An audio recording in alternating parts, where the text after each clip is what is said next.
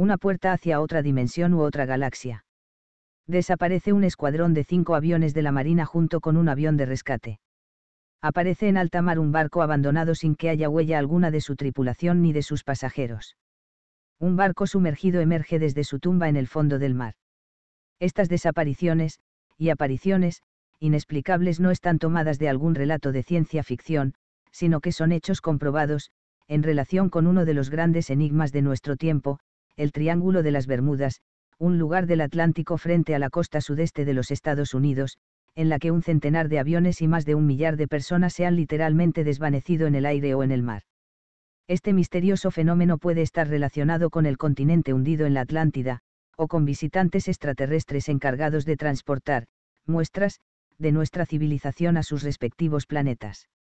Estas y otras teorías son minuciosamente investigadas por Charles Berlitz en este libro, un auténtico bestseller mundial. Charles Berlitz. El Triángulo de las Bermudas. 1. El Triángulo de las Bermudas, un misterio del aire y el mar. Frente a la costa sudeste de los Estados Unidos, en el Atlántico Occidental, existe una zona que forma lo que se ha denominado un triángulo. Se extiende desde las Bermudas, por el norte, hasta el sur de la Florida, va hacia el este, hasta un punto situado a través de las Bahamas, más allá de Puerto Rico, a unos 40 grados de longitud oeste, y luego regresa hacia las Bermudas. Esta zona ocupa un sitial inquietante, casi increíble, en el catálogo de los misterios no resueltos del mundo. Habitualmente se le llama el Triángulo de las Bermudas, donde más de 100 barcos y aviones han desaparecido en medio de una atmósfera transparente. La mayor parte de las desapariciones ha ocurrido desde 1945, y en los últimos 26 años se han perdido allí más de mil vidas humanas, sin que se haya podido recuperar ni un solo cuerpo, ni siquiera un trozo de los restos de los aviones o barcos desvanecidos. Pese a que hoy los viajes por mar y aire son mucho más frecuentes y las investigaciones son más acuciosas y los registros más escrupulosamente llevados, las desapariciones se siguen produciendo en número aparentemente cada vez mayor.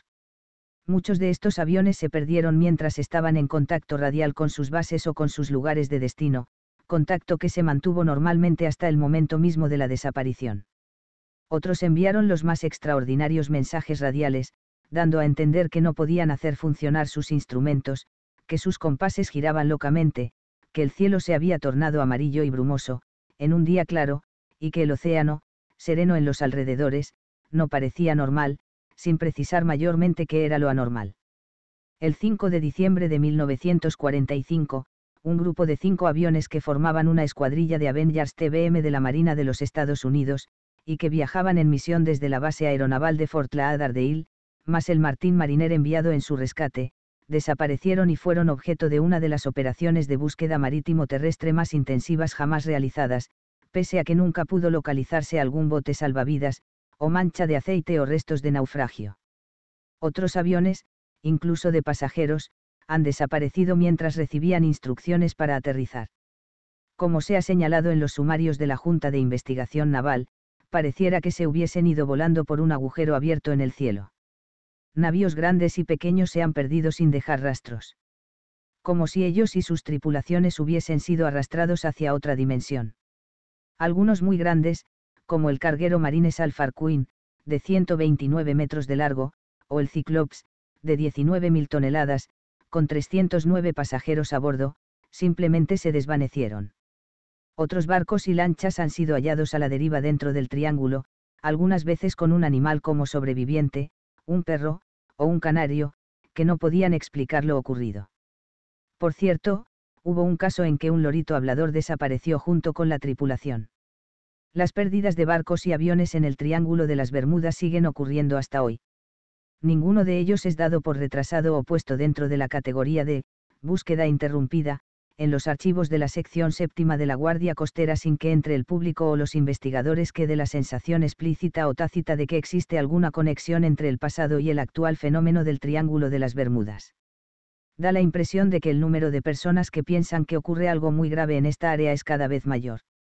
Los recientes y numerosos informes acerca de aviones y embarcaciones que han sufrido experiencias increíbles dentro del Triángulo y supervivieron contribuyen a crear un nuevo folclore del mar, pese a que la causa de la inexplicable amenaza que pesa sobre naves aéreas y marítimas en esta zona sigue rodeada del mismo misterio de siempre. Se han ofrecido, y considerado seriamente, las más variadas e imaginativas explicaciones sobre las presuntas pérdidas y muertes, presuntas, ya que no se ha recuperado un solo cadáver. Algunas de ellas van desde las repentinas mareas causadas por terremotos hasta las bolas de fuego que explotan contra los aviones, pasando por ataques de monstruos marinos, trastornos temporoespaciales que conducen hacia otra dimensión, torbellinos electromagnéticos o gravitacionales que hacen que los aviones se estrellen o los barcos se pierdan en el mar, capturas y secuestros por ovni manejados por entes de culturas sobrevivientes de la antigüedad, el espacio exterior o el futuro y en busca de especímenes de los actuales habitantes de la Tierra. Una de las sugerencias más notables fue la que hizo Edgar Cayce, el profeta durmiente, un curandero y vidente que murió en 1944. Décadas antes de que se sospechase la posibilidad de emitir rayos láser, Cayce sostuvo que los antiguos atlantes usaban cristales como fuentes de energía, que dichos cristales estaban localizados específicamente en la zona de las Bimani y que lo más probable era que posteriormente se hundiesen en la lengua del océano, frente a la costa de Andros, en las Bahamas, donde han ocurrido muchas de las desapariciones. Según esta concepción, una fuente de energía errante y hundida a una profundidad de 1.600 metros al oeste de Andros estaría ejerciendo todavía una atracción ocasional sobre los compases y el equipo electrónico de los barcos y aviones de la actualidad. En todo caso, la explicación o solución del misterio parece estar relacionada con el mar, que es de por sí el más grande misterio que todavía enfrentan los habitantes de la Tierra. Aunque nos hallamos en los umbrales del espacio, contemplando de manera un tanto ansiosa el cosmos y pensando que ya el mundo tan concienzudamente explorado no tiene secretos para nosotros, la verdad es que alrededor de tres quintas partes de la superficie del globo, constituidas por las profundidades abismales del océano, no son casi tan conocidas como los cráteres de la Luna, o incluso menos. Naturalmente, hace tiempo que hemos trazado un mapa de los contornos generales del fondo del mar, primero por medio de sondas mecánicas y más recientemente utilizando sonar y exploraciones submarinas y con batisferas, luego con cámaras sonda de gran profundidad, hemos configurado las corrientes de superficie y submarinas. Ahora dichos aparatos están investigando la existencia de petróleo en las plataformas continentales y tal vez muy pronto lo harán a profundidades aún mayores la actividad desplegada durante la Guerra Fría y la creciente utilización de flotas submarinas, pese al peligro experimentado por la Marina francesa en las actividades submarinas en el Mediterráneo y por la de los Estados Unidos en el Atlántico, contribuirían considerablemente, si los materiales fuesen publicados, a hacer mayor nuestro conocimiento del fondo del mar. Sin embargo, las partes más profundas del océano todavía podrían reservarnos sorpresas considerables es posible que las planicies abisales y los cañones y hendiduras contiguas contengan una fauna inesperada. En el Océano Índico se descubrió en 1938 que el extinguido, coleocanto, un pez supuestamente prehistórico, dotado de extremidades residuales, estaba perfectamente vivo, y muy bien. Se trata de un pescado azul, de cuatro miembros, que era muy abundante hace alrededor de 60 millones de años. Al último espécimen fosilizado que se halló antes de encontrar el ejemplar vivo se le atribuyó una antigüedad de 18 millones de años. Existen descripciones detalladas, provenientes de observadores dignos de confianza, que en su mayoría no tienen nada que ganar, y sin mucho que perder al escribir un informe sobre una serpiente marina, donde se hace un boceto o se explican las características de ciertas criaturas marinas que tienen una estructura muy parecida a la del monosaurio del Plioceno, o ictiosaurio, el que aparentemente vive todavía en las profundidades abisales. En algunas ocasiones, cuando se han acercado a playas y puertos situados en puntos diversos, desde Tasmania hasta Massachusetts, estas criaturas han sido observadas por cientos de testigos. El monstruo del lago Ness, al que se le llama cariñosamente Nessie, y que ha sido fotografiado con regularidad, aunque en forma borrosa, podría ser una versión menor de estos gigantescos, peces lagartos, que es como se traduce su nombre griego, Ichthyosaurus. Copia de un dibujo contemporáneo de la serpiente marina de Gloucester. Entre las muchas visiones de este tipo que se han registrado durante los siglos, esta parece ser una de las más verosímiles. La serpiente fue vista por tanta gente, frente a la costa de Capean, Massachusetts, en agosto de 1917, que el hecho dio lugar a una investigación de la Sociedad de Naturalistas de Boston. Según se dijo, algunos representantes de la sociedad llegaron hasta unos 130 metros del monstruo, cuyo largo fue estimado en 27 metros. Los naturalistas calcularon que se movía a una velocidad de 50 km por hora. La serpiente desapareció poco después de la visita de los investigadores. El oceanógrafo danés Anton Brun observó en una ocasión un renacuajo de casi dos metros de largo, similar a una anguila, que había sido pescado por un barco de arrastre y que se hallaba en estado larval. Si hubiese llegado a su edad adulta, creciendo proporcionalmente, habría llegado a medir 22 metros de largo. Aunque no se ha recogido ningún ejemplar de calamar gigante, hay diversos indicios de que podrían ser tan grandes como algunas de las legendarias, serpientes marinas, e incluso de que podrían ser las propias serpientes de mar vistas por tantos observadores. Se puede calcular el tamaño de estos calamares gigantes por medio de los restos de esqueletos que se encuentran ocasionalmente y también gracias a las marcas en forma de disco encontradas en los lomos de algunas ballenas, los tentáculos de los calamares succionan el pigmento de la piel de las ballenas y dejan la huella que sugiere titánicas batallas en las profundidades. Aunque siempre estamos aprendiendo más acerca de la vida en las profundidades del océano, la mayor parte de nuestras observaciones y de nuestras capturas de ejemplares han sido casuales, como podría ocurrir, para hacer una analogía, con exploradores del espacio que hubiesen lanzado redes desde sus naves espaciales en diversas regiones de la Tierra, para luego recogerlas con lo que pudiesen haber encontrado. Incluso las criaturas marinas que ya nos resultan familiares presentan ciertos misterios en sus migraciones y hábitos procreativos. Por ejemplo, las anguilas de Europa interior y América, que se encuentran para la procreación en el mar de los sargazos y desde el cual solo los nuevos ejemplares regresan a los lugares de origen de sus padres, los atunes, que inician su emigración frente a las costas del Brasil, viajan a Nueva Escocia y luego a Europa y entonces algunos, solo algunos, siguen hacia el Mediterráneo, las langostas de púas, que caminan sobre el fondo del mar, descendiendo por la plataforma continental y siguiendo. Luego hacia abajo, rumbo a un destino ignorado en la llanura abisal. Entre otros misterios, se pueden citar las grandes fosas de los océanos, que curiosamente tienen aproximadamente la misma profundidad, 11.000 metros, algo asombroso, y las criaturas vivientes que se hallan en el fondo, bajo tan enorme presión. O las corrientes oceánicas, los grandes ríos de la mar. Algunas son de superficie y su profundidad es variable, mientras otras fluyen a centenares de metros de hondura y a menudo en direcciones distintas a las de la superficie.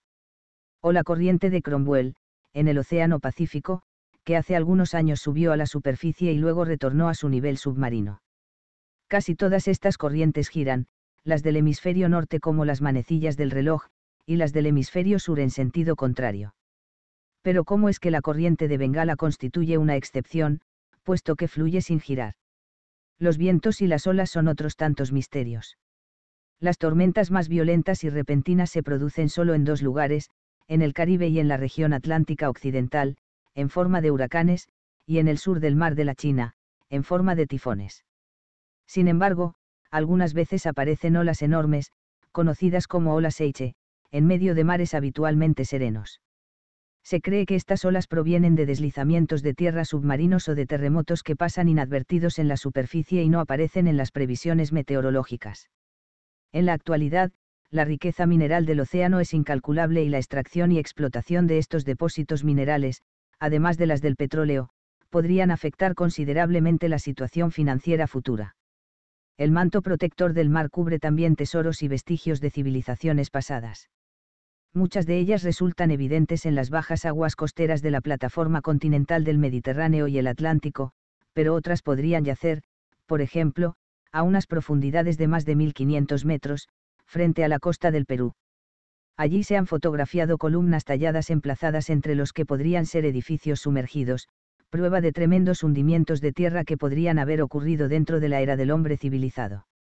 En muchas zonas de los mares del mundo, desde la perdida Atlántida en el centro del Atlántico, hasta las Bahamas o el Mediterráneo Oriental, perviven historias de civilizaciones sumergidas. Por ejemplo, los misterios de la isla de Pascua y otras civilizaciones perdidas del Pacífico Sur, o la posibilidad de la existencia de una cultura ahora enterrada bajo el hielo de la Antártida, que habría existido allí antes del desplazamiento de los polos. Hay algunas áreas del fondo del mar que parecieran estar en constante movimiento en mayo de 1973, parte de la fosa de Bonin, cerca de Japón, subió casi 2.000 metros. La mayoría de los 100.000 terremotos que se producen todos los años a lo largo de la cordillera del centro del Atlántico ocurren en el lugar donde, según se supone desde remotas épocas, estaba ubicada la legendaria Atlántida.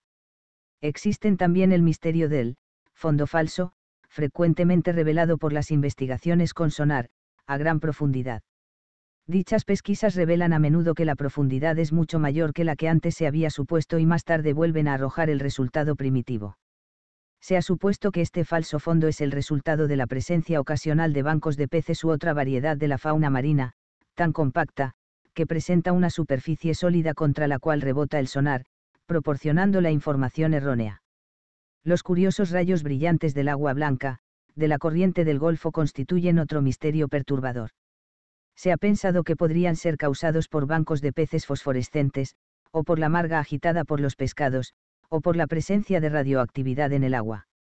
En todo caso, el fenómeno resultó suficientemente notable como para que ya Colón lo comentase, hace cinco siglos, y fue también la última luz terrestre que pudieron ver los astronautas rumbo al espacio. Por último, tenemos la teoría de los continentes que se desplazan, al separarse uno del otro a lo largo del océano y alejarse de su posición original, donde se hallaban agrupados y formando un supercontinente. Esta teoría ha sido aceptada solo recientemente y podría tener estrecha relación con la rotación, composición y comportamiento de la propia Tierra. Sin embargo, hay una diferencia entre estos múltiples misterios, que podrían ser finalmente resueltos, y que por ahora producen considerable inquietud, y el que plantea el Triángulo de las Bermudas, que introduce un elemento de peligro para el viajero. Naturalmente, es verdad que todos los días un gran número de aviones vuelan sobre el Triángulo, que barcos grandes y pequeños navegan por sus aguas y que innumerable cantidad de viajeros visitan la región sin que se produzca ningún incidente. Además, barcos y aviones se han perdido y se siguen perdiendo en el mar y en los océanos del mundo por una serie de razones. Por cierto, debemos acordarnos de distinguir entre, perdido en el mar, lo que sugiere el hallazgo de un naufragio o de ciertos restos identificables y, desaparecido, que es el caso en que no se encuentra nada. Pero, en ninguna otra región, aparte del Triángulo de las Bermudas, han sido tan numerosas las desapariciones sin explicación. En ninguna se las ha registrado tan bien, ni han sido tan repentinas y acompañadas de circunstancias tan extrañas, algunas de las cuales llevan el elemento de la coincidencia hasta los límites de lo imposible. Muchas autoridades marítimas o aeronáuticas podrían hacer la observación de que es perfectamente natural que algunos aviones, barcos o yates desaparezcan en una zona en que hay tantos viajes marítimos y aéreos, todos ellos sujetos a tormentas repentinas y a las múltiples posibilidades de accidentes y errores de navegación. Esas mismas autoridades comentarían, tal vez, que el Triángulo de las Bermudas sencillamente no existe y que esa denominación en sí es falsa, o errónea, y constituye un misterio fabricado para divertir a los lectores curiosos e imaginativos. Las líneas aéreas que sirven la región comprendida en el Triángulo de las Bermudas suscriben esta versión con un entusiasmo fácil de comprender, aunque hay muchos pilotos experimentados que no están muy seguros de su inexistencia. Los que aseguran que el triángulo no existe tienen razón, en cierto sentido, porque el área de las desapariciones inexplicables podría no ser un verdadero triángulo, sino más bien una elipse, o tal vez el segmento gigante de un círculo cuyo ápice estaría cerca de las Bermudas y cuyo fondo curvo se extendería desde la Baja Florida hasta más allá de Puerto Rico, describiendo una curva hacia el sur y el este a través del Mar de los Sargazos, y volviendo luego hacia las Bermudas. En general, los que más han estudiado el fenómeno están de acuerdo en su ubicación, aunque puedan diferir en detalles. Ivan Sanderson, que se ocupó del tema en su obra Invisible Residents, Residentes Invisibles, y en numerosos artículos, llegó a la conclusión de que la zona tenía la forma de una elipse, o punta de diamante, y de que habría otras doce similares, esparcidas en todo el mundo a intervalos regulares, entre ellos, el tristemente célebre Mar del Diablo, en el Japón. John Spencer, piensa que el área peligrosa sigue la plataforma continental, parte de un punto frente a Virginia y se dirige luego al sur, a lo largo de la costa norteamericana, y pasa más allá de Florida para continuar alrededor del Golfo de México. Cree también que la región incluiría los escalones submarinos de las islas del Caribe y la periferia de las Bermudas. Vincent Gadas, autor de Invisible Horizons, Horizontes Invisibles, y de un artículo en la revista Argosy, que fue el que probablemente dio su nombre al triángulo, traza su forma triangular aproximadamente dentro, de una línea que va de Florida a las Bermudas, otra desde las Bermudas a Puerto Rico, y una tercera que vuelve a Florida a través de las Bahamas.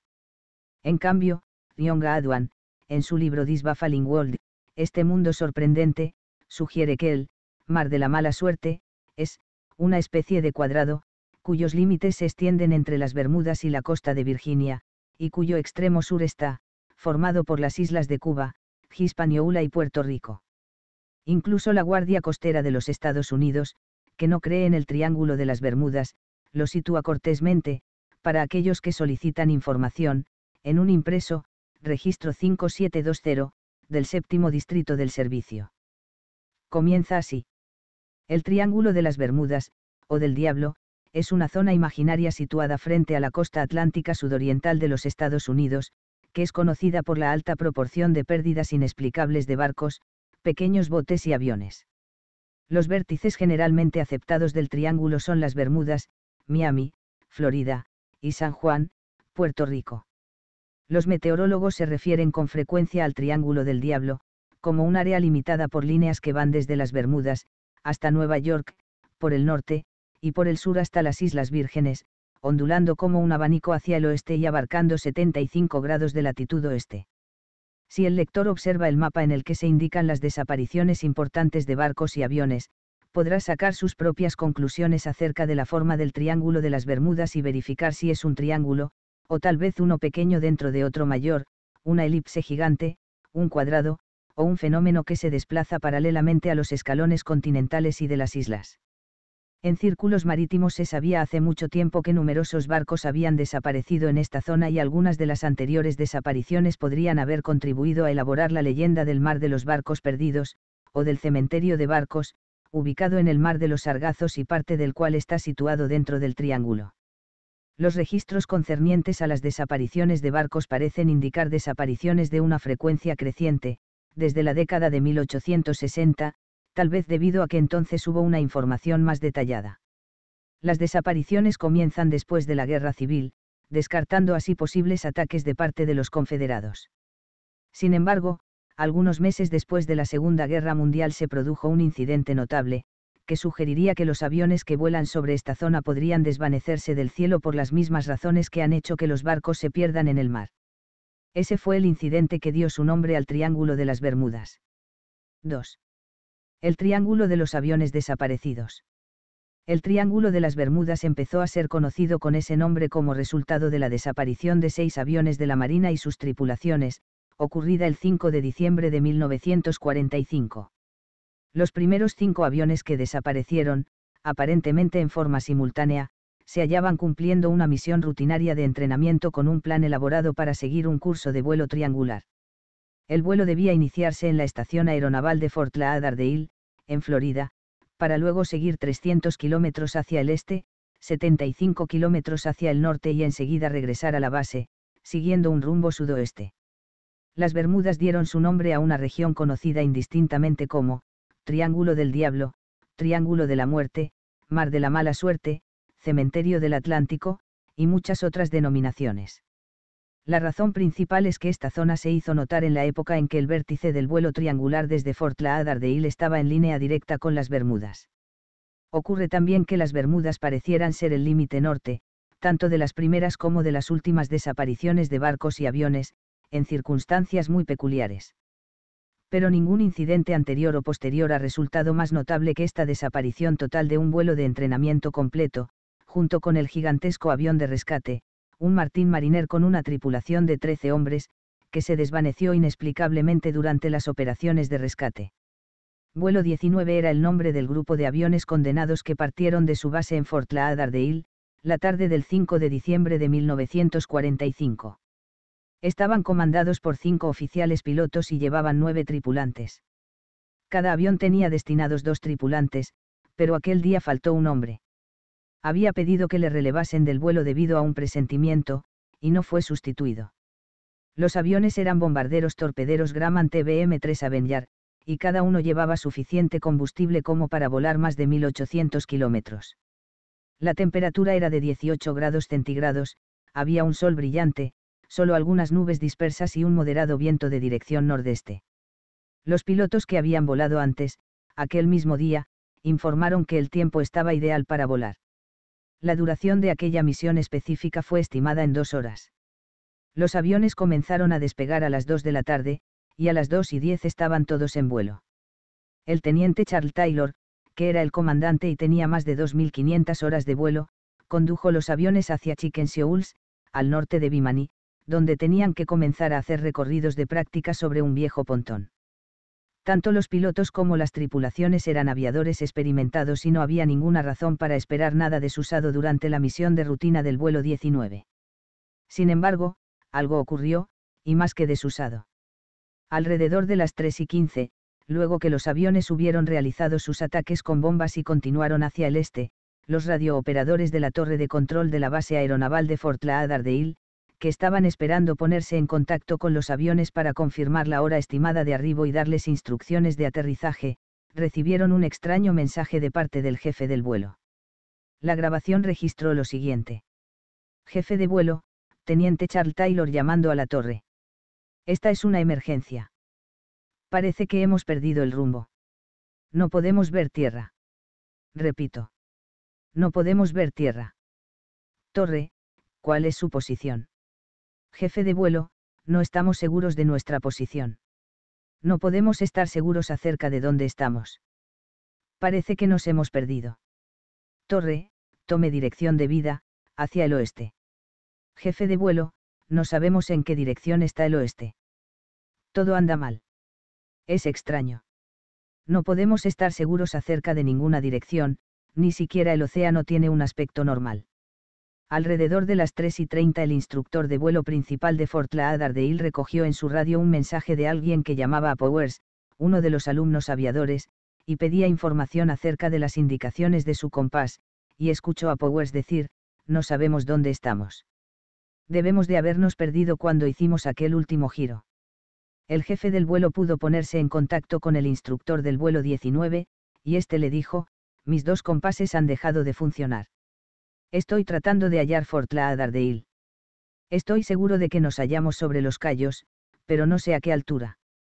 El instructor jefe le aconsejó entonces que volara hacia el norte, con el sol sobre el costado de la escotilla, hasta que llegase a la base aeronaval. Pero luego escuchó, acabamos de pasar sobre una pequeña isla. No hay más tierra a la vista. Aquello era una seña de que el avión del instructor no se hallaba sobre los callos y de que la escuadrilla completa había perdido el rumbo, puesto que no podían ver tierra, la tierra que se aprecia normalmente a continuación de los callos.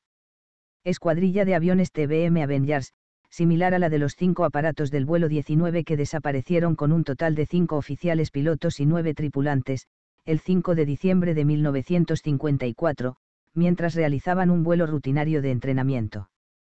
Perdieron contacto con la base aeronaval de Fort Lauderdale después de enviar una serie de mensajes radiales en que decían que sus compases estaban, enloquecidos, que todo se veía extraño y mal y que el océano no, parecía normal. No se halló resto alguno de los aviones, pese a una búsqueda intensiva, realizada sobre un área de un millón de kilómetros cuadrados de mar y tierra. Debido a la estática, resultó cada vez más difícil escuchar mensajes del vuelo 19. Aparentemente, los aviones no podían ya oír a la torre, pero en cambio la torre escuchaba conversaciones entre los aparatos. Algunas se referían a posibles faltas de combustible, decían tener gasolina solo para 75 millas, 120 kilómetros, hacían referencia a vientos de 75 millas por hora. Y luego, la desalentadora observación acerca de que todas las brújulas, giroscópicas y magnéticas, de todos los aviones, habían dejado de funcionar y, se habían vuelto locas, como se dijo entonces. Cada una mostraba orientaciones distintas. Durante todo este tiempo, el poderoso transmisor de Fort Lauderdale fue incapaz de hacer contacto alguno con los cinco aviones, aunque la comunicación entre ellos era bastante audible. Mientras tanto, al conocerse las noticias acerca de la emergencia en que se hallaba el vuelo 19, se produjo una conmoción muy comprensible entre el personal de la base. Comenzaron a tejerse toda clase de suposiciones acerca de un ataque enemigo, aun cuando la Segunda Guerra Mundial había terminado hacía ya varios meses, o incluso de ataques de nuevos enemigos, y se despachó un avión de rescate, un bimotor anfibio Martín Mariner de la base aeronaval del río Banana. A las 4 de la tarde, la torre escuchó de pronto que el teniente Taylor había entregado el mando inesperadamente a un veterano piloto naval, el capitán Staibar. Aunque de modo borroso y alterado por la tensión, pudo enviar un mensaje inteligible, no estamos seguros acerca de dónde nos hallamos. Creemos estar a unas 225 millas, 360 kilómetros, al nordeste de la base. Debemos de haber pasado sobre Florida y debemos de estar en el Golfo de México. Enseguida, el jefe del vuelo decidió, al parecer, dar una vuelta de 180 grados con la esperanza de volar de regreso hacia Florida. Pero, al hacer el giro, la transmisión comenzó a hacerse más y más débil, señalando que habían hecho una mala maniobra y que estaban volando hacia el este, lejos de la costa de Florida y sobre mar abierto. Algunos informes señalan que las últimas palabras del vuelo 19 fueron, parece que estamos. Sin embargo, otros de los que escuchaban parecen recordar algo más, algo como, entrando en agua blanca. Estamos completamente perdidos. Entretanto, según el mensaje del teniente Come, uno de los oficiales del Martín Mariner despachados a la zona donde en general se pensaba que debía de hallarse el vuelo, y que la torre recibió solo algunos minutos después de su despegue, había vientos muy fuertes sobre los 1800 metros. Este fue el último mensaje que se recibió del avión del rescate. Poco después, todas las unidades de rastreo recibieron un despacho urgente que señalaba que ahora había en lugar de cinco, seis aviones perdidos. El aparato de rescate y su tripulación de 13 hombres también habían desaparecido. Los bombarderos estaban equipados con botes salvavidas, y podían mantenerse a flote un minuto y medio en caso de estrellarse contra el mar. Las tripulaciones estaban entrenadas para abandonar la nave en 60 segundos. Estos factores, así como la relativa cercanía de la base respecto del lugar en que ocurrió el incidente, hacen aún más misteriosa la completa desaparición de los cinco aviones y sus tripulaciones no volvió a recibirse ningún mensaje del vuelo 19, en misión de entrenamiento, ni del Martín Mariner enviado a rescatarlo. No obstante, poco después de las 7 de la tarde la base aeronaval Opaloca, en Miami, recibió un débil mensaje, que consistió en lo siguiente, FT. FT. Las siglas eran parte de la señal de los aviones del vuelo 19. El avión del instructor era el FT-28. Pero, si el mensaje provino realmente de la patrulla perdida, el periodo de tiempo en que se recibió indicaría que fue enviado dos horas después del momento en que era de presumirse que los aviones habían agotado su combustible. La búsqueda aérea original, iniciada el día de la desaparición, fue suspendida a causa de la oscuridad, pero los barcos de la Guardia Costera siguieron buscando sobrevivientes durante la noche.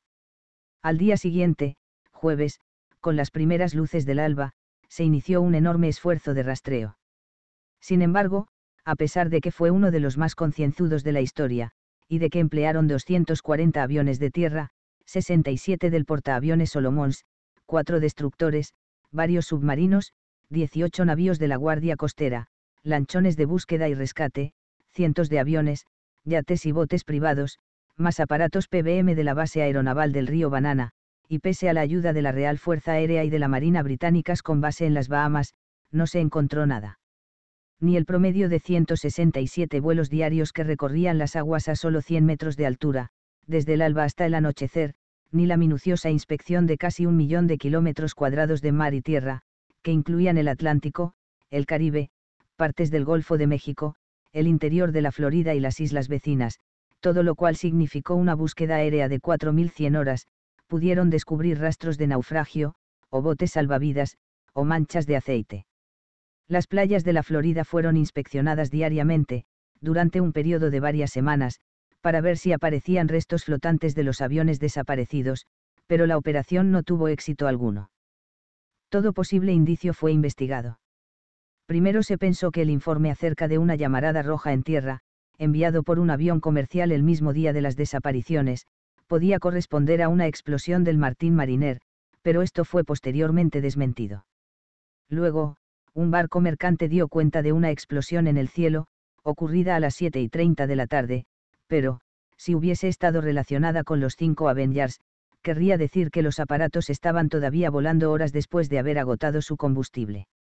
Esta explicación significaría, además, que los cinco chocaron y estallaron al mismo tiempo, tras mantener en silencio sus radios desde la interrupción del contacto destinado a informar sobre el tiempo de vuelo. Por otra parte, resulta curioso que no se hayan recibido mensajes de socorro, ni del vuelo 19 ni de la misión de rescate.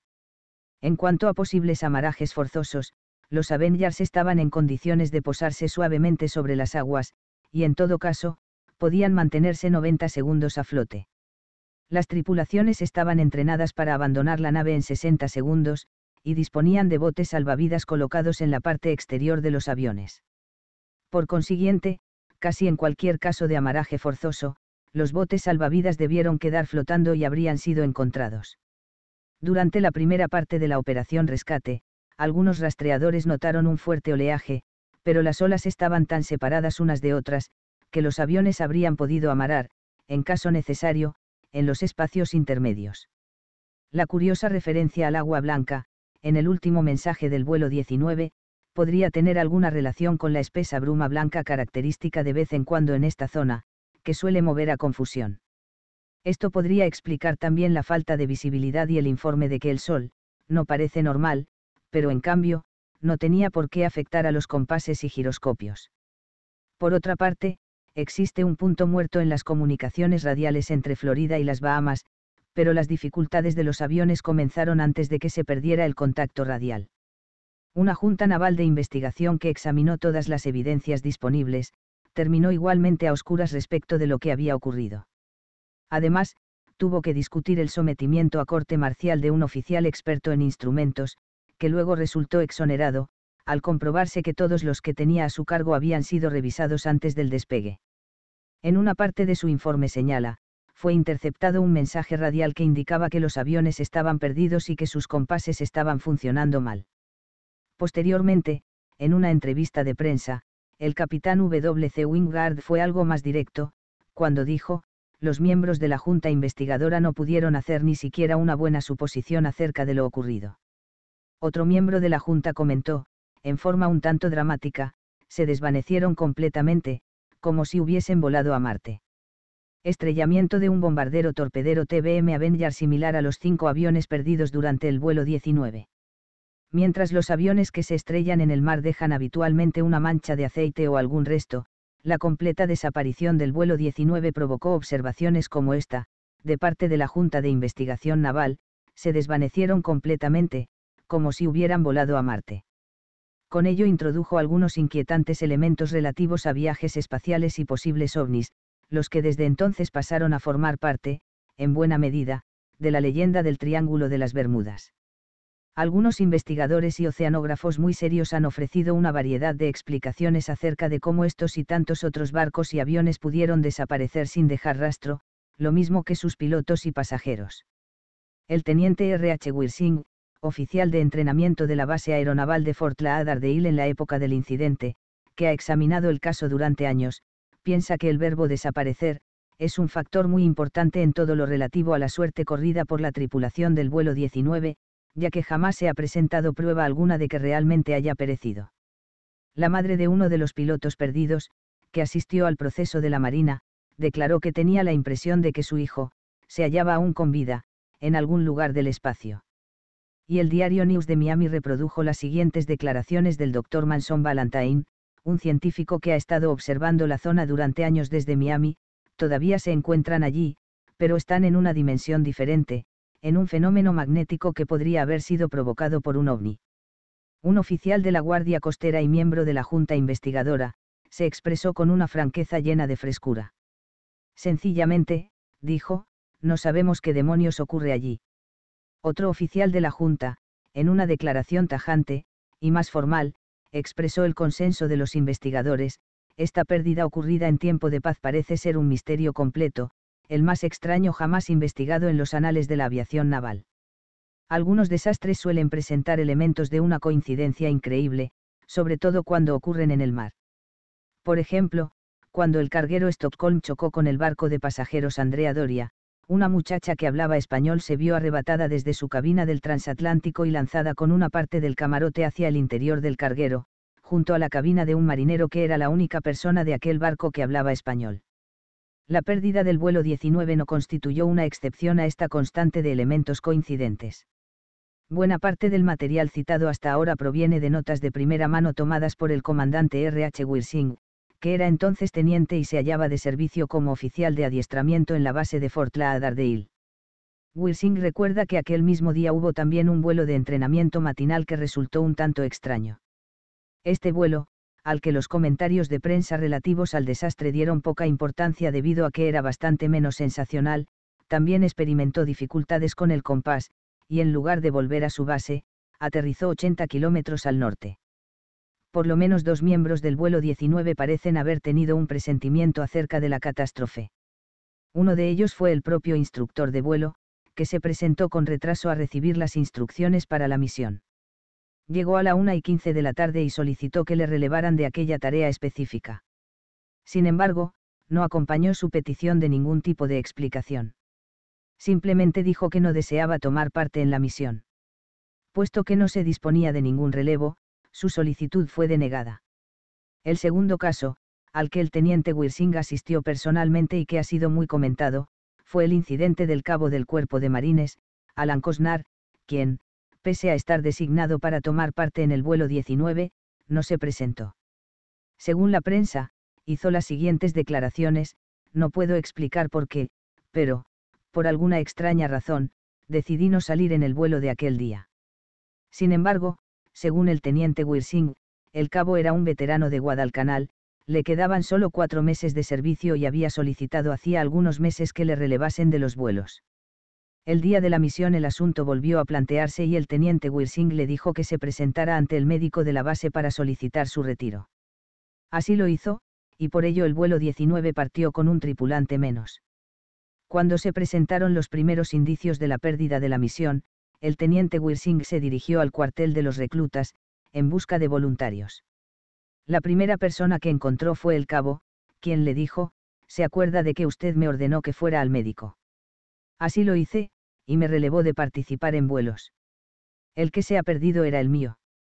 Sin embargo, el informe de pista daba a entender que los aviones habían salido con sus tripulaciones completas, como si algún otro marino hubiese subido a bordo a última hora. Esto obligó a realizar verificaciones de las listas del personal de la base, para comprobar si faltaba alguien. Cuando se averiguó que todo el personal estaba presente, el misterio adicional del informe de tripulación completa, se convirtió en otro de los elementos indescifrables de la múltiple desaparición. 29 años después del incidente se hizo público otro aspecto desusado. A Artie Ford, periodista, escritor y conferencista que ha seguido el caso desde 1945, hizo una asombrosa declaración durante un programa nacional de televisión en 1974. Indicó que el teniente Taylor había dicho por radio lo siguiente, no vengan por mí, parece que son del espacio exterior. Ford sostiene que esta información le fue proporcionada en la época del suceso por un radioaficionado, pero que no le atribuía demasiada seriedad, dadas las dificultades que enfrenta un operador amateur al recibir comunicados de un avión en vuelo y dados también la excitación y los rumores que circularon entonces. Sin embargo, durante sus investigaciones posteriores, Ford halló una prueba desusada de lo transmitido, en una transcripción de los mensajes enviados por el avión a la torre y que fue incluida en un informe elaborado más tarde debido a la presión de los padres de los aviadores perdidos. El documento, de carácter oficial y secreto, el cual, según Ford, solo pudo examinar en parte, contenía al menos una frase, no vengan por mí.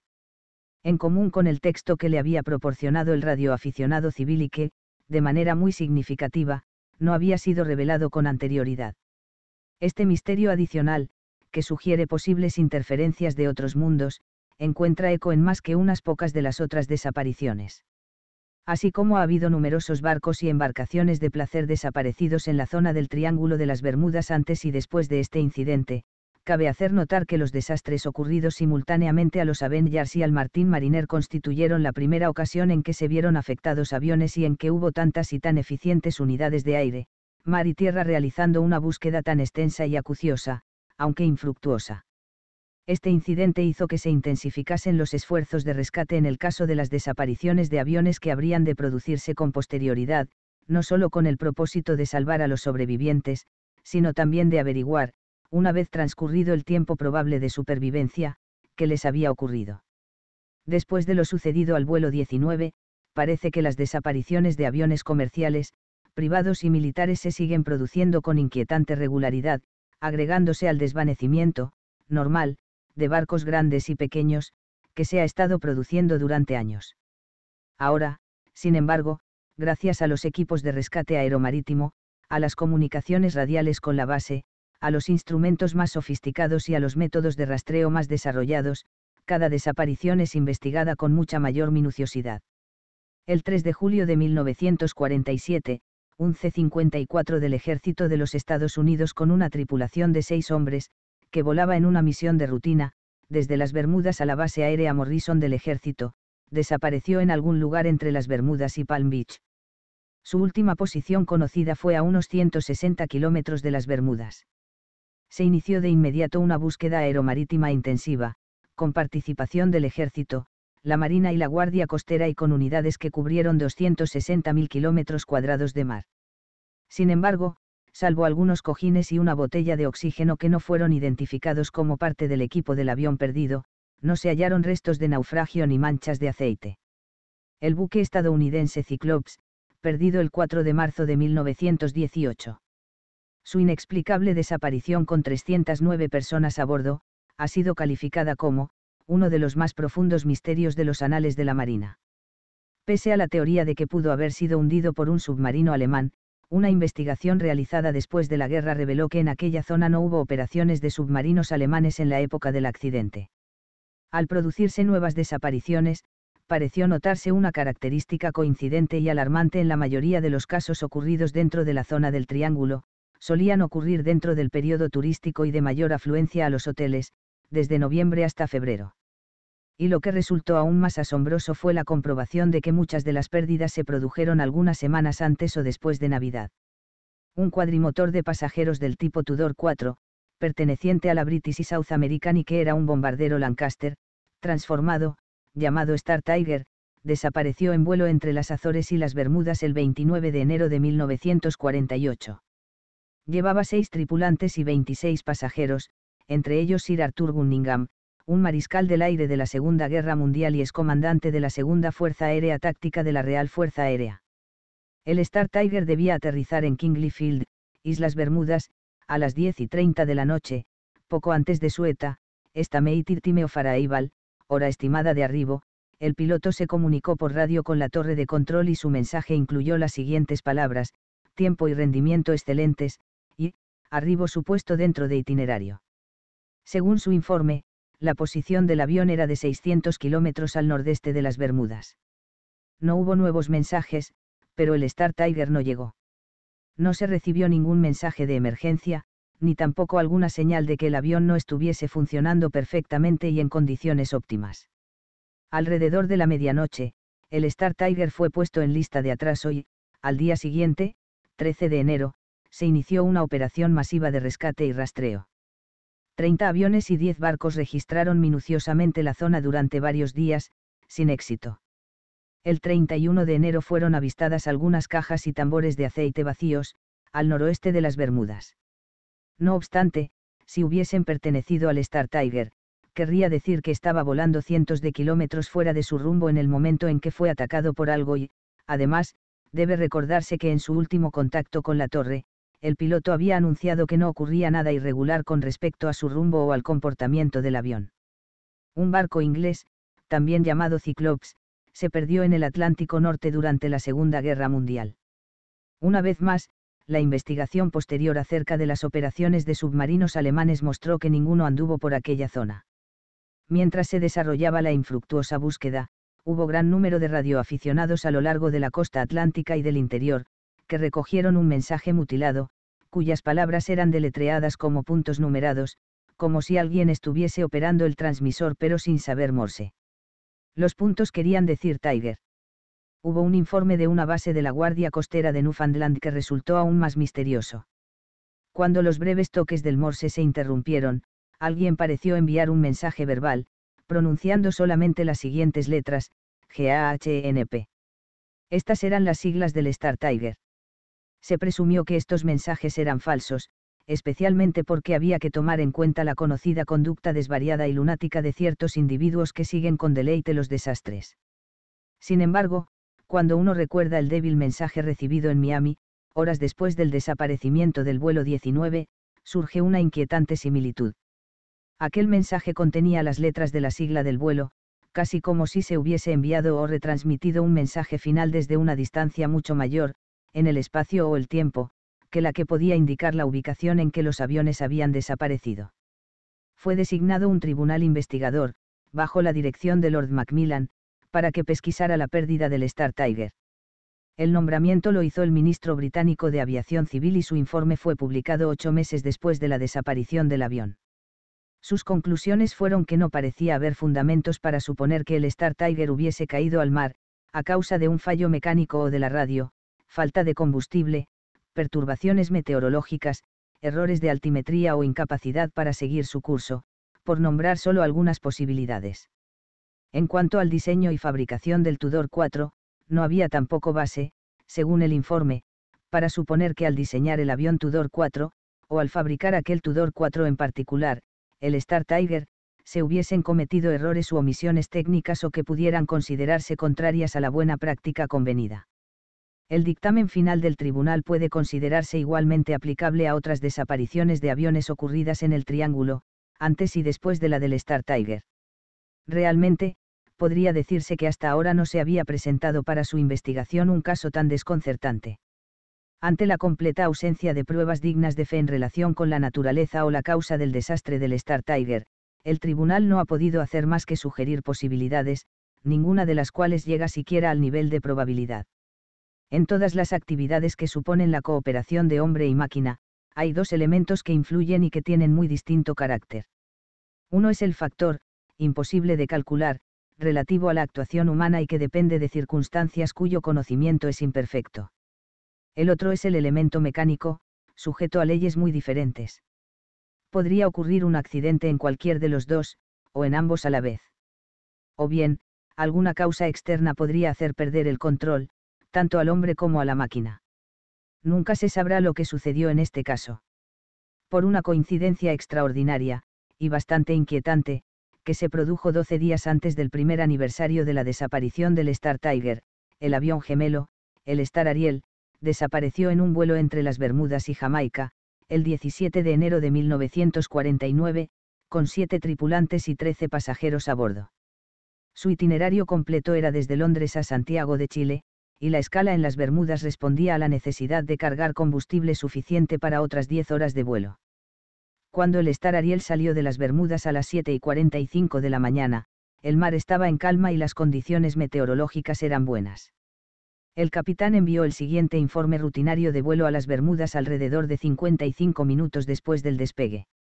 Este es el capitán McPhil, a bordo del Ariel, rumbo a Kingston, Jamaica, desde las Bermudas. Hemos alcanzado altura de crucero. Buen tiempo. Hora estimada de arribo a Kingston dentro de itinerario. Voy a cambiar de frecuencia radial para ponerme en contacto con Kingston. Pero no hubo nuevos mensajes del Star Ariel, ni entonces ni nunca.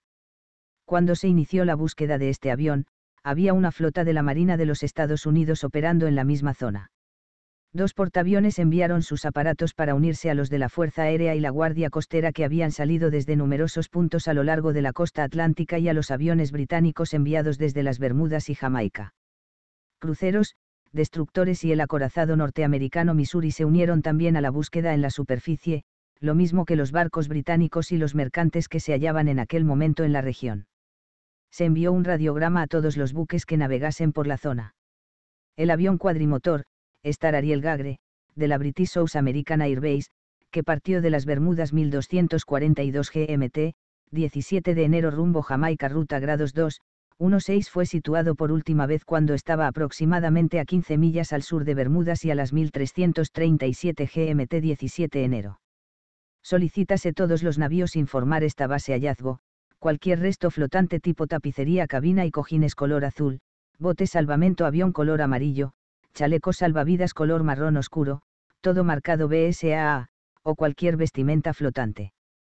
72 aviones de reconocimiento, en estrecha formación y algunas veces tocando, ala con ala, cubrieron 390.000 kilómetros cuadrados de océano, en un área que comenzaba en las proximidades del último informe radial y seguía por el sudoeste, rumbo a Jamaica. No pudieron descubrir ni una sola evidencia que pudiera ser identificada con el avión perdido.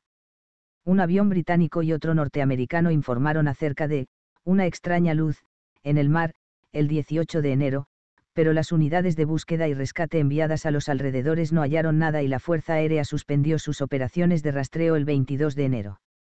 Anfibio tipo Martín Mariner, similar al enviado en ayuda del vuelo 19.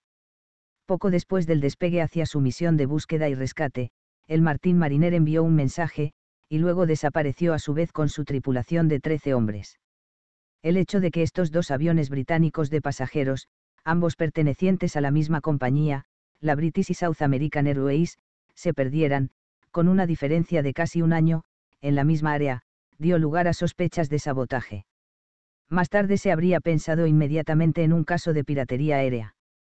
Esta posibilidad, al igual que el entrenamiento del piloto y la tripulación, el funcionamiento de los instrumentos y las condiciones meteorológicas, fueron pesquisadas por una junta investigadora, o comité Bravazon, que no encontró nada desfavorable ni tampoco, halló indicio alguno. Falta absoluta de pruebas. No se encontró rastro alguno del desastre. Se ignora la causa del accidente del Star Ariel. Una de las teorías que se discutieron entonces consistía en que el bromuro metílico de los extinguidores había penetrado accidentalmente en el sistema de presión y, tras circular por él, causó una explosión. Esta podría haber sido la causa de un accidente muy raro en un avión, tal vez, pero no en los muchos otros que han desaparecido en la misma zona. La motonave Marines Alphar Queen, un carguero de 130 metros de largo, que desapareció con una tripulación de 39 hombres. Este gran buque se perdió en medio de buen tiempo el 2 de febrero de 1963, en algún lugar cercano a las Tortugas Secas. Jamás se encontraron restos del carguero ni de la tripulación, excepto un chaleco salvavidas hallado en el mar, a 24 kilómetros al sur de Key West.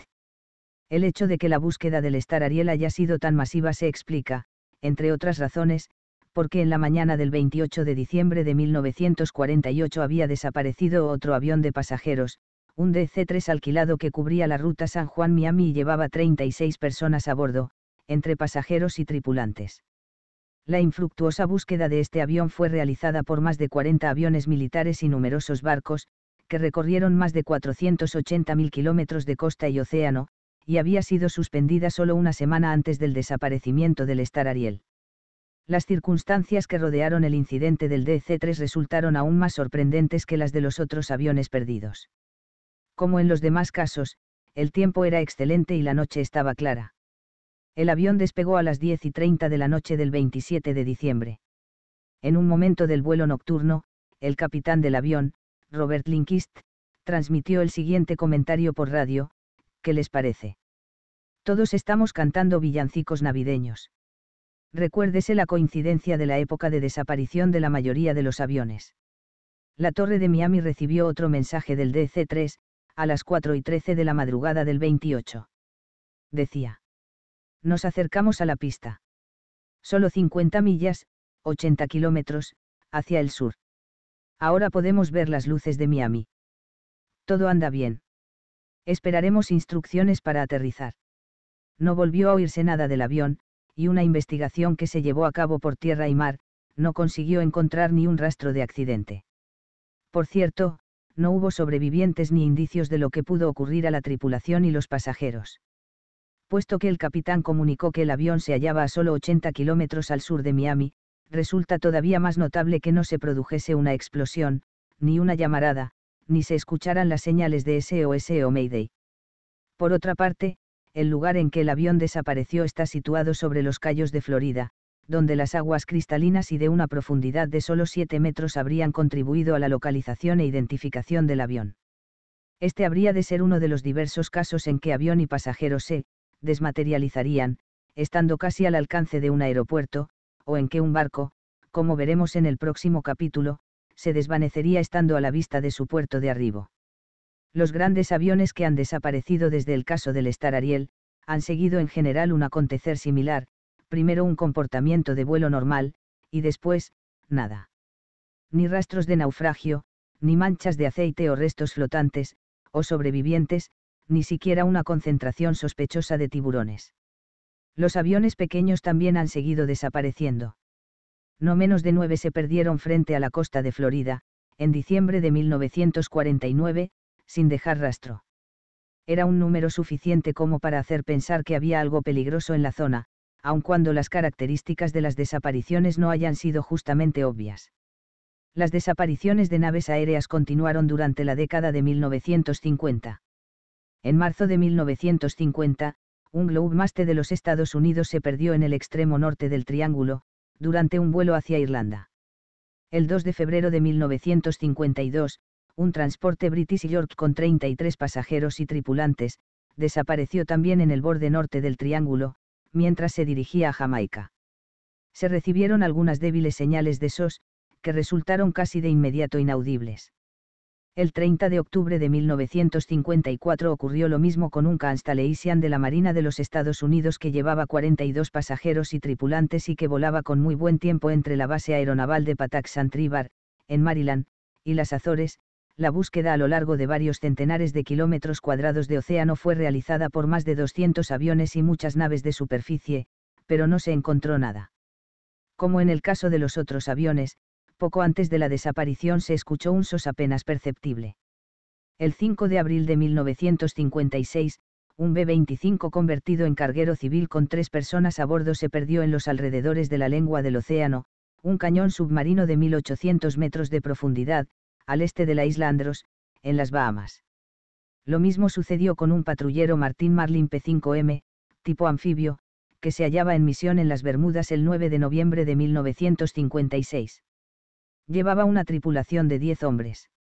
El 8 de enero de 1962, un avión tanque tipo KB-50, de la Fuerza Aérea de los Estados Unidos, que salía de la base Langley, en Virginia, rumbo a los Azores, corrió la misma suerte del Super Constellation perdido en 1954. Como ocurrió en aquel caso, hubo un débil mensaje radial que indicaba que se había producido una dificultad no especificada y luego, silencio. Como de costumbre, no se encontraron restos ni indicios de lo que había ocurrido. Debe recordarse que en cada uno de estos casos las tripulaciones disponían de gran cantidad de equipo de salvamento, por si el aparato se hundía, de manera que lo que pueda haber ocurrido a los aviones se produjo inesperadamente y de manera muy rápida.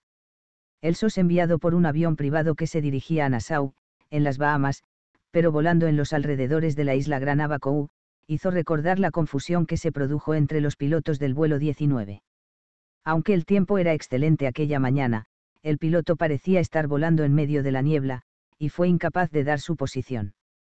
Ni siquiera podía ver las islas que tenía debajo, pese a la excelente visibilidad que había en la zona, según el testimonio de otros observadores. En este caso, el avión no desapareció del todo, ya que posteriormente se encontró una parte de un ala flotando en el mar. El 28 de agosto de 1963 se produjo la pérdida de dos aviones. Al principio se creyó que se trataba de otra desaparición, pero luego, al encontrarse algunos restos, el misterio resultó aún más profundo. Se trataba de dos cuadrimotores a reacción tipo Stratotanker KC-135, en misión de reabastecimiento fuera de la base Homestead de la Fuerza Aérea, en Florida. Fueron los primeros aviones a chorro que desaparecieron en el Triángulo, poco después de haber dado su posición, a 480 kilómetros al sudoeste de las Bermudas los investigadores llegaron a la conclusión de que habían chocado en el aire, después de que una búsqueda intensiva halló los restos, probablemente pertenecientes a los aviones, a 420 kilómetros al sudoeste de las Bermudas. Sin embargo, algunos días más tarde se encontraron más restos que, según se pensó, pertenecían al otro avión, pero que estaban a 260 kilómetros de distancia de los otros. Si chocaron en el aire, pese a que una declaración de la Fuerza Aérea precisó que no volaban cerca uno del otro, algo debió separar los restos, y con una velocidad mucho mayor que la de las corrientes marinas. Y si se estrellaron simultáneamente, tal vez como ocurrió en el caso de los cinco Avenger, que pudo haber descompuesto sus instrumentos o sus motores al mismo tiempo. Un mes más tarde, el 22 de diciembre, desapareció un Cargomaster C-132, entre Delaware y su punto de destino en las Azores. El último mensaje del piloto indicaba que todo estaba bien y que su posición era alrededor de 130 kilómetros frente a la costa sur de Jersey. Se organizó una intensa búsqueda con aviones y barcos de la Guardia Costera y la Marina que duró hasta el 25 de septiembre, pero no pudo hallarse nada que perteneciese al avión perdido. El 5 de junio de 1965, un Flying Boscar, C-119, que realizaba una misión de rutina y llevaba una tripulación de 10 hombres, se desvaneció mientras volaba desde la base de la Fuerza Aérea en Homestead hasta la isla Gran Turco, cerca de las Bahamas. El último mensaje que se recibió del C-119 señalaba su posición a unos 160 kilómetros de su destino con una ETA de una hora, aproximadamente.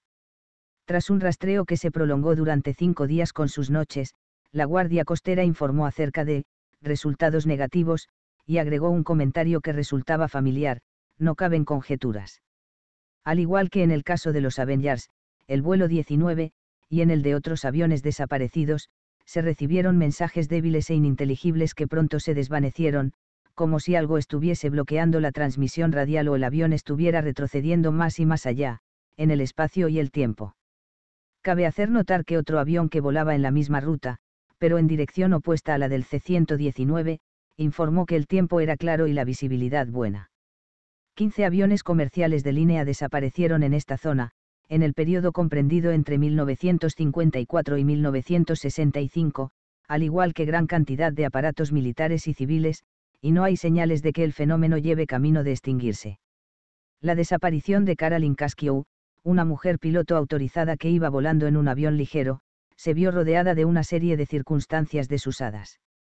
Llevaba un pasajero desde Nassau hasta la isla Gran Turco, en las Bahamas, el 7 de junio de 1964, y cuando llegó al punto en que calculaba debía estar Gran Turco, comunicó por radio que no podía encontrar la ruta y que estaba dando vueltas sobre dos islas no identificadas.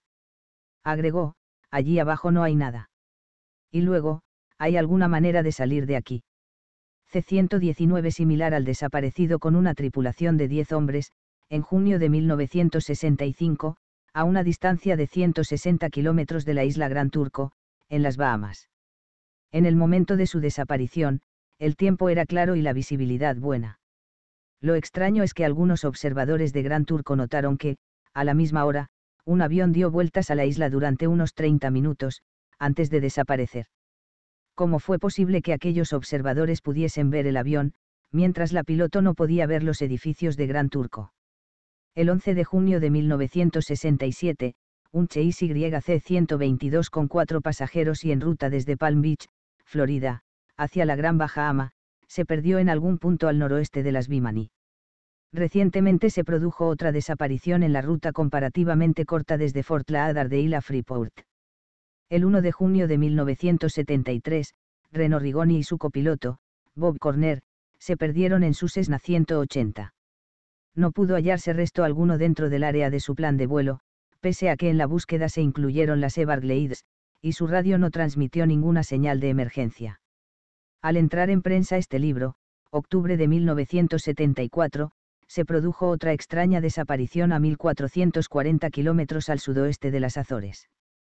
Este fue el lugar en que se avistó por última vez, el 17 de febrero de 1974, al aspirante argonauta, quería atravesar en globo el Atlántico, Thomas Gatch los aviones de la Marina de los Estados Unidos rastrearon una zona de 580.000 kilómetros cuadrados de extensión, sin ningún resultado.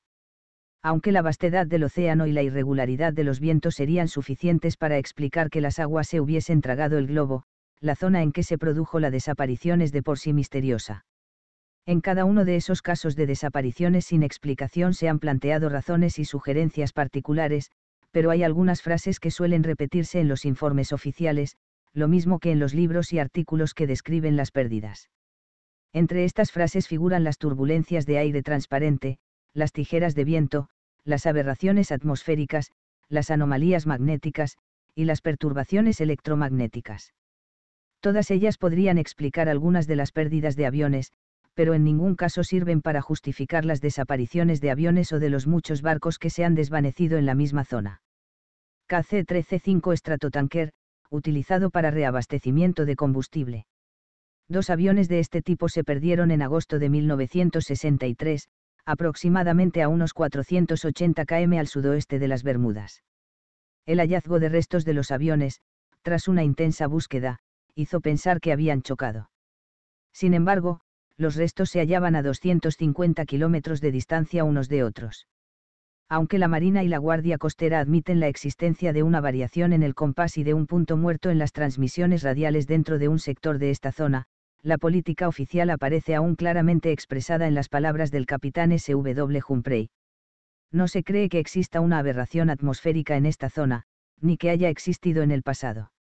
Los vuelos de escuadrillas de aviones y los patrullajes aéreos se realizan con regularidad en esta región sin que se hayan producido incidentes.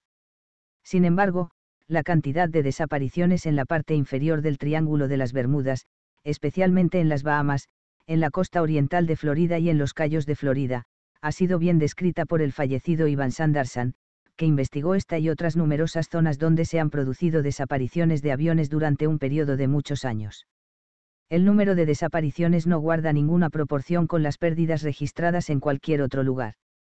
Dale le hace una observación muy atinada en su libro Alas de Misterio, cuando estima que, hasta ahora, ya ha desaparecido, una considerable flota de aviones, en esta pequeña zona sin dejar huellas.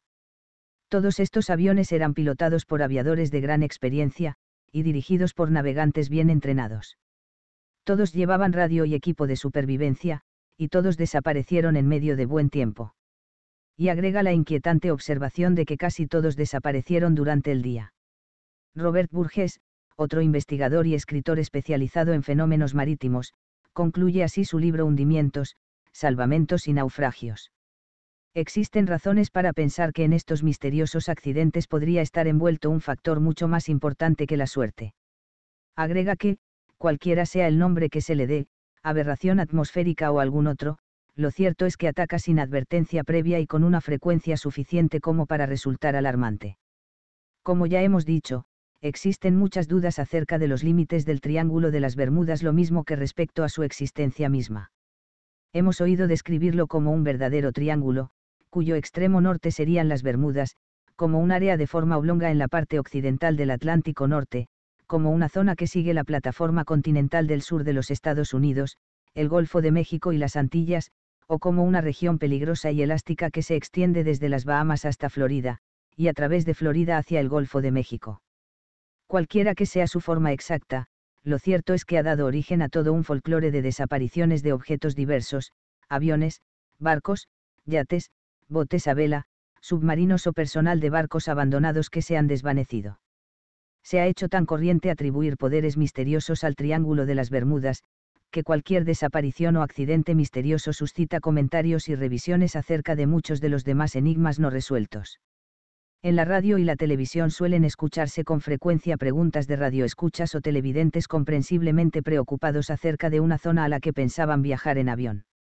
Habitualmente, estas nerviosas interrogantes se responden dando seguridades en el sentido de que el viaje no es peligroso, puesto que suelen hacerse innumerables travesías a lo largo del triángulo sin que se hayan producido incidentes. En algunas ocasiones, los pasajeros suelen preguntar dudosos a sus agentes de viaje acerca de la ruta hacia algunos puntos situados más allá del triángulo. El vuelo es a través del Triángulo de las Bermudas. Resulta fácil contestar de manera negativa, ya que los límites del triángulo son bastante fluidos. En una ocasión se dio la siguiente excusa a un pasajero que pedía explicaciones acerca del atraso de un vuelo. Tenemos que volar en torno del Triángulo de las Bermudas. Otro elemento tranquilizador es que los aviones de hoy cuentan con muchos más instrumentos de seguridad que algunos de los que desaparecieron en el pasado. Algunos de esos instrumentos no estaban en uso en la época en que ocurrieron los incidentes más llamativos. Por ejemplo, los transistores, los sistemas electrónicos de navegación de Caifix, que, sin embargo, era utilizado por el Star Ariel, y el Omni, un sistema de orientación automática, operado por radio, que permite a los aviadores encontrar la ruta de regreso a la base en medio de las nubes más espesas y que es utilizado ahora incluso por los aviones pequeños. Sin embargo, pese a todas las innovaciones modernas, siguen produciéndose pérdidas y extraños incidentes dentro del triángulo y en las zonas costeras adyacentes. El año pasado, varios aviones se desintegraron misteriosamente sobre tierra, a corta distancia del aeropuerto de Miami, entre ellos un Lockheed L-1011, vuelo 401 de la Eastern Airlines, en el que perecieron 100 personas, entre pasajeros y tripulantes, el 29 de diciembre de 1972. Si se examinan las circunstancias en que se produjo este accidente se pueden obtener algunas luces acerca de los muchos aparatos que han desaparecido repentinamente cuando volaban sobre las aguas. El doctor Manson Valentine observa. Analizando toda la información disponible, pareciera que en los últimos 7 u 8 segundos de vuelo el avión descendió a tan gran velocidad que ni la torre de control de Miami ni los pilotos tuvieron tiempo para verificarla. Todos los altímetros estaban funcionando, de manera que, en circunstancias normales, los pilotos habrían dispuesto de mucho tiempo para corregir la velocidad. El descenso fue tan rápido, no se alude a esto como algo desusado en ninguno de los informes, que la torre de control de Miami solo registró una aparición en la pantalla de radar, 40 segundos en total, para advertirlo. En la segunda aparición, el aparato había descendido de 300 metros, momento en que se advirtió que se hallaba fuera de la altura de 650 metros prescrita, a menos de 100. Para entonces probablemente ya se había estrellado. Ese ritmo de caída no puede ser atribuido a pérdida del piloto automático, síntomas de paro de los motores, inexperiencia del piloto o a la posición de los aceleradores en el punto de media potencia. Tiene que haber existido alguna razón atmosférica, y lo más probable es que se haya tratado de alguna anomalía de tipo magnético. Cuando los aviones o las embarcaciones desaparecen o se desintegran, como ocurrió en el caso de un avión, en esta zona, existe ya un número creciente de personas que se sienten invadidas por una duda persistente respecto de si las pérdidas han sido, normales, si se han producido a causa de condiciones atmosféricas anormales, fatiga o error del piloto, falla de los mandos, defectos estructurales o del motor, o si la fuerza que a menudo parece arrebatar del cielo a los aviones y de la superficie. Del mar a los barcos sigue operando.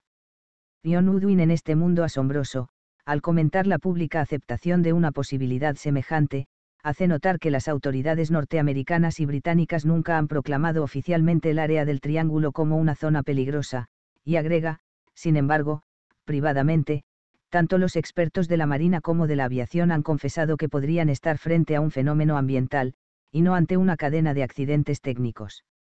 Godwin observa también que, sea lo que fuere, lo que está ocurriendo podría resultar tan desconocido para las gentes de hoy como el poder del radio para los alquimistas del siglo XV. Agrega que, aunque no puede uno estar seguro de que exista una relación entre los aviones y barcos desaparecidos, todas estas naves se hallaban dentro de los mismos estrechos confines geográficos. Plano de las principales desapariciones de aviones y barcos en el Triángulo de las Bermudas. Se indica la ubicación y la época aproximada en que ocurrieron. Las desapariciones de aviones se identifican con números dentro de círculos, y las desapariciones de barcos con números dentro de triángulos mucho antes de producirse los incidentes aéreos de la década del 40 y los que le siguieron, la región marítima que abarca el Triángulo de las Bermudas con inclusión del Cabo Hatteras, las costas de Carolina del Norte y del Sur y el estrecho de Florida, era ya conocida como el cementerio de los barcos. Los naufragios se debían habitualmente a grandes marejadas y tormentas repentinas. También suele llamarse cementerio de los barcos, y mar de los barcos perdidos, al mar de los sargazos, pero por la razón contraria, allí, las naves no se han perdido a causa de las tormentas, sino debido a las calmas. A lo largo de los años se había advertido ya en esta amplia región la pérdida de grandes barcos sin que se produjesen llamados de SOS, y sin que tampoco se hallasen con posterioridad restos o cadáveres flotantes. Sin embargo, fue solo a partir de las desapariciones masivas de aviones de los años 1945 y siguientes, y como consecuencia de las pérdidas repentinas de embarcaciones grandes y pequeñas, que los investigadores comenzaron a estudiar las características similares de las desapariciones. El titular del Guardian de Manchester, publicado en la época de la pérdida del vuelo 19, es típico de esta clase de reacciones. Se lee. Cementerio de los Sargazos. Ya no solo atrapa barcos, también aviones. Los aviones desaparecidos atrajeron la atención mundial hacia el Triángulo de las Bermudas. Pero, durante más de 170 años, y tal vez antes de que se dispusiera de archivos, se han estado perdiendo barcos grandes y pequeños, con sus tripulaciones, y éstas han desaparecido también de sus naves, dentro del Triángulo de las Bermudas. Algunos de los incidentes relacionados con estos desastres presentan características que recuerdan poderosamente las misteriosas pérdidas ocurridas en el aire. Otros muestran sorprendentes y desusadas particularidades. 3. El mar de los barcos perdidos Las desapariciones de barcos dentro del Triángulo se han producido principalmente dentro de la región del Océano Atlántico Occidental llamada Mar de los Sargazos, una extensión de agua que en gran parte permanece inmóvil y que deriva su nombre del alga marina Sargassum. Si se necesitase algún elemento para aumentar el misterio del Triángulo, nada más indicado para aportarlo que el Mar de los Sargazos, un misterio de por sí desde que los primeros marinos españoles y portugueses lo descubrieron, hace 500 años. Además, si incluimos las que ahora parecen probables penetraciones y travesías de esta zona realizadas por navegantes fenicios y cartagineses, resultaría que el enigma ha sido observado durante miles de años. La característica de esta enorme zona es la presencia de una especie de alga flotante, el sargazo, que marca los límites de este mar dentro de un océano, ya sea flotando en forma separada o en grandes masas. Cuando Colón contempló todas aquellas algas en su primer viaje, dedujo erróneamente que la Tierra estaba cerca, y se sintió muy reconfortado. Por cierto, su tripulación no compartía del todo aquel sentimiento. El límite norte de este mar de algas está constituido por la corriente del Golfo, que avanza primero hacia el nordeste y luego hacia el este. Por el oeste y el sur limita con la misma corriente del Golfo, en su desplazamiento de regreso, y con la corriente nordecuatorial. Aunque es algo amorfo, se extiende desde los 37 grados de latitud norte, aproximadamente, hasta los 27 grados de latitud norte, y desde los 75 grados oeste hasta los 40 grados oeste. Bajo sus profundas aguas yacen las llanuras abisales de Játaras y Nares, la abrupta elevación de Bermuda, numerosas e intrigantes montañas marinas, que se elevan hacia la superficie, pero terminan en cumbres planas, como si en alguna época hubiesen sido islas. En sus límites orientales se encuentra una parte de la cordillera del Atlántico Norte, enorme cadena montañosa en medio del Océano Atlántico, cuyas altas cumbres irrumpen a través de la superficie marina para constituir las Islas Azores. En otras palabras, se trata de un mar casi estancado y desprovisto de corrientes, excepto en sus límites. Se extiende desde unos 320 kilómetros al norte de las Grandes Antillas hasta la Florida y la costa atlántica, permanece a una distancia de tierra que generalmente no llega a los 320 kilómetros, y se desplaza hacia los alrededores del Cabo Játaras, siguiendo luego en dirección de la península ibérica y África, hasta la cordillera del Atlántico Norte, para regresar por fin hacia las Américas. Otra de las características de este mar está constituida por sus calmas de muerte, que pueden estar en el origen de la leyenda pintoresca pero inquietante del mar de los barcos perdidos, el cementerio de los barcos perdidos, y el mar del miedo. Cuenta esta creencia de los marinos que existe un gran cementerio en la superficie del Atlántico que contendría barcos de todas las edades de la navegación humana, capturados e inmovilizados en campos de algas y sufriendo una lenta descomposición, pero gobernados todavía por tripulaciones esqueléticas, o más bien por tripulaciones de esqueletos integradas por los infortunados que no consiguieron escapar y debieron así compartir el destino de sus navíos.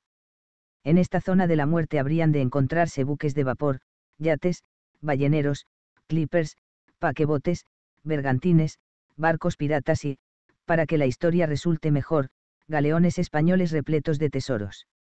En sus nuevas y entusiastas versiones de los relatos, los marinos incluían otros barcos que, para la época de la nueva narración ya estaban podridos y desaparecidos, como por ejemplo los dragones de los vikingos, que se quedaron llenos de esqueletos al mando de los remos, galeras árabes, triremes romanos, con sus grandes bancos de remeros, navíos de comercio fenicios con anclas de plata e incluso las grandes embarcaciones de la perdida Atlántida, con sus remos cubiertos de láminas de oro. Todos condenados a pudrirse durante centurias en un océano inmóvil. Las primeras leyendas sobre el mar de los sargazos podrían haberse originado entre fenicios y cartagineses, quienes tal vez lo cruzaron hace milenios, llegando hasta las Américas, como lo señalan las numerosas inscripciones pétreas halladas en Brasil y en los Estados Unidos, los tesoros de monedas fenicias encontrados en las Azores, las monedas cartaginesas descubiertas luego en Venezuela y en la costa sudoriental de los Estados Unidos, y las antiguas representaciones pictóricas de los que parecen ser visitantes semitas a México. El siguiente informe del almirante cartaginés y Milco, escrito en el año 500 a.C., toca una cuerda familiar, aunque un tanto sensacionalista, en relación con los mares de algas y la falta de vientos del mar de los sargazos no se advierte brisa que mueva el barco, tan muerto está el perezoso viento de este mar quieto, hay tantas algas entre las olas, que parecen contener al navío, como si fuesen arbustos, el mar no tiene gran profundidad, la superficie de la Tierra está cubierta por muy poca agua, los monstruos marinos se mueven continuamente, en todas direcciones, y hay bestias feroces que nadan entre los barcos que se arrastran lentos y perezosos. Habría que excusar al almirante Imilco por una cierta exageración, muy comprensible a lo largo de la bóveda de los tiempos y porque tal vez los navegantes fenicio-cartagineses estaban más preocupados de disuadir a otros viajeros de la época de realizar posibles viajes más allá de las columnas de Hércules, Gibraltar, a la entrada del Mediterráneo, y de internarse hacia el otro océano. Su afán se debía principalmente al deseo de guardar para sí el provechoso comercio que mantenían con las culturas de las costas atlánticas de Europa y África, e incluso tal vez de más lejos los cartagineses llegaron a proclamar la pena de muerte contra aquellos de sus capitanes del mar que dejaran ver sus rutas o incluso su presencia en el Atlántico. Esto explicaría la tendencia cartaginesa a hundir todos los barcos extraños en los alrededores o más allá de Gibraltar, o bien, cuando no eran lo bastante fuertes, a escapar e incluso a hundir sus navíos, si era necesario. Otros escritores de la antigüedad han embellecido estos primeros informes con sus comentarios acerca de los bancos de arena y las zonas de aguas poco profundas que han dejado en el Atlántico los remanentes de Atlántida, el continente perdido, y también acerca de las algas que se enredaban en los remos y detenían las galeras. Como la mayor parte de las leyendas, el mar de los barcos perdidos, podría tener alguna base real, aunque mezclada con sueños y fantasías. El australiano Alan Villars, marino de toda una vida y que cuando cruzaba el mar de los sargazos, realmente pudo ver un barco abandonado entre las algas, señala, en su libro Wild Ocean, 1957, que si un barco quedara paralizado durante un periodo suficientemente largo como para agotar sus provisiones, se vería, finalmente cubierto de musgo y lapas, hasta que le resultaría imposible navegar. Dice también que los gusanos barrenadores del trópico se introducirían en los costados del navío hasta que, convertido en, una masa decadente y podrida, tripulada por esqueletos, se deslizaría bajo la cálida superficie del mar inmóvil. Entre las numerosas embarcaciones abandonadas vistas en el mar de los sargazos durante la época moderna hubo algunos que, sin llegar a verse atrapados entre las algas, quedaron paralizados y fueron abandonados, debido a la falta de viento. Área ocupada por el mar de los sargazos, en la parte occidental del Atlántico Norte.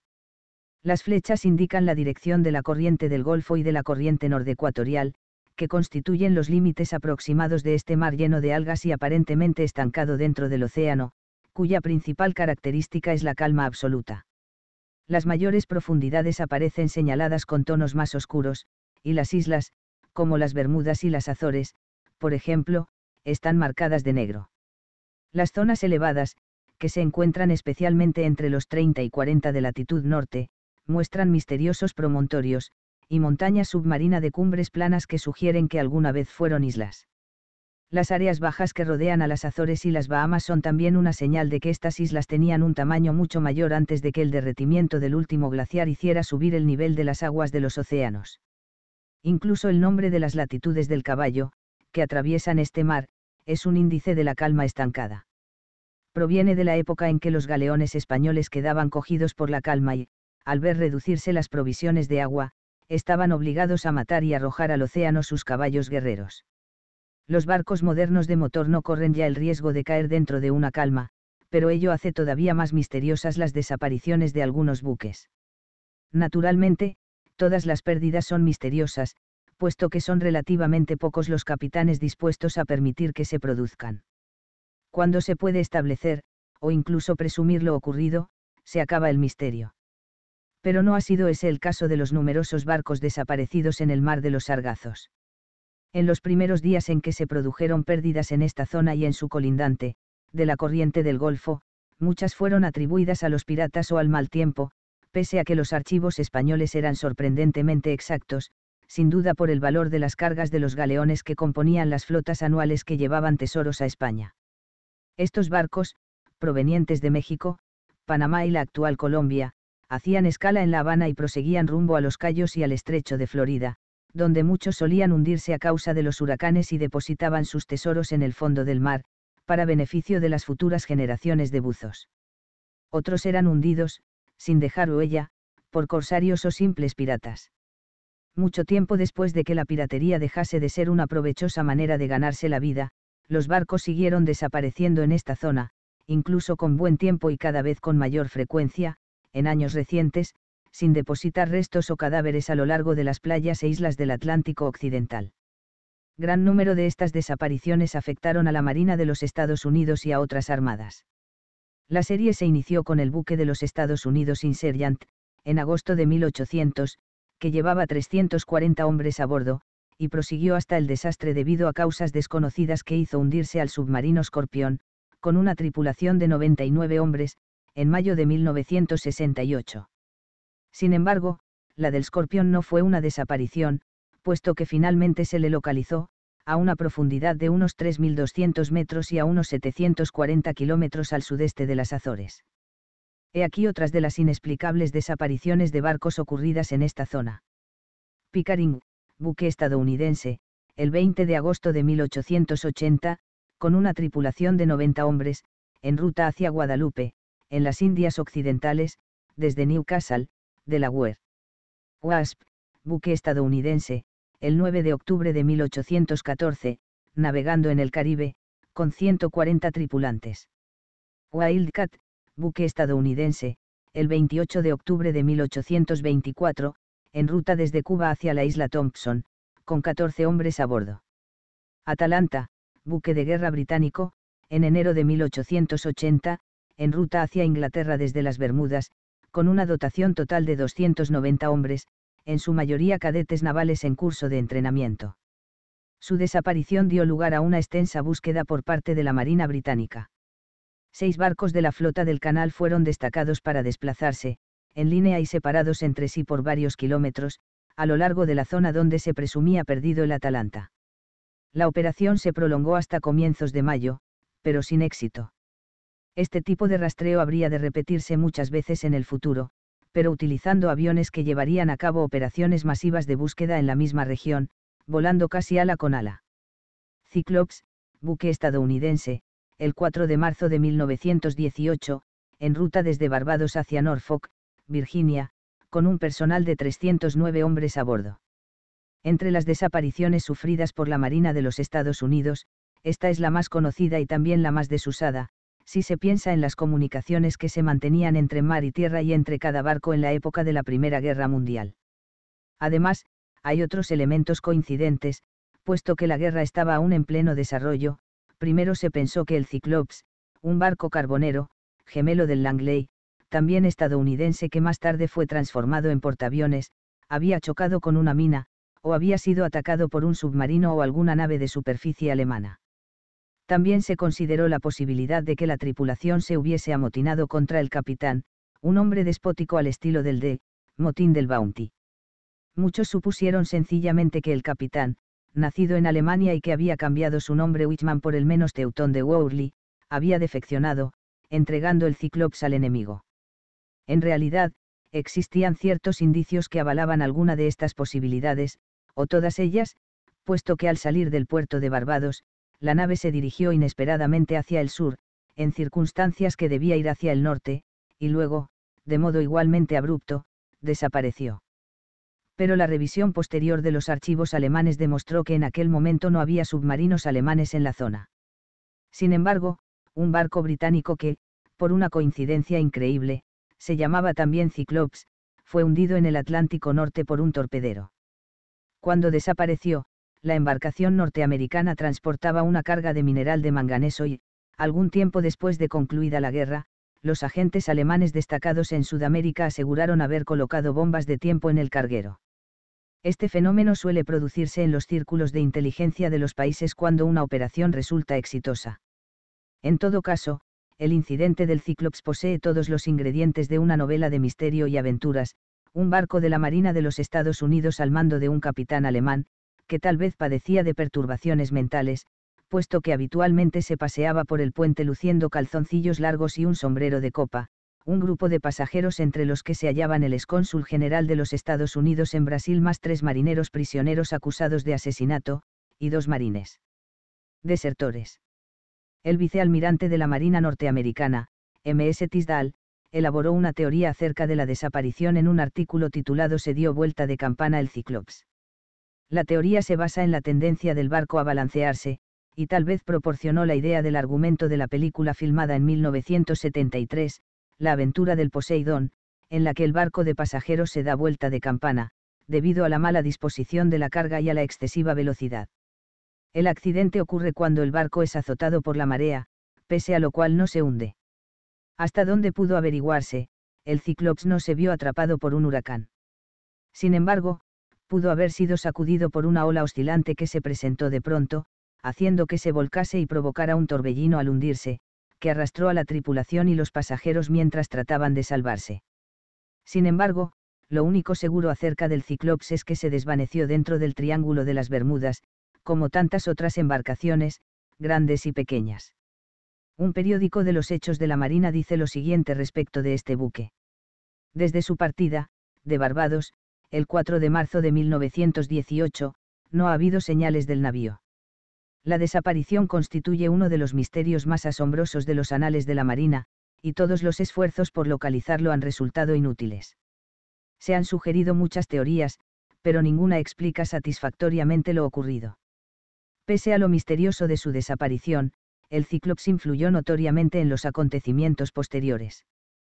Fue el factor directamente responsable del establecimiento de la Reserva Estratégica Nacional, instaurada varios años después del incidente. Durante los debates preliminares en el Congreso, el Cyclops, que llevaba una carga de manganeso necesaria para la producción del acero utilizado en armas y proyectiles, fue citado como un primer ejemplo de los casos que hacían necesario mantener una reserva, ya que era la demostración de que los Estados Unidos no podían depender de las rutas marítimas para el transporte de materiales estratégicos durante un conflicto internacional.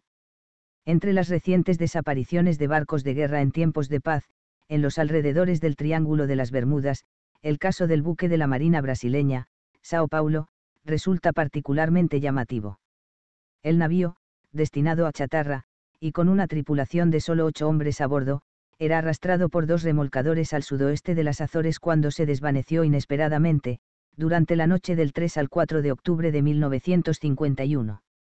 Uno de los remolcadores tuvo que soltar el cable de arrastre, debido a una fuerte marejada, la noche del 3 de octubre. Sin embargo, en la madrugada del 4 sobrevino una repentina calma, y pudo advertirse que los cables del segundo remolcador estaban rotos, o habían sido cortados, y que el Sao Paulo había desaparecido. La subsiguiente búsqueda del barco, realizada por buques y aviones, estuvo caracterizada por una serie de informes desusados, durante la noche y en las primeras horas de la mañana se vieron luces extrañas, y luego, a lo largo del siguiente día, los aviones señalaron algunas masas o formas oscuras avistadas sobre la superficie del mar, que desaparecieron rápidamente. Jamás se hallaron señales del Sao Paulo ni de su reducida tripulación.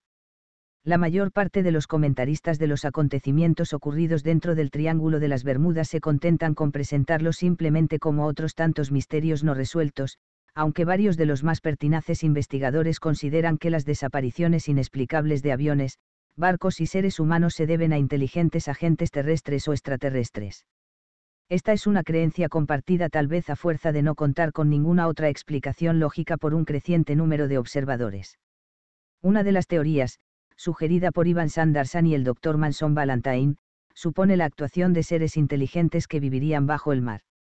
Otra de las versiones más populares, que cuenta entre sus más destacados exponentes a Ion Spencer, un hombre que perteneció a la Fuerza Aérea de los Estados Unidos durante 10 años, concluye que los extraterrestres visitan la Tierra y raptan o, arrastran hacia el espacio, a hombres y equipo, para estudiar el estado de nuestro desarrollo tecnológico. Lo hacen, no para ver si hemos avanzado bastante, sino para calcular el momento en que nos hallemos en peligro de avanzar demasiado. Aunque estas teorías volverán a ser examinadas en las páginas siguientes, resulta interesante, teniendo en cuenta esta sugerencia acerca de la posibilidad de un laboratorio espacial de investigación exterior, o interior, aplicar la versión de Spencer a la desaparición de barcos y, más tarde, aviones. El espacio de tiempo transcurrido entre las desapariciones de barcos de guerra, así como su sustitución por pérdidas de aviones militares, y la cantidad de embarcaciones comerciales o de placer desaparecidas, algunas con carga y otras solo con pasajeros o con cargamentos especiales, y por último algunos curiosos incidentes relacionados con estas pérdidas, dan lugar a inquietantes consideraciones. Entre los casos de barcos comerciales, uno de los primeros misterios registrados en esta zona se refiere al Rosalie, un navío francés que se dirigía hacia La Habana, en 1840, sin embargo, no fue el Rosalie el que desapareció, sino sus tripulantes y pasajeros, que dejaron el barco abandonado, con excepción de un canario, con las velas desplegadas y la carga intacta. De haberse tratado de un caso de piratería, quienes la realizaron estaban más interesados en las personas que viajaban a bordo, que en el barco o en su carga. Si alguna plaga o enfermedad hubiese causado la pérdida de pasajeros y tripulación, habría quedado alguna seña. Como ejemplo de enfermedades repentinas que hacen abandonar un barco se cita el caso ocurrido durante los días del tráfico de esclavos, en el mar de los Sargazos, cuando una goleta avistó un barco de esclavos que navegaba a la deriva. Su capitán pidió ayuda a la goleta. Aparentemente, todos los esclavos y la tripulación habían sido atacados por una virulenta enfermedad que producía ceguera. El barco que podía haber asistido rechazó la llamada de auxilio y abandonó la zona lo más rápido posible, dejando el esclavista, a su tripulación y a los esclavos abandonados a su suerte. El 26 de febrero de 1855, el James Bechester, un buque de tres palos, fue hallado por el maratón dentro del mar de los Sargazos, navegaba sin destino y sin tripulación, pero con las velas desplegadas. Las investigaciones en la cabina revelaron que las sillas y las mesas estaban volcadas, en medio de un gran desorden y mezcladas con objetos personales. La carga estaba intacta y los botes salvavidas en su sitio. No había señas de derramamiento de sangre o asalto. Sencillamente, la tripulación se había desvanecido, ya sea porque se vio arrastrada fuera del barco, o porque tal vez, cosa muy improbable, saltó por la borda. Los hombres del maratón notaron durante su abordaje, sin embargo, la falta de los documentos y compases del James Bechester. En 1881, la goleta norteamericana Ellen Austin sufrió un accidente casi increíble. Mientras navegaba al oeste de las Azores, encontró una nave similar abandonada.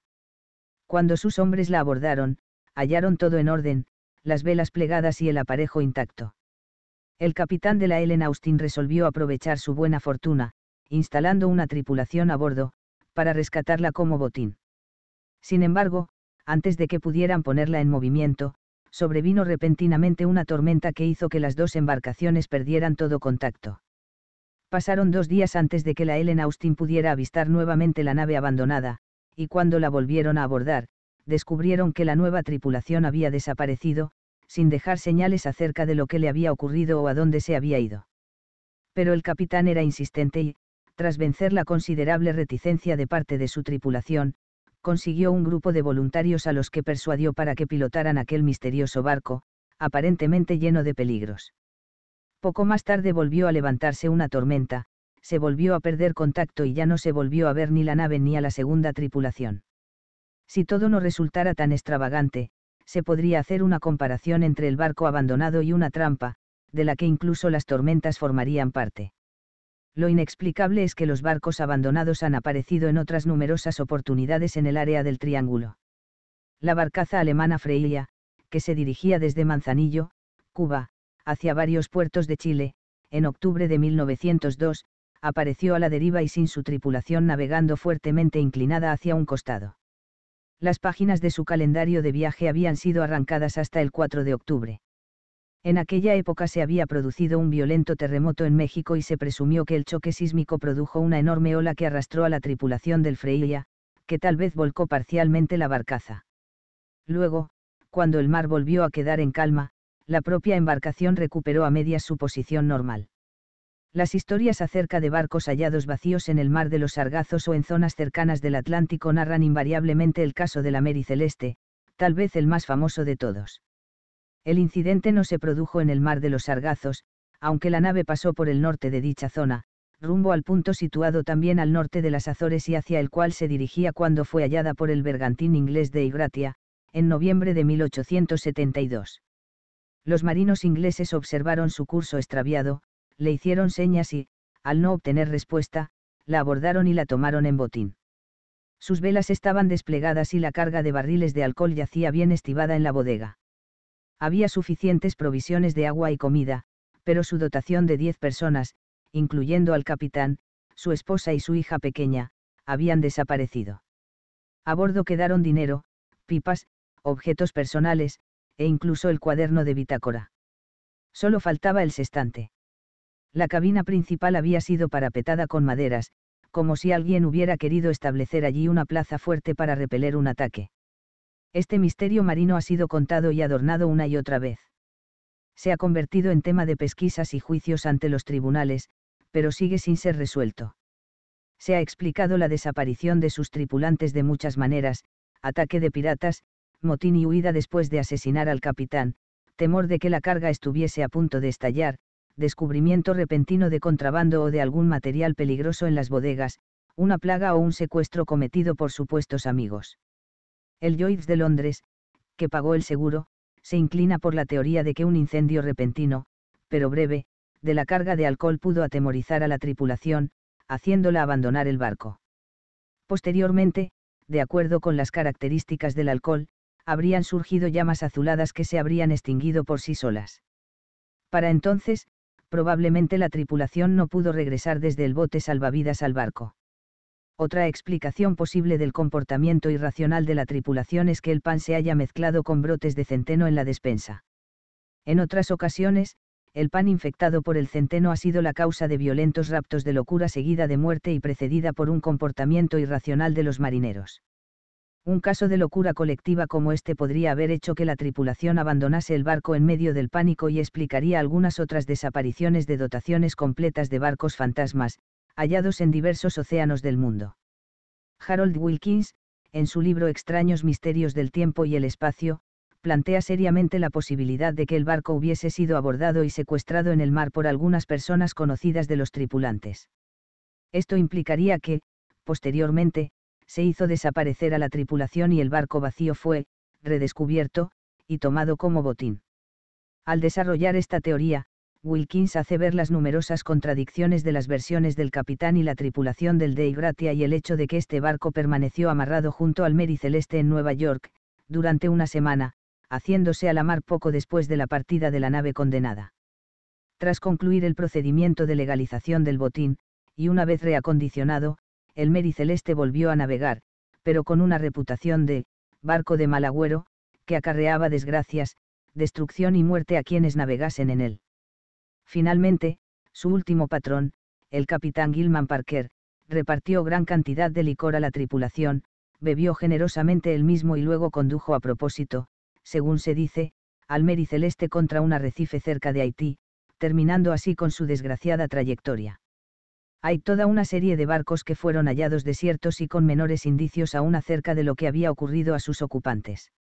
Entre ellos, el Carol Deering, que se varó en una playa de Carolina del Norte en febrero de 1921, y sin que nunca se supiera qué pasó con su tripulación, salvo que había abandonado el buque, o se había visto obligada a dejarlo, en el momento en que se estaba a punto de servir la comida. El Ion Mary apareció desierto en abril de 1932, a 80 kilómetros al sur de las Bermudas. El Gloria Colite, una goleta encontrada sin nadie a bordo el 3 de febrero de 1940, y el Rubicón, un buque cubano que también quedó abandonado, con excepción de un perro hambriento, frente a Cayo Largo, en la Florida, el 22 de octubre de 1944. La última anotación en su cuaderno de bitácora era del 26 de septiembre y señalaba su permanencia hasta entonces en el puerto de La Habana. La falta de botes salvavidas sugería que la tripulación se había alejado precipitadamente. Ivan Sanderson ha observado que en los casos en que la tripulación abandona el barco resulta muy poco común que no se lleve la mascota o los animales preferidos. Se ha sugerido que la tripulación fue obligada a desembarcar, tal vez por entes que solo deseaban hacerse de seres capaces de comunicación oral. Sanderson comenta además que debe señalarse que, así como se han encontrado perros, gatos y canarios en buques de los que las tripulaciones han desaparecido, los loros parecen desvanecerse lo mismo que los seres humanos.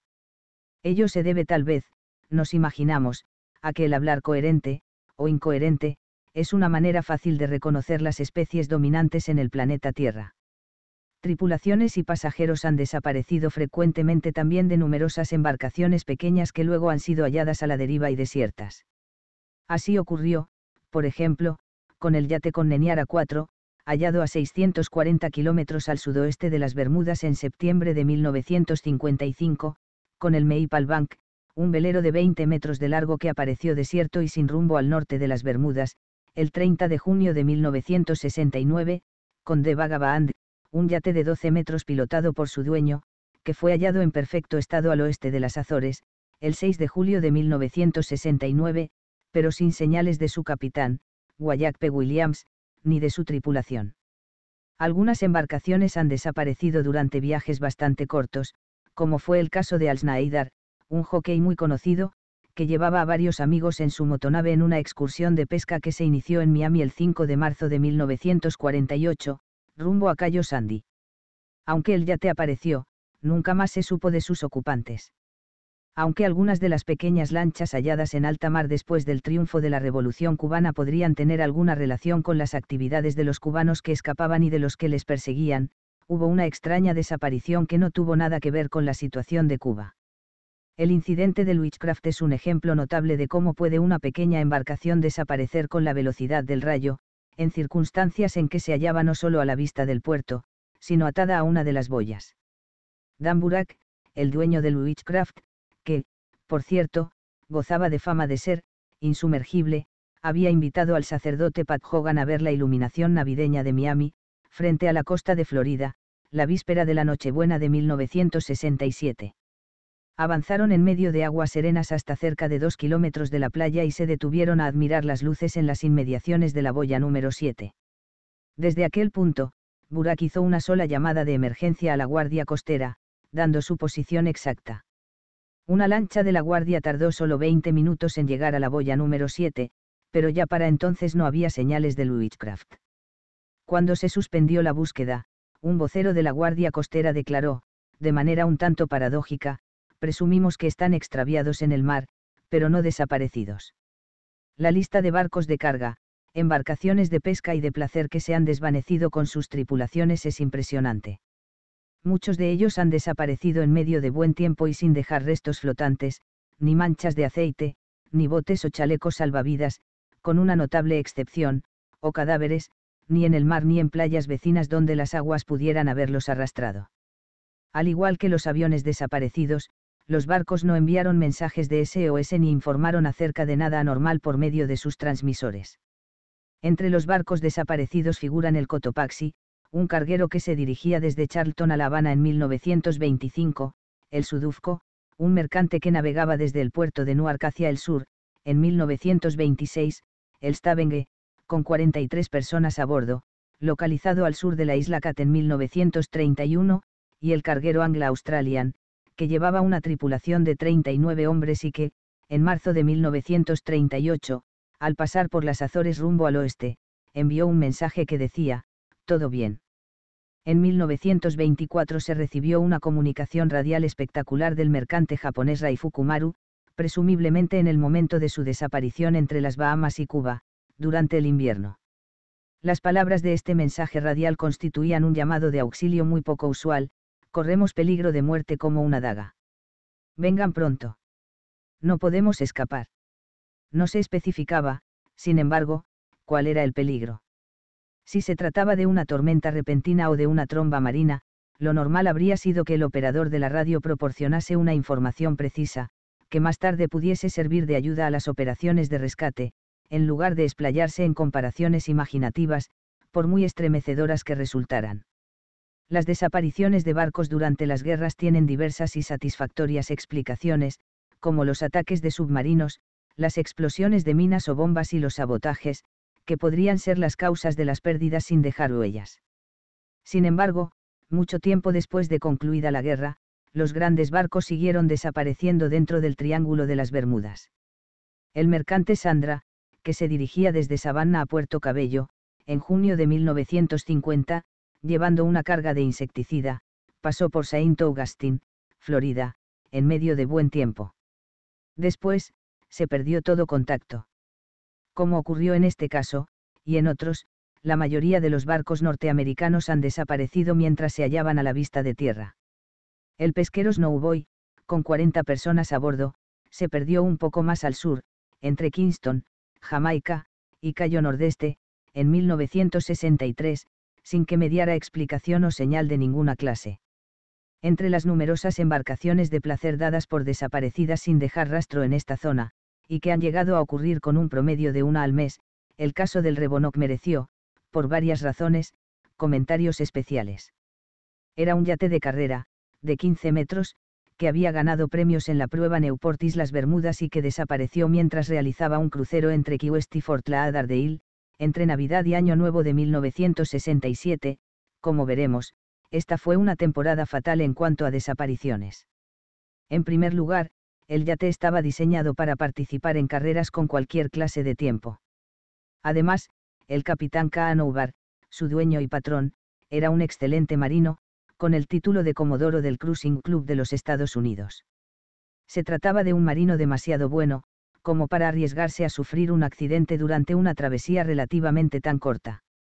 En todo caso, puesto que navegaba tan cerca de tierra, algún vestigio del yate se habría encontrado a lo largo de la playa, en caso de que hubiese chocado con algún arrecife, tratando de ofrecer alguna explicación lógica, el entonces director de deportes náuticos del Herald Tribune de Nueva York sugirió la posibilidad de que un carguero que se hallaba en la zona en ese momento hubiese arrollado al yate durante la noche, enviándolo al fondo del océano con tripulación y todo, y sin dejar el menor rastro. Más de medio siglo antes de la desaparición de Kaanoubar en el Renovok, Joshua Slocum, otro marino muy conocido por haber sido el primer hombre que circunnavegó el globo solo, en 1909 emprendió un segundo viaje en su yola de 11 metros, de Spray. Se informó de su ingreso al área del Triángulo, navegando desde Miami hacia el sur. Poco después, él y de Spray desaparecieron para siempre. Aspecto interior de un agujero azul, una de las cuevas submarinas de los bancos de las Bahamas. Fuertes corrientes suelen surcar estos canales y se han encontrado algunos botes pequeños atrapados en su interior. Las estalagmitas y estalactitas que se advierten dentro de ellos indican que en alguna época, y durante un largo periodo, estuvieron sobre el nivel del mar. Las pérdidas de embarcaciones de tamaño pequeño y mediano dentro del triángulo se deben sin duda, en muchos casos, a condiciones meteorológicas. Sobre todo en invierno, cuando se hacen aún más imprevisibles debido a que las masas de aire frío del Ártico chocan con el aire caliente de los trópicos. Este puede haber sido el caso de la goleta Windfall, 17 metros, desaparecida frente a las Bermudas en 1962, la Ivan Yalin, 16 metros, en ruta desde Miami hacia las Bahamas, en 1962, la Enchantris, 17 metros, desaparecida mientras navegaba desde Charlton a Santo Tomás, en 1946, y el queche de 10 metros, Dancing Fedar, desaparecido entre Nassau y Carolina del Norte, en 1964. Todos se produjeron durante los meses de invierno, cuando grandes olas levantadas por tormentas repentinas hicieron tal vez que aquellas pequeñas embarcaciones se hundieran antes de poder enviar un mensaje por radio. Pero esto, naturalmente, no explicaría la desaparición de barcos en aguas relativamente tranquilas, o las diversas ocasiones en que grandes cargueros o barcos de la Marina se perdieron sin dejar huellas. La pérdida del carguero Marines Alfar Queen, de 130 metros, que llevaba una tripulación de 39 hombres, se produjo el 2 de febrero de 1963, o alrededor de esa fecha, y resulta particularmente notable por el tamaño del barco. Se dirigía a Norfolk, Virginia, desde Beaumont, Texas, con una carga de 15.000 toneladas largas de azufre fundido acarreadas en tanques metálicos. Hacía buen tiempo. La última vez que dio su posición era cerca de Tortugas Secas, en el Golfo de México, un área que está dentro o cerca del Triángulo, de acuerdo con sus límites más bien elásticos.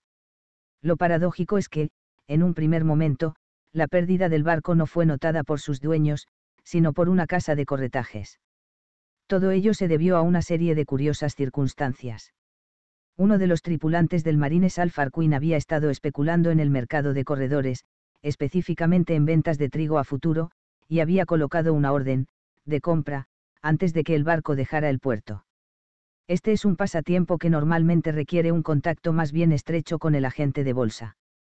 Justamente por eso, la casa de corretajes ejecutó la orden y le envió un cable confirmándoselo. Al no recibir respuesta, la casa se puso en contacto con los armadores, diciéndoles que no lograban comunicarse con el barco.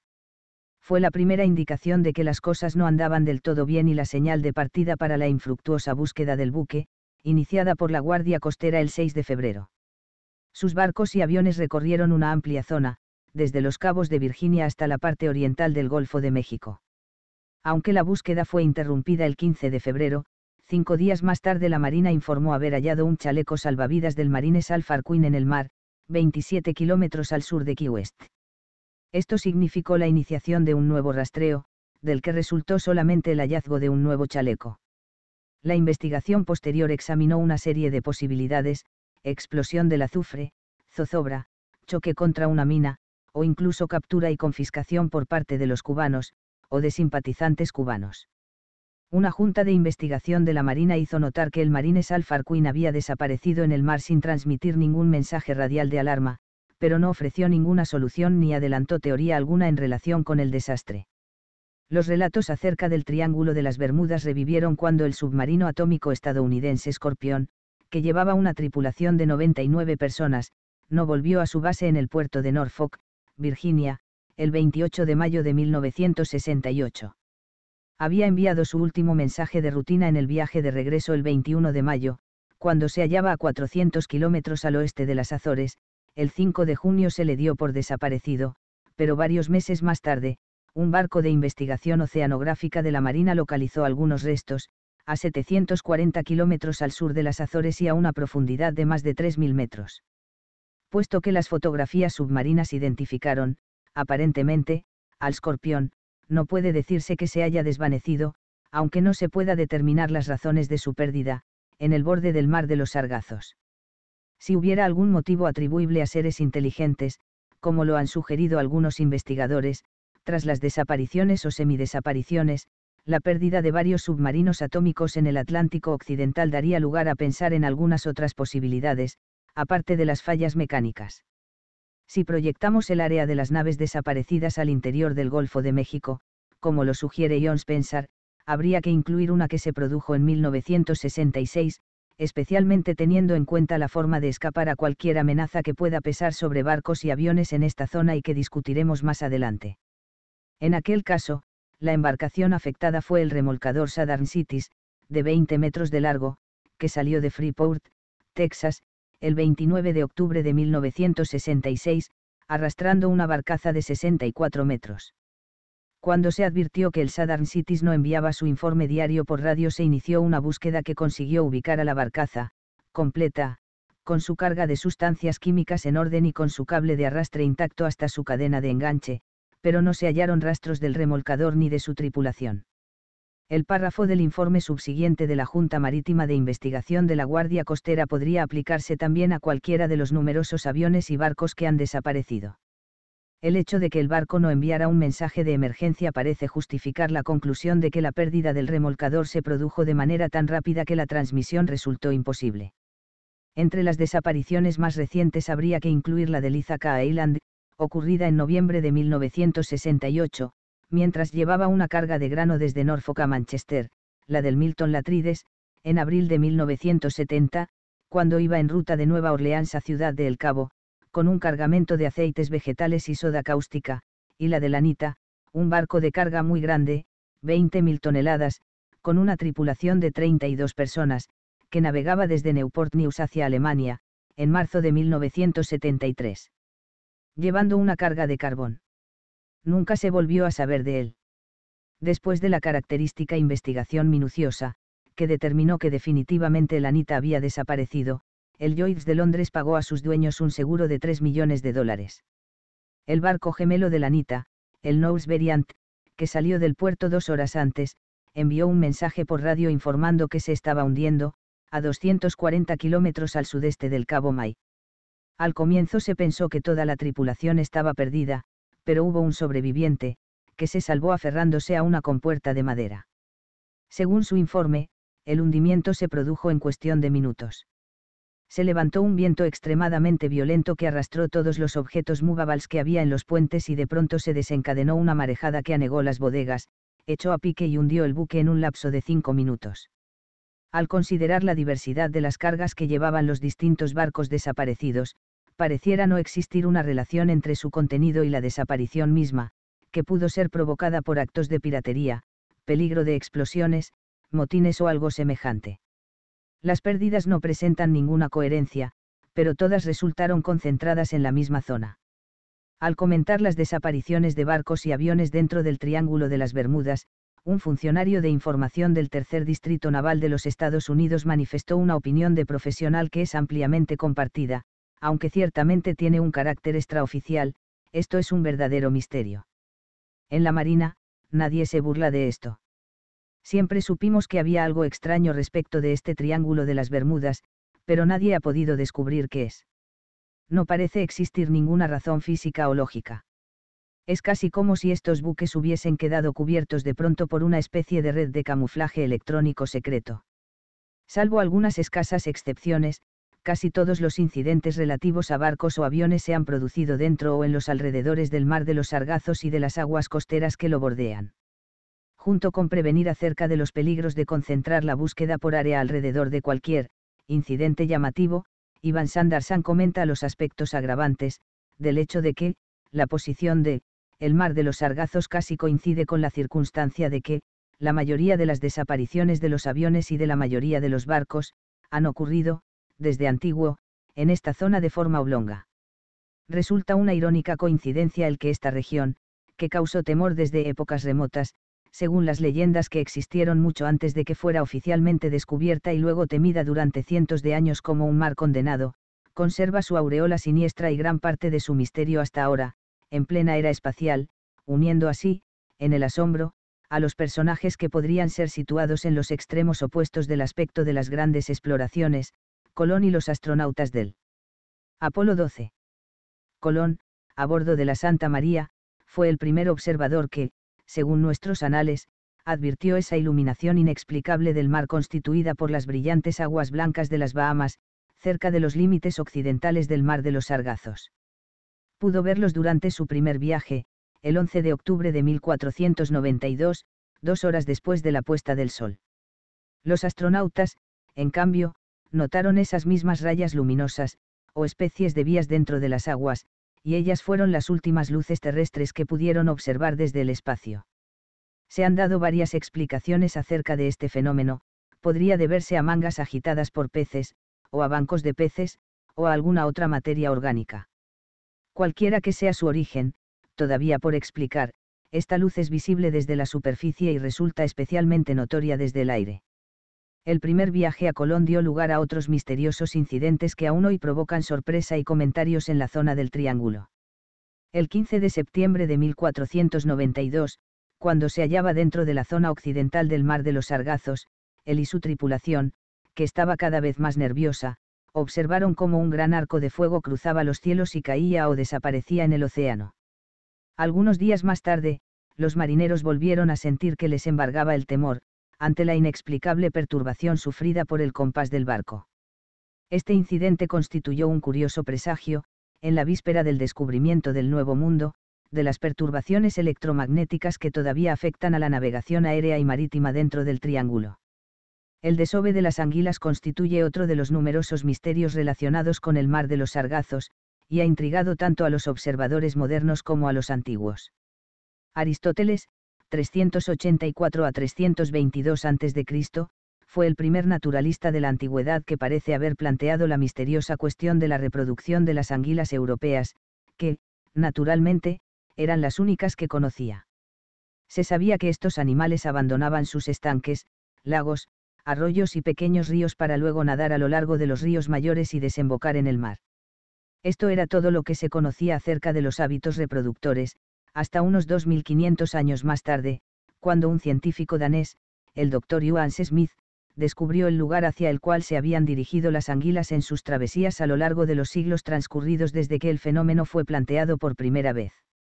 Las anguilas europeas adultas siguen las vías de agua que se vacían en el Atlántico, allí se unen y nadan formando un gran banco, que progresa con lentitud durante unos cuatro meses, acompañado de bandadas de gaviotas y manadas de tiburones, hasta que alcanzan un punto del mar de los sargazos en que se detienen para desovar a gran profundidad. Allí los adultos mueren y los recién nacidos comienzan su largo viaje de regreso, dirigiéndose por la corriente del Golfo en una jornada de regreso a Europa que les toma alrededor de dos años. El comportamiento de las anguilas del continente americano tienen las mismas características, pero al revés. Nadan en dirección este y encuentran a las anguilas europeas en las profundidades del mar de los Sargazos, desde donde los ejemplares jóvenes regresan a sus lares ancestrales en las Américas. La notable conducta de estas especies y la nostofilia, memoria acerca del lugar de origen o de reproducción, que han heredado, dio lugar a algunas teorías en extremo interesantes. Por ejemplo, aquella que sostiene que su región reproductora original estaba en un gran río de un continente que existió en el Atlántico, en los alrededores del mar de los Sargazos, y que las anguilas están todavía en busca de sus lugares de desove primitivos, en la zona en que alguna vez fluyó el río desaparecido, a través de un continente que ahora estaría a miles de metros bajo el mar. Se ha sugerido incluso que las algas del mar de los Sargazos serían restos, adaptados a la vida submarina, sobrevivientes de la vegetación del viejo continente atlántico que se hundió con gran rapidez, según la histórica leyenda, arrastrando consigo todos sus lujuriosos bosques y llanuras. Sin embargo, de todos los misterios del mar de los Sargazos y sus alrededores, el más inquietante es el relativo a los barcos y aviones perdidos y su posible conexión con otros fenómenos, sobre todo porque está relacionado con una zona que es atravesada todos los días por tan gran número de barcos y aviones. Naturalmente, podría ocurrir que cada una de las desapariciones tuviese una explicación lógica, y que algunos términos, como, aberraciones atmosféricas, agujeros en el cielo, y, pozos de gravedad, así como las sugerencias de que los aviones y las embarcaciones grandes y pequeñas han sido capturadas y secuestradas por entes desconocidos, constituyen simplemente intentos de explicar lo inexplicable. Hay todavía otro elemento que agregar al misterio. Es muy reciente y resulta bastante inesperado. En las numerosas desapariciones anteriores ocurridas en el Triángulo de las Bermudas, no solo no ha habido supervivientes, sino que no se ha recuperado ni un solo cadáver de las numerosas víctimas. No obstante, durante los últimos años, y debido a la divulgación que ha tenido la leyenda del Triángulo de las Bermudas, algunos pilotos y marineros están empezando a perder su comprensible reticencia a discutir lo insólito y a narrar cómo se han librado de las fuerzas que operan dentro del triángulo. Si se examinan algunos de estos relatos se podrá advertir una cierta tendencia común, que podría explicar cómo, si no el por qué, se han producido algunas de las desapariciones. 4. Los que escaparon. En su ya citado libro Invisible Jaraísans, un compendio de los misterios del mar, Vicent Gadas dedica una sección especial al Triángulo de las Bermudas, bajo el título El Triángulo de la Muerte. Allí relata que, poco después de que escribiera su artículo original sobre esta región, 1964, dándole su nombre actual, recibió una carta de un ex aviador llamado Dick Stern que contenía informaciones a la vez muy pertinentes y llenas de sorpresas. Stern le decía que a fines de 1944 tomó parte en un vuelo con destino a Italia que consistía en un grupo de siete bombarderos y que, a una distancia de unos 480 km de las Bermudas, su avión fue presa de una turbulencia tan inesperada y violenta, que se vio obligado a regresar a los Estados Unidos. Cuando esto ocurrió, el tiempo estaba claro y podían verse las estrellas, pero la turbulencia hizo que el aparato diera una voltereta, cabeceando tan violentamente, que la tripulación fue lanzada contra el techo. El bombardero perdió altura, hasta un punto en que casi se estrelló contra el mar. Al regresar a la base supo que solo uno de los otros siete aviones había regresado, y que no se logró contacto radial con los demás ni se pudo localizar restos de naufragio o supervivientes. Este incidente, ocurrido un año antes de la pérdida del vuelo 19 y también durante el mes de diciembre, no fue considerado como pérdida inusitada, ya que se produjo en tiempo de guerra y no recibió publicidad alguna. Algunos años después de la guerra, Stern y su mujer viajaban desde las Bermudas a Nassau en un Bristol Britannia cuando ocurrió algo similar. Por una curiosa coincidencia, la señora Stern estaba hablando sobre el incidente anterior en aquel preciso momento. De pronto, el avión sufrió una fuerte caída, tuvo un violento estremecimiento, y la comida que se había servido a los viajeros fue a estrellarse contra el techo la aeronave continuó estremeciéndose y subiendo y bajando violentamente durante un cuarto de hora. Este fenómeno podría ser un ejemplo de lo que se conoce como turbulencias del aire claro, Clear Air Turbulence, CAT, un fenómeno que, si es muy intenso y se prolonga demasiado, puede hacer que los aviones se partan y estallen en pedazos sobre el mar. De cualquier manera, Dick Stern tuvo el privilegio de haberse topado con la misma inesperada y amenazante fuerza en dos ocasiones, casi en el mismo lugar, dentro del Triángulo de las Bermudas, y de haber vivido para contarlo. El Aluminaut, sumergible de gran profundidad, posado sobre el fondo del océano, cerca de las Bimani, Bahamas.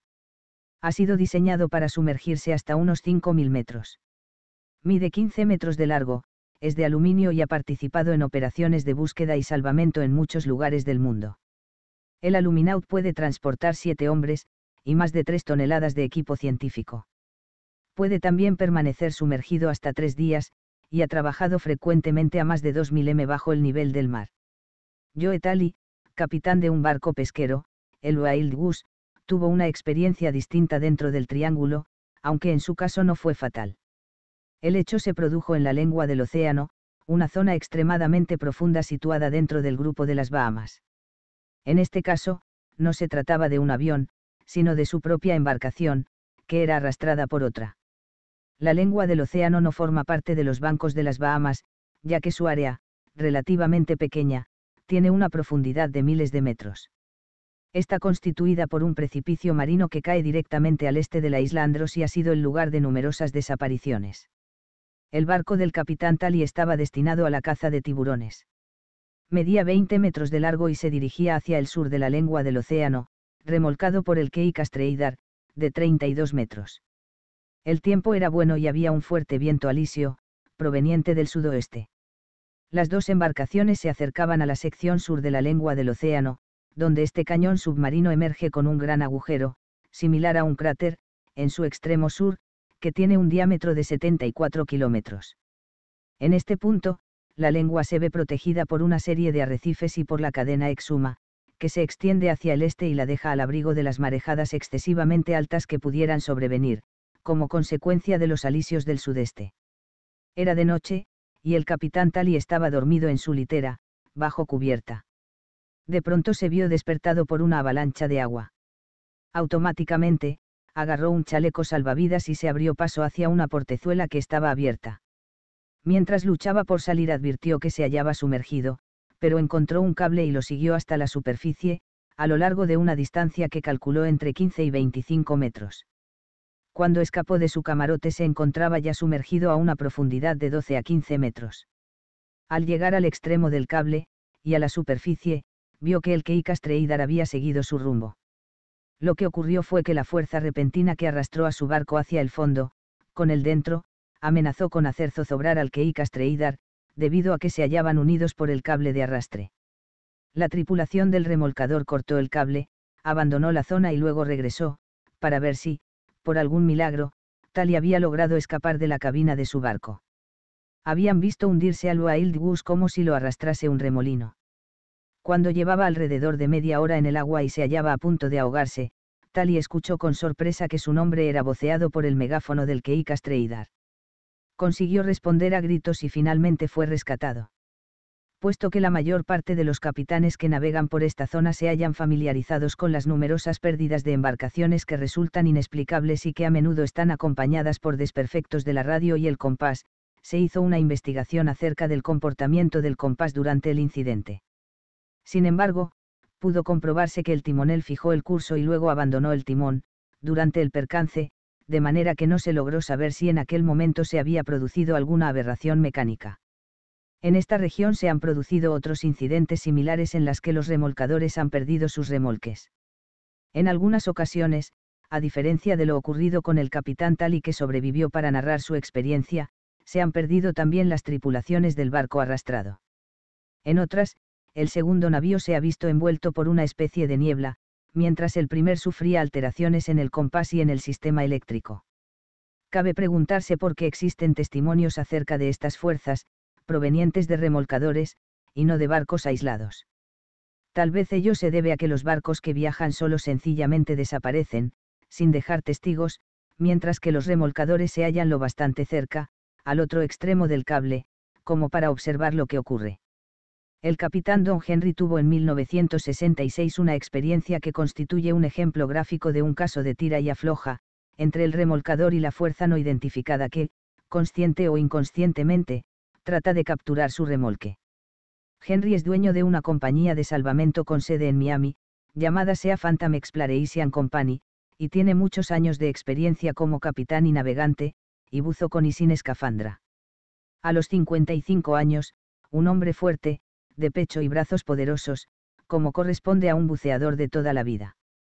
Da la impresión de ser extremadamente vigoroso y, considerando su peso, se mueve con velocidad y ligereza sorprendentes.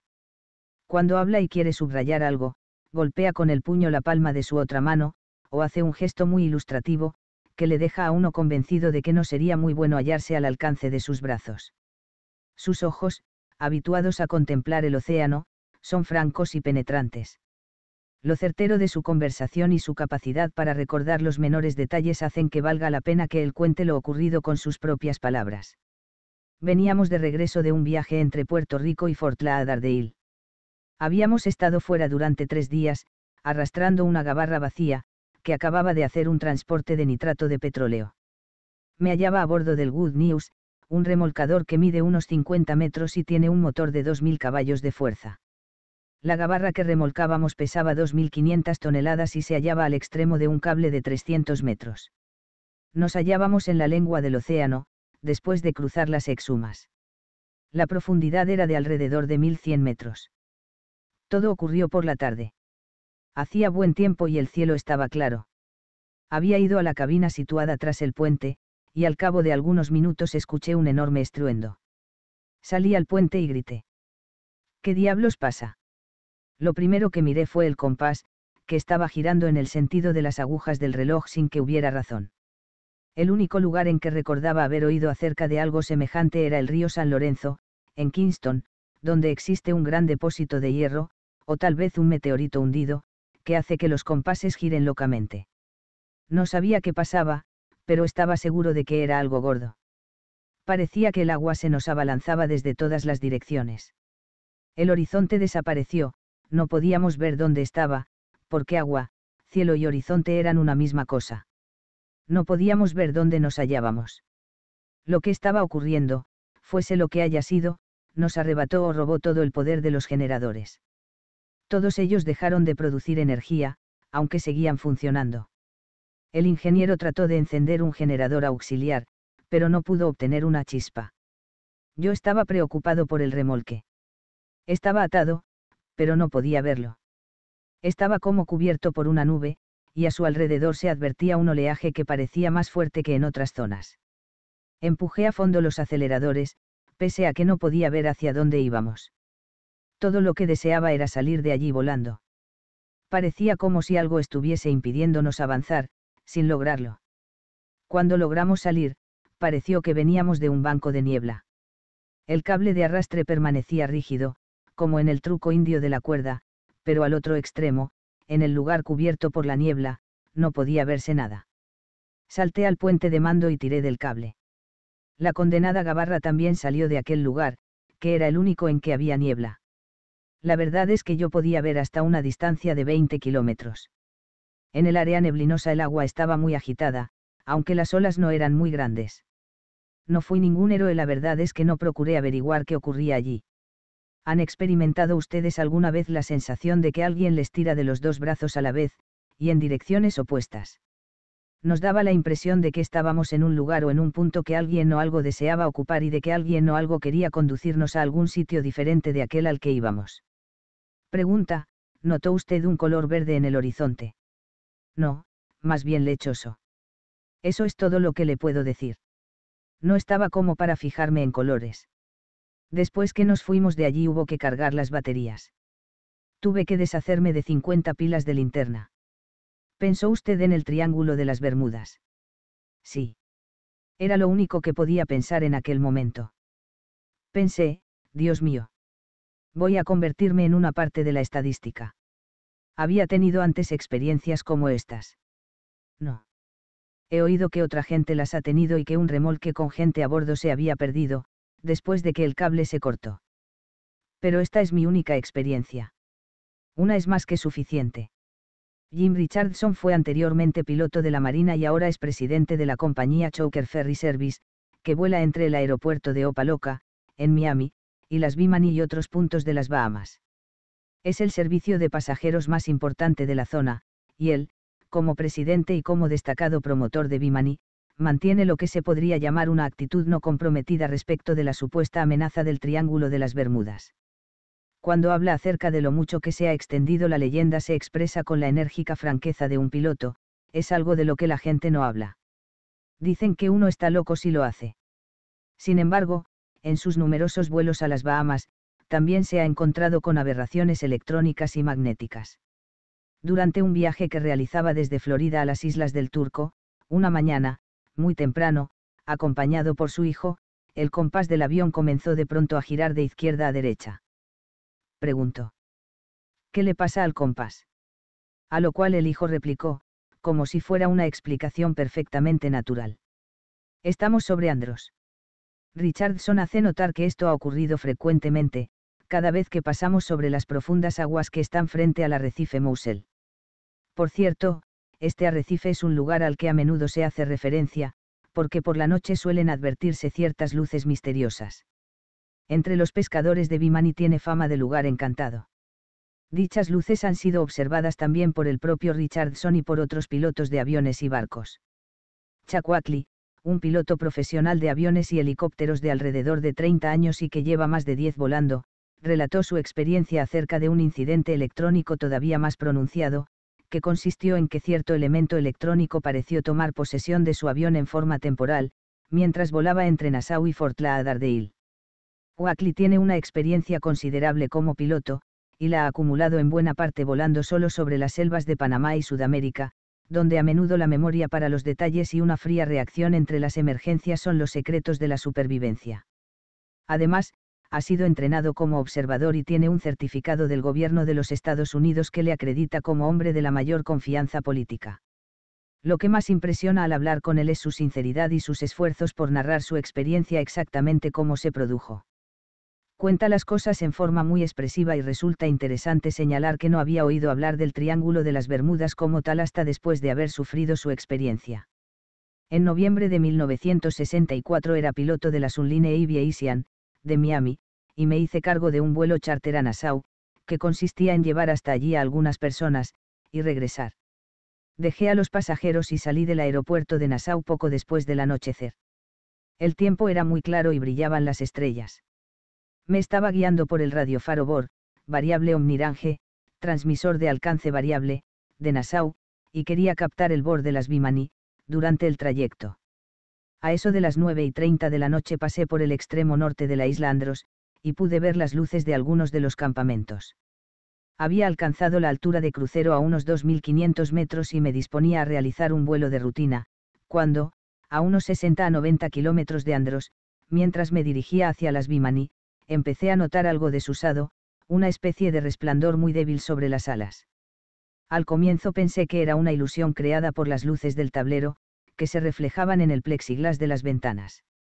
Las alas parecían transparentes y pintadas de un azul verde pálido, en circunstancias en que su color real era blanco brillante. Durante unos cinco minutos, este brillo se hizo más intenso. Tanto, que tuve dificultades para leer mis instrumentos. El compás magnético empezó a dar vueltas, lenta pero regularmente. Los señalizadores del combustible, que al despegue indicaban, medio lleno, ahora apuntaban hacia el lleno. El piloto automático electrónico hizo que el avión diera repentinamente un brusco giro hacia la derecha, y tuve que desconectarlo y volar con los controles manuales. No podía confiar en ninguno de los instrumentos electrónicos, puesto que, o habían dejado de funcionar por completo, o se estaban comportando de manera impredecible. Muy pronto, el avión entero resplandecía, pero no era un brillo reflejo, sino proveniente del avión mismo. Cuando observé las alas por la ventanilla, recuerdo que ya no solo tenían un color azul verdoso, sino que además parecían cubiertas de vellos. Ya en aquel momento no podía confiar en mis instrumentos señalizadores del horizonte o la altura, ni en el giroscopio, y puesto que era de noche y debía volar con un horizonte artificial, resulta que me quedé sin horizonte alguno. El brillo era tan intenso, que no podía ya ver las estrellas, y entonces hice lo único que podía hacer, abandoné los mandos y dejé que el avión volara en la dirección que se le antojara. El resplandor fue en aumento, alcanzando un brillante crescendo luminoso y prolongándose alrededor de cinco minutos, para luego disminuir gradualmente. En cuanto se disipó aquel extraño brillo, los instrumentos volvieron a funcionar normalmente. Verifiqué todos los circuitos y comprobé que ninguno había estallado.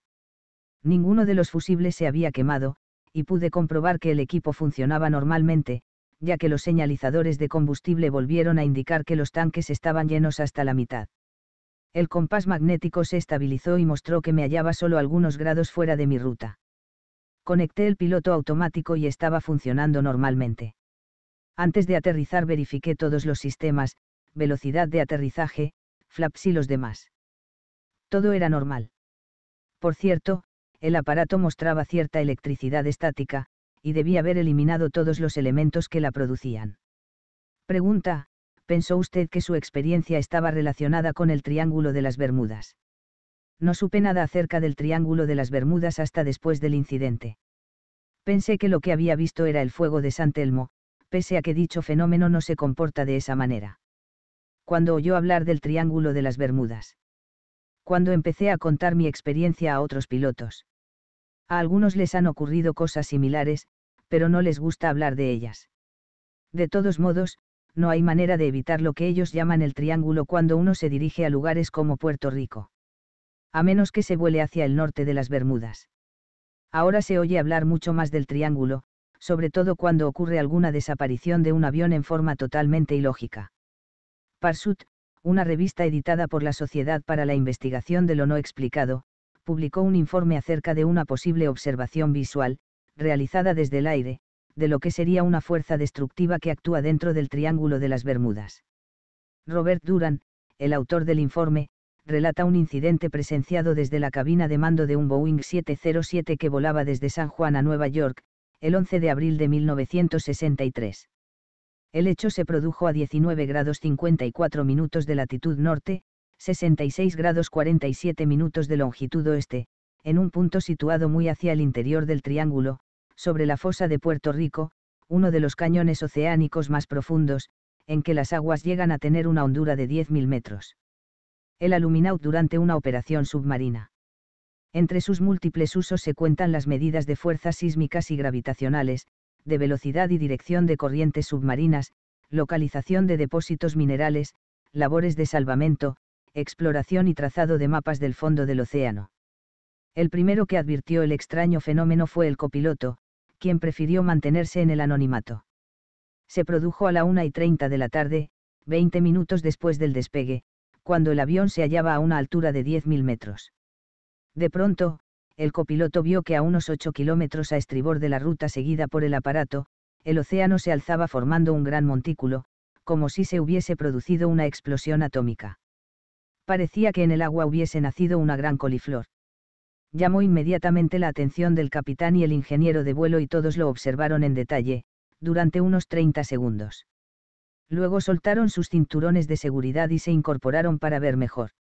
Según su apreciación, la gigantesca montaña de agua alcanzó un diámetro de unos 1000 a 1500 metros, y su altura llegó a ser aproximadamente la mitad de su anchura. Como es fácil de comprender, el capitán no regresó para observar mejor, sino que mantuvo su itinerario. En el momento en que el avión abandonaba la zona, la enorme protuberancia hirviente comenzó a decrecer. Luego, el piloto verificó si algún servicio, como la Guardia Costera o el FBI, o algún especialista en sismología, habían recibido información acerca de algún fenómeno desusado, como terremoto, maremoto, o grandes trombas marinas, pero no recibió confirmación de que algo extraño hubiese ocurrido en la región. Se ha sugerido de diversas maneras, que esta aparente explosión atómica podría estar relacionada con el submarino atómico estadounidense Thresher, que se había perdido el día anterior, o con sus cabezas nucleares, pese a que su desaparición se produjo a miles de kilómetros de distancia. Naturalmente, esta teoría solo tendría validez si algunos elementos muy importantes de la pérdida del Thresher se hubiesen mantenido en secreto, lo que es posible, o si, como se ha supuesto de manera informal, algún otro submarino o enemigo potencial hubiera sido hundido en represalia del ataque contra el Thresher. Sin embargo, descontando la hipótesis militar, el punto en que ocurrió el hecho constituye una confirmación más de las fuerzas que operan dentro del Triángulo de las Bermudas. Norman Bean, un inventor ingeniero electrónico, autor de sistemas de televisión submarina en circuito cerrado y de fórmulas de repelentes de tiburones, recibió en fecha reciente el testimonio de unos marinos que protagonizaron lo que podría ser una escapada, a bordo de una embarcación de superficie. Bean reside en Miami, da conferencias sobre ovnis y es un estudioso de los fenómenos que se producen dentro del Triángulo de las Bermudas. El incidente se produjo en un atardecer de septiembre de 1972, entre Fedarbed Banks y Macesan Hammock, en la bahía Biscayne, y afectó a una embarcación equipada con un motor diésel, que tenía el siniestro nombre de Nightmare, pesadilla. El Nightmare llevaba tres pasajeros y en aquel momento volvía de un viaje de pesca por la bahía Biscayne. Cuando llegó a la zona de Fedarbed Banks, el piloto advirtió que el compás tenía una desviación de alrededor de 90 grados en comparación con las luces de su punto de destino, Coconut Grove. Las luces del barco palidecieron y luego se apagaron, como si una fuerza tremenda hubiera secado las baterías.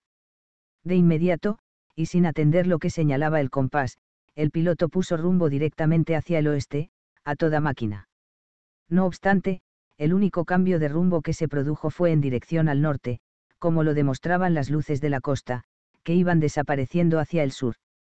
Durante dos horas, la embarcación siguió orientándose hacia la costa, pero sin conseguir avanzar y, por el contrario, dando la impresión de que retrocedía. Durante todo aquel tiempo, los ocupantes del barco advirtieron un objeto oscuro, muy grande y de forma alargada, que les impedía ver las estrellas ya que se desplazaba entre la embarcación y Macesan Hammock, que estaba a dos o tres kilómetros hacia el oeste. Mientras lo contemplaban, notaron una luz que se movía y entraba a la zona que estaba a oscuras. Luego de permanecer quieta unos momentos, desapareció. Poco después, la gran sombra desapareció también. Momentos más tarde el compás volvió a funcionar normalmente, el generador recargó las baterías y el barco pudo seguir su marcha. Uno de los asistentes a una de sus conferencias informó a Bean acerca de un caso similar, ocurrido algunos años antes que el del Nightmare. El individuo era capitán retirado de la Marina norteamericana y no quiso hablar sobre el caso durante la conferencia, pero más tarde se lo contó en privado. Como muchas otras personas que observan fenómenos, inexplicables, no estaba dispuesto a poner en peligro su reputación de hombre veraz y de observador escrupuloso. El incidente se produjo una semana antes de la Navidad de 1957. El hombre viajaba como piloto de un barco pesquero de su propiedad, que medía 10 metros de largo y estaba dotado de un motor diésel. Se dirigía hacia Freeport, en las Bahamas, pero no consiguió avanzar durante varias horas, e incluso se vio arrastrado hacia atrás varios kilómetros. El generador, las luces y la radio dejaron de funcionar, y el compás empezó a girar alocadamente. Aunque el motor seguía funcionando, el barco no lograba avanzar. Como en el caso del Nightmare, la tripulación notó que, aunque el agua estaba en calma y brillaban las estrellas, en cierta parte del cielo, delante de ellos y en la dirección que deseaban seguir, podía verse una mancha negra, sin estrellas y perfectamente configurada. Hubo un momento en que vieron tres luces que se movían en fila, entraban a la zona oscura y luego desaparecían. Poco después, la mancha negra se disipó repentinamente y el barco pudo seguir su curso normalmente, con las luces, la radio y el compás funcionando. Más tarde, el capitán y sus cuatro pasajeros se enteraron de que aquella misma noche, a 75 kilómetros de distancia, un carguero que navegaba hacia el sur, dentro de la corriente del Golfo, terminó encallado en un banco de lodo ubicado hacia el oeste, cerca de Fort Lauderdale su timón había sufrido una desviación de 90 grados. El 15 de noviembre de 1972 se produjo otro incidente, que afectó a un Beechcraft de dos motores que volaba desde Georgetown, en la isla Gran Exuma, de las Bahamas, y que es un interesante ejemplo de lo caprichosas que pueden ser estas fuerzas. Si pudieran atribuírseles propósitos o motivaciones concretas, este fue un caso en que pareció que, en lugar de proponerse destruir el avión, procuraron ayudarle. El doctor S.F. Jablansky, un psicólogo de Fort Lauderdale, hizo el siguiente relato al doctor Manson Valentine. El avión salió de Georgetown con el crepúsculo. Llevaba nueve personas a bordo, entre ellas, cinco pilotos. El tiempo era bueno, el mar estaba en calma y la visibilidad era excelente. Soplaba una ligera brisa proveniente del sudeste.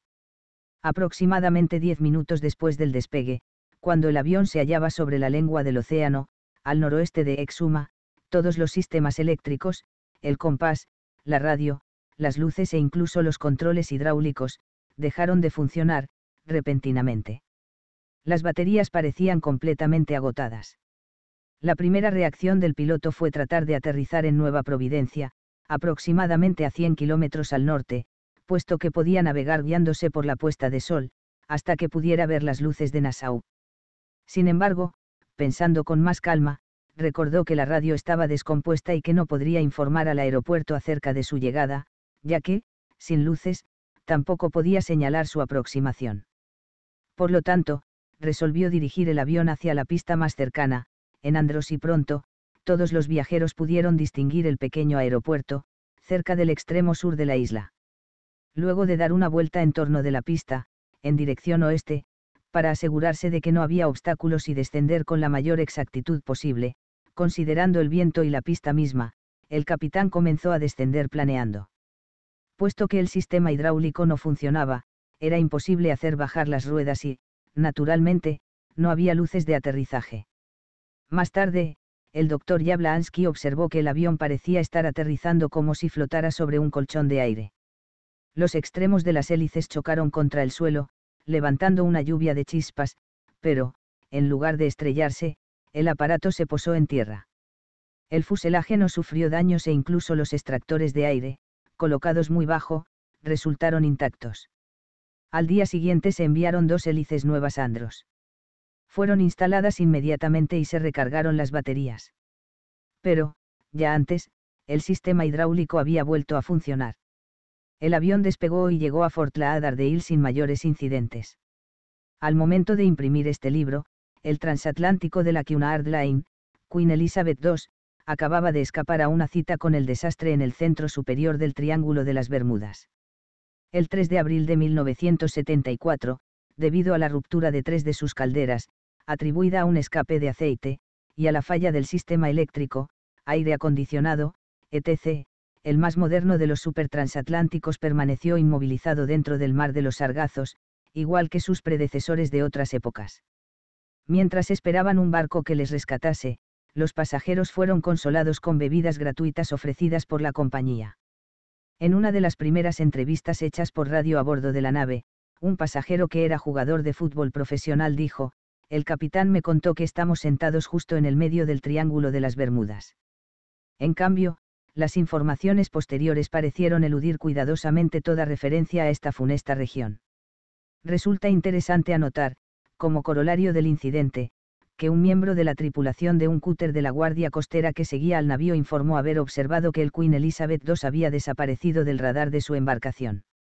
El hecho ocurrió cuando el transatlántico estaba entrando en el triángulo, a una velocidad de 35 nudos. El cúter dejó de registrarlo en el radar, aunque permanecía visible a simple vista. Poco después desapareció.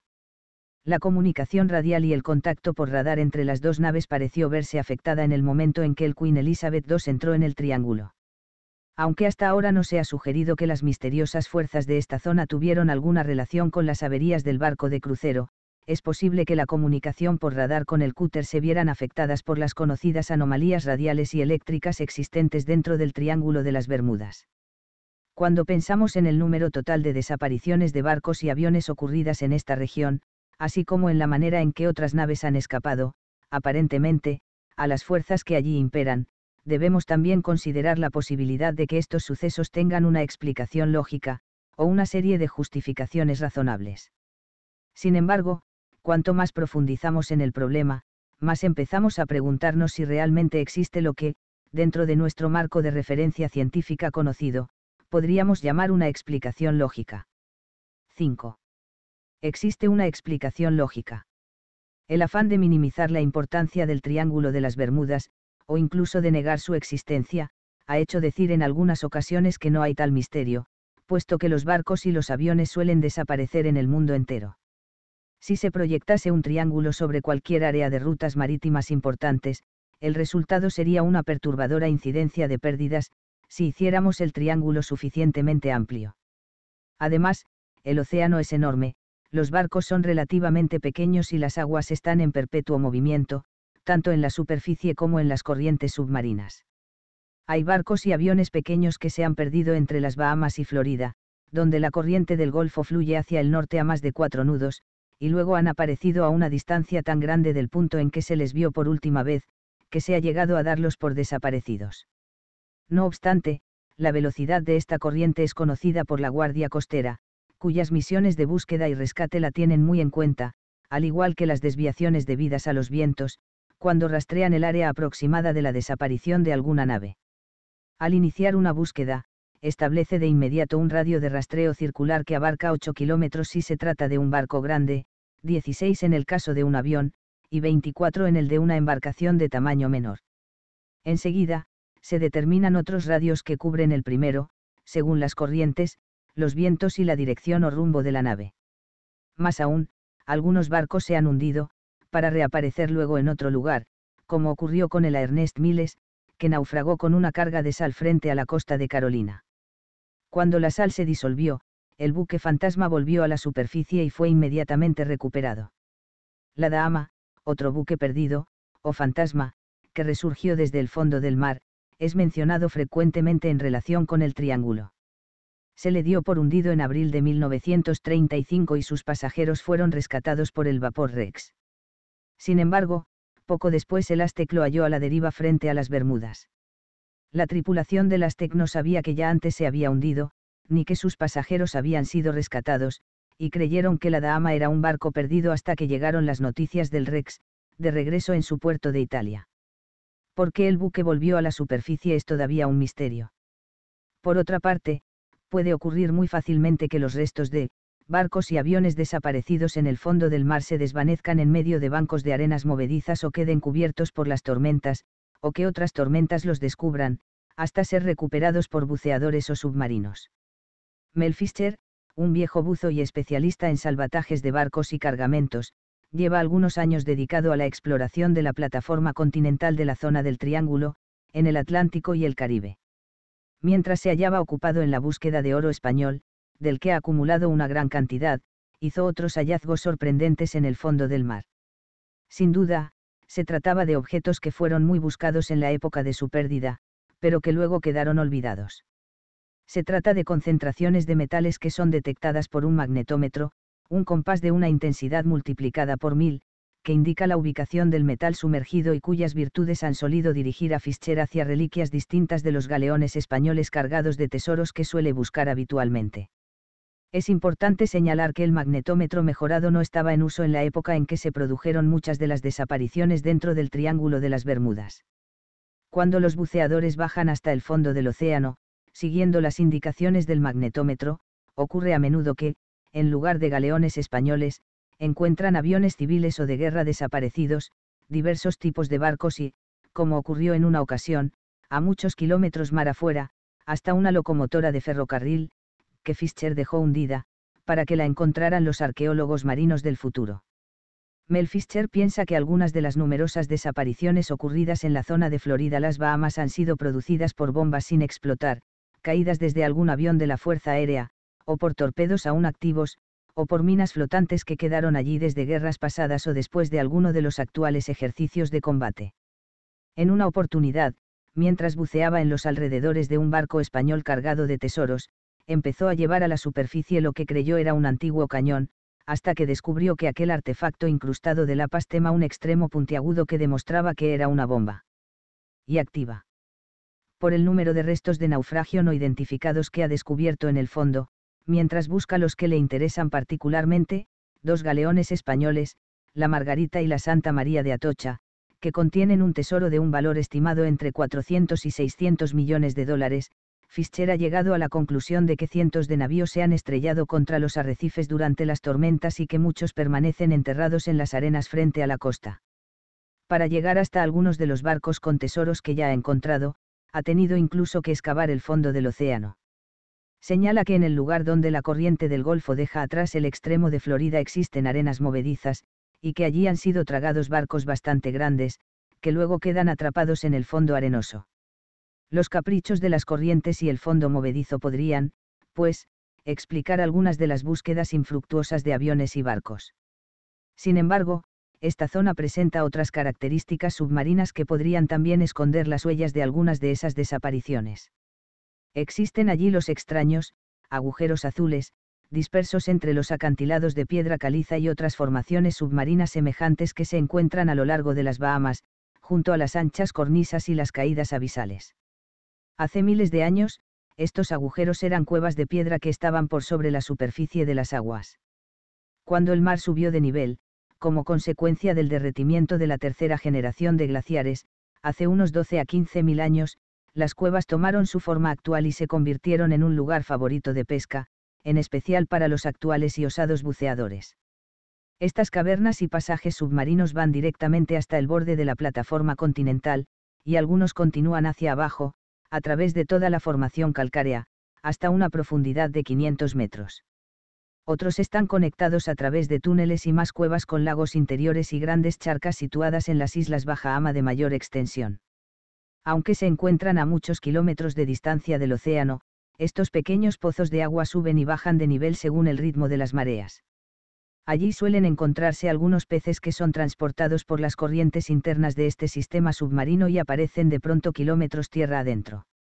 En una ocasión, en uno de estos tranquilos estanques situados a 35 kilómetros de la costa apareció un tiburón que medía 6 metros de largo, causando sensación y gran alarma entre los habitantes de la región, habituados a nadar en aquellas serenas aguas. Los agujeros azules se hallan en el interior del océano y situados a diversas distancias de la superficie. Los buceadores que penetran por estas cavidades submarinas notan que las cámaras de las cavernas parten desde los pasajes, exactamente como ocurre en las cuevas de la Tierra. Las galerías parecen abrirse en muchas direcciones, confundiendo hasta a los pescados, que suelen incluso nadar de arriba hacia abajo.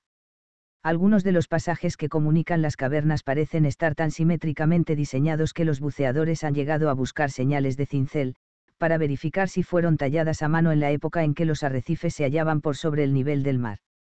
También han notado las peligrosas y fuertes corrientes que penetran en los agujeros azules. Esto se debe al flujo de las mareas, que hace que grandes masas de agua entren a las cavidades y creen una especie de efecto de tiraje de chimenea que produce fuertes remolinos en la superficie, a pesar de que en los alrededores no hay tierra sobre el nivel del océano. Semejantes remolinos podrían arrastrar un bote pequeño con su tripulación al interior de uno de los agujeros azules. Esta posibilidad cobró cierto grado de verosimilitud cuando el oceanógrafo Jim Thorne encontró un bote pesquero atrapado en una de las cavidades, a una profundidad de 25 metros, mientras participaba en una expedición submarina. Otros exploradores han encontrado también botes de goma y pequeñas embarcaciones dentro de los agujeros. Sin embargo, aunque algunos botes pequeños, o incluso los restos de otros más grandes pudieran haber ido a parar allí, permaneciendo atrapados en el interior de las cavernas, este efecto de remolino no explicaría la desaparición de buques ni, por cierto, la de los aviones. Aunque las vorágines marinas suelen aparecer en distintas zonas del mundo, en épocas diversas, y especialmente dentro de la región de las Bahamas, en el Triángulo de las Bermudas, ninguno de esos fenómenos conocidos podría compararse con el remolino de Noruega, descrito por Edgar Allan Poe en su cuento Un descenso al Maelstrom, excepto tal vez algunos grandes movimientos sísmicos o perturbaciones atmosféricas. Al describir este torbellino destructor de barcos desde algún punto de su vasta y vertiginosa pared, el narrador dice. Jamás olvidaré las sensaciones de sobrecogimiento, terror y admiración con que contemplé lo que me rodeaba.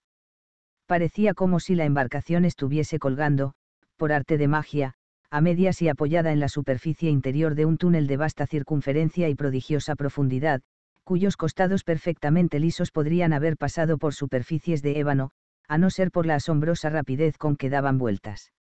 Al sentir la sacudida del descenso, que me trastornaba, me así instintivamente, con más fuerza, y cerré los ojos.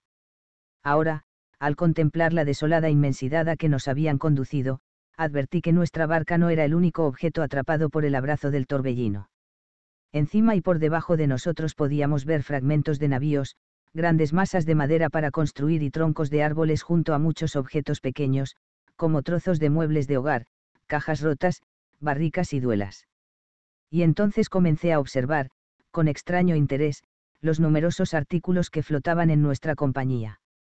De pronto me oí decir, este abeto será sin duda el que habrá de desaparecer ahora, en esa terrible zambullida, y luego me sentí decepcionado al comprobar que los restos de un barco mercante holandés se le adelantaban y se hundían primero. Este tipo de narraciones puede haber influido sobre algunas de las teorías en torno de las desapariciones de barcos dentro del triángulo y sobre las versiones acerca de la forma de, los abismos, que, nos arrastran, en el mar. Las grandes mareas que se levantan repentinamente, o incluso las trombas marinas, o los grandes tornados que se producen en el mar en algunas estaciones, levantando un vasto chorro de agua hacia el cielo, a gran altura, constituyen amenazas más verosímiles para las embarcaciones grandes y pequeñas que recorren esta zona. Una o varias trombas marinas pueden perfectamente destrozar una pequeña embarcación, o un avión que vaya volando bajo, de la misma forma en que los tornados que se desencadenan en tierra firme levantan casas, vallas, vehículos y personas hacia el cielo. Por otra parte, aunque las trombas marinas son visibles durante el día, cuando hay tiempo para eludir el peligro, por la noche son bastante más difíciles de eludir, sobre todo cuando el afectado es un avión que vuela en condiciones de escasa visibilidad. Pero los fenómenos más temidos en relación con los hundimientos repentinos de barcos son las grandes meralladas que se levantan repentinamente, como consecuencia, casi siempre, de terremotos submarinos. La aparición de estas enormes olas depende de varios factores, maremotos, deslizamientos de tierra, presión atmosférica, vientos, tormentas y huracanes, que no se producen necesariamente en una zona vecina, o bien, erupciones de volcanes sumergidos. También pueden aparecer en aguas serenas, por diversas razones, pero las que se levantan en mares tempestuosos suelen alcanzar, según observadores competentes, una altura de por lo menos 40 metros, buque de los Estados Unidos. Ramapou, 6 de febrero de 1963. Las olas producidas por perturbaciones sísmicas, tsunamis, han llegado a elevarse hasta 60 metros, tan alto como un gran rascacielos. Estas tsunamis pueden sobrevenir sin advertencia previa y son capaces de hundir un barco, si está anclado, o de hacerlo zozobrar si se encuentra navegando. Algunas veces, incluso barcos de gran tamaño se han partido por la mitad ante el embate de estas olas, como resultado de la tensión y según cómo las enfrenten o qué distancia haya entre una y otra aunque las embarcaciones más pequeñas pueden cabalgar sobre la cresta de las olas y deslizarse entre una y otra sin dificultades, se dio el caso de un destructor que resultó partido en dos, porque su largo era equivalente a uno y medio de estos senos que se forman sobre una oleada y la siguiente. Si hubiese medido lo mismo que uno, o dos de ellos, probablemente habría resistido. Existen también otras olas, muy poco usuales, pero muy destructivas, que suelen ser el resultado de deslizamientos submarinos de tierra causados por la ruptura de una falla de la corteza terrestre. Se les conoce con el nombre de Seiche y son pequeñas de altura, no son tan espectaculares como las tsunamis, pero tienen un poder inmenso, y son seguidas por grandes masas de agua que se acumula detrás de ellas. Resultan más difíciles de reconocer y, por lo mismo, son todavía más peligrosas. Una de esas olas, presentándose de manera inesperada, podría destrozar un buque y esparcir sus restos a lo largo de grandes extensiones. Pero, si bien los barcos pueden ser literalmente tragados por una marejada repentina, es concebible que un avión desaparezca en el aire. Algunos observadores dignos de crédito los han visto internarse en una nube sin reaparecer jamás, como si algo los hubiese desintegrado o arrebatado del aire durante el vuelo. En la atmósfera existen fuerzas que pueden compararse en general con las meralladas, especialmente si un avión las enfrenta a gran velocidad. De la misma manera, como a menudo hay vientos a distintas alturas, un avión puede encontrar, en su trayectoria de ascenso o descenso, corrientes muy fuertes, de dirección contraria a la indicada por los instrumentos del aeropuerto. Si son en extremo violentos, pueden tener consecuencias nefastas para el aparato afectado. Este factor, semejante a una especie de tenaza de viento, juega un papel importante en las desapariciones de aviones y, en su forma más violenta, OCAT, turbulencia de aire claro, puede comparársele con las olas tipo Seiche, que se levantan inesperadamente, en un mar generalmente en calma. La turbulencia puede desplazarse hacia arriba, hacia abajo, o en sentido horizontal y, cuando el cambio es suficientemente rápido, ya sea por la fuerza de la CAT o por la velocidad del avión, el efecto es casi como el de un choque contra una pared de piedra. En general, resulta imposible predecir este tipo de turbulencias, aunque suele encontrárselas en los extremos de las corrientes atmosféricas que se mueven por los cielos como lo hace la corriente del Golfo a través del océano, pero a una velocidad considerablemente mayor, 200 nudos, frente a los 4 o menos de 4 a que viaja la del Golfo. Las CAT podrían explicar quizás la pérdida de algunos de los aviones ligeros dentro del Triángulo de las Bermudas. O bien los desintegran, según la presión que ejerzan sobre ellos, el factor G, o bien los lanzan al mar, formando un vacío a su alrededor. Las turbulencias mismas son un misterio, ya que aparecen repentinamente, si es que puede utilizarse la expresión, aparecen, para referirse a un fenómeno invisible, y son impredecibles. Sin embargo, resulta dudoso que un cambio repentino de presión haya sido la causa de todas las desapariciones de aviones ocurridas dentro del triángulo y de la eliminación de sus comunicaciones radiales. Gracias a los nuevos y sofisticados sistemas de rastreo y computación que ahora existen, podría resultar más fácil encontrar las naves aéreas que puedan perderse en esta zona en el futuro. Si las hubiesen llevado, y si hubieran seguido existiendo, muchas de las que se perdieron podrían haber sido recuperadas. Los aviones de hoy llevan también unos sistemas de memoria y computación llamados AIDS, Airborne Integrated Data Systems, Sistema de Información Aeronáutica Integrada, que, en caso de desastre, conservan un registro detallado de lo ocurrido al avión. Actualmente es posible incluso inventariar y grabar en el aeropuerto base todo lo que se dice en la cabina de un aparato comercial o de cualquier tipo. Cabe recordar, sin embargo, que las conversaciones entre los pilotos del vuelo 19 fueron escuchadas en la base y que sin embargo, ello no arrojó ninguna luz acerca de lo que le ocurrió. También se están utilizando mecanismos desarrollados durante los vuelos espaciales de la serie Mercurio y en las travesías de los submarinos atómicos, que registran automáticamente la posición y cualquier desviación de un avión o un barco. Existe un nuevo aparato para localizar un avión perdido que se llama baliza, de choque, o, de recuperación es un pequeño transmisor de radio capaz de transmitir durante dos o tres días. Se le instala en la cola del aeroplano y es activado por la pérdida del sistema electrónico. Pero, digámoslo una vez más, si los desastres que se producen dentro del triángulo estuviesen conectados con silencios radiales, cabría suponer que estos nuevos aparatos también se verían neutralizados.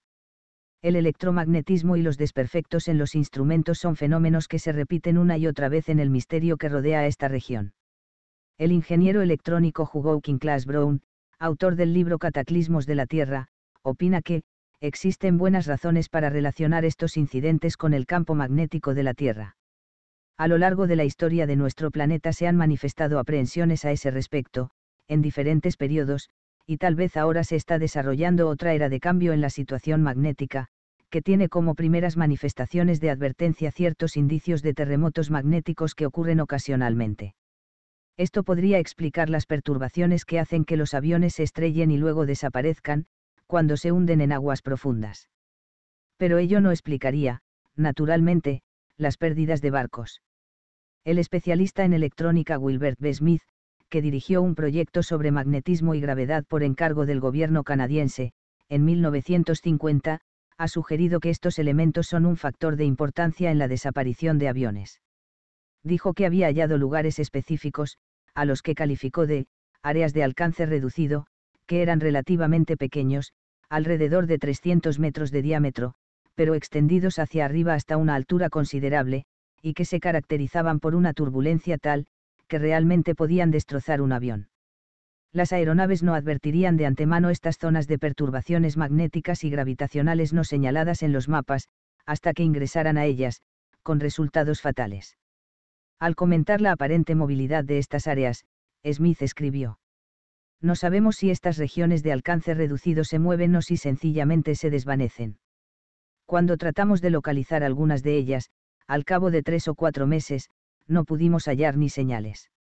Un vocero de la rama de búsqueda y rescate del Centro de Operaciones de la Guardia Costera de los Estados Unidos, precisó también la importancia que tenían el magnetismo y la gravedad en las investigaciones. Francamente, no sabemos lo que ocurre en el llamado Triángulo de las Bermudas. Lo único que cabe, en relación con estas desapariciones inexplicables, es hacer conjeturas. La Marina está tratando de llegar hasta el fondo del misterio, con un programa llamado Proyecto Magnetismo, en el que se están investigando las perturbaciones atmosféricas y de gravitación electromagnética. Algunos expertos piensan que tales perturbaciones podrían haber sido la causa de la desintegración de aquellos aviones, en 1945. Un barco que navegaba por la zona informó haber visto una gran bola de fuego en el cielo, la que, naturalmente, pudo ser también un choque en el aire. Pero eso es algo bastante desusado cuando se trata de cinco aviones. El hecho es que no tenemos una verdadera opinión acerca de esta materia. El séptimo distrito de la Guardia Costera, que es el más cercano a la zona, en una carta circular a la que ya nos hemos referido, adopta el criterio de que el Triángulo de las Bermudas, o del Diablo, es una zona imaginaria y ofrece la reconfortante opinión de que muchas de las desapariciones son, sencillamente, una coincidencia. La carta dice. El Triángulo de las Bermudas, o del Diablo, es una zona imaginaria situada frente a la costa sudoriental atlántica de los Estados Unidos, muy conocida por la alta incidencia de desapariciones inexplicables de barcos, pequeñas embarcaciones y aviones. Según las apreciaciones más generalizadas, sus vértices están constituidos por las Bermudas, Miami, Florida, y San Juan de Puerto Rico. En épocas pasadas, las búsquedas intensivas, pero inútiles, por parte de la Guardia Costera, a que dieron lugar algunos casos de desapariciones notorios, como el de un escuadrón completo de aviones tipo Avenger TBM, poco después de haber despegado en Fort Lauderdale, Florida, o el hundimiento sin dejar rastros del Marines Alpha Queen, en el estrecho de Florida, han dado crédito a la creencia popular acerca de los misterios y las cualidades sobrenaturales del Triángulo de las Bermudas. Han sido incontables las teorías que se han ofrecido, a través de la historia de esta región, para explicar las numerosas desapariciones. Las más factibles parecen ser aquellas que las atribuyen a fenómenos ambientales y a fallas humanas. La mayoría de las pérdidas pueden considerarse como debidas a las extraordinarias características de tipo ambiental que presenta la zona. Primero, el Triángulo del Diablo, es uno de los dos lugares de la Tierra en que un compás magnético señala hacia el norte verdadero. Normalmente indica hacia el norte magnético. La diferencia entre los dos es conocida como variación del compás. El grado de variación cambia hasta 20 grados cuando uno circunnavega la Tierra. Si esta variación o error del compás no es compensada, el navegante podría llegar a encontrarse muy alejado de su rumbo y enfrentaría serias dificultades. Existe una zona llamada, Mar del Diablo, por los marinos japoneses y filipinos que está situada frente a la costa este de Japón y que también exhibe las mismas características magnéticas. Al igual que el, Triángulo de las Bermudas, es conocida por las misteriosas desapariciones que allí se producen. Otro factor ambiental es el carácter de la corriente del Golfo. Es extremadamente veloz y turbulenta y puede borrar rápidamente cualquier evidencia de desastre. Las impredecibles características meteorológicas del Atlántico Caribe también desempeñan un papel importante. Las repentinas tormentas de truenos y trombas marinas suelen significar a menudo un desastre para pilotos y marinos. Por último, la topografía del fondo del océano varía mucho, desde los extensos bajíos que rodean las islas hasta algunas de las fosas marinas más profundas del mundo. Con la interacción de las poderosas corrientes que se mueven sobre los numerosos arrecifes, la topografía se halla en un flujo permanente y la navegación enfrenta constantemente nuevos accidentes, que se desarrollan con gran velocidad. Tampoco debe subestimarse el factor fallo humano. Hay una gran cantidad de embarcaciones de placer que navegan por las aguas de la región situada entre la costa dorada de la Florida y las Bahamas. Suelen intentarse muy a menudo travesías con embarcaciones demasiado pequeñas, con un conocimiento insuficiente de los imprevistos que se producen en la zona y falta de pilotaje adecuado. En pocas palabras, la Guardia Costera no se deja impresionar por las explicaciones sobrenaturales de los desastres que ocurren en el mar. Según nuestra experiencia, las fuerzas combinadas de la naturaleza y el carácter impredecible del ser humano suelen superar, muchas veces al año, las más ambiciosas narraciones de ciencia ficción. La carta ofrece, casi inadvertidamente, una pequeña bibliografía en la que el lector encuentra mencionados los artículos de Ivan Sanderson, Leslie Liche, Vincent Gadas y John Wallace Spencer, como una especie de contrapeso, respecto de aquellos que creen que el misterio del Triángulo de las Bermudas no tiene una explicación tan sencilla.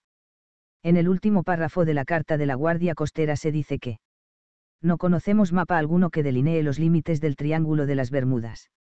Aunque agrega que, entre los mapas acromagnéticos de la región costera de los Estados Unidos, HO Serie 17507, los números 9 a 15 cubren el Triángulo de las Bermudas. Algunos ejecutivos de líneas aéreas de la región coinciden cautelosamente con la opinión de la Guardia Costera. La señora Adley Gamber, presidenta de la red Aircraft de Fort Lauderdale, es uno de ellos.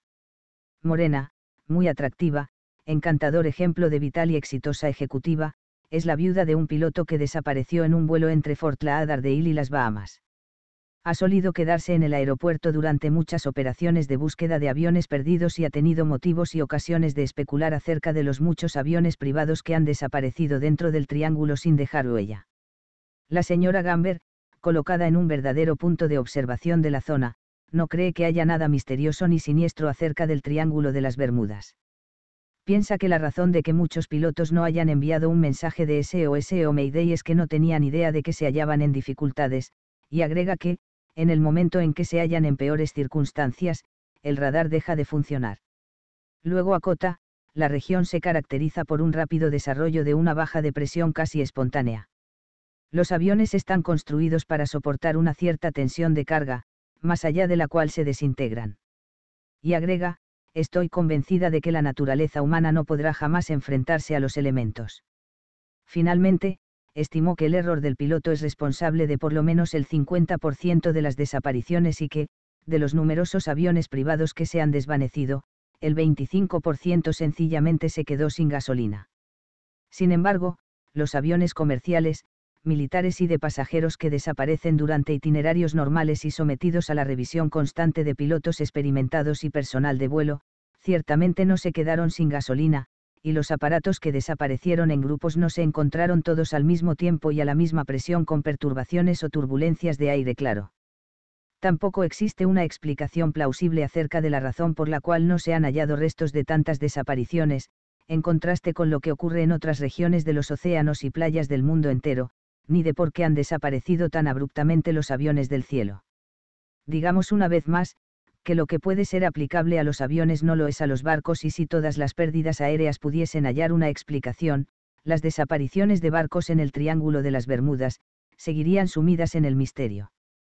Los observadores estiman que hay una relación obvia, por lo menos en cuanto a intensidad, entre los dos tipos de pérdidas y cada explicación satisfactoria parece acarrear una o más preguntas adicionales algo similar a lo que ocurría con la hidra, el monstruo de mil cabezas de aquel otro mito, mucho más antiguo, que, según la leyenda griega, apenas se le cortaba una cabeza era capaz de desarrollar otra, lo cual producía gran desazón entre sus adversarios.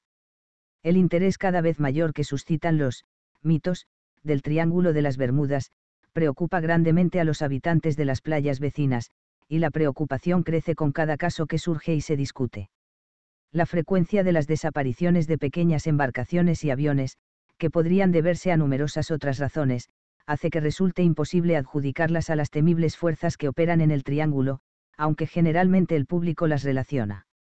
Yang, un destacado disc jockey y comentarista de radio, constituye un claro ejemplo del grado de curiosidad que este misterio ha despertado en numerosos observadores del sur de la Florida.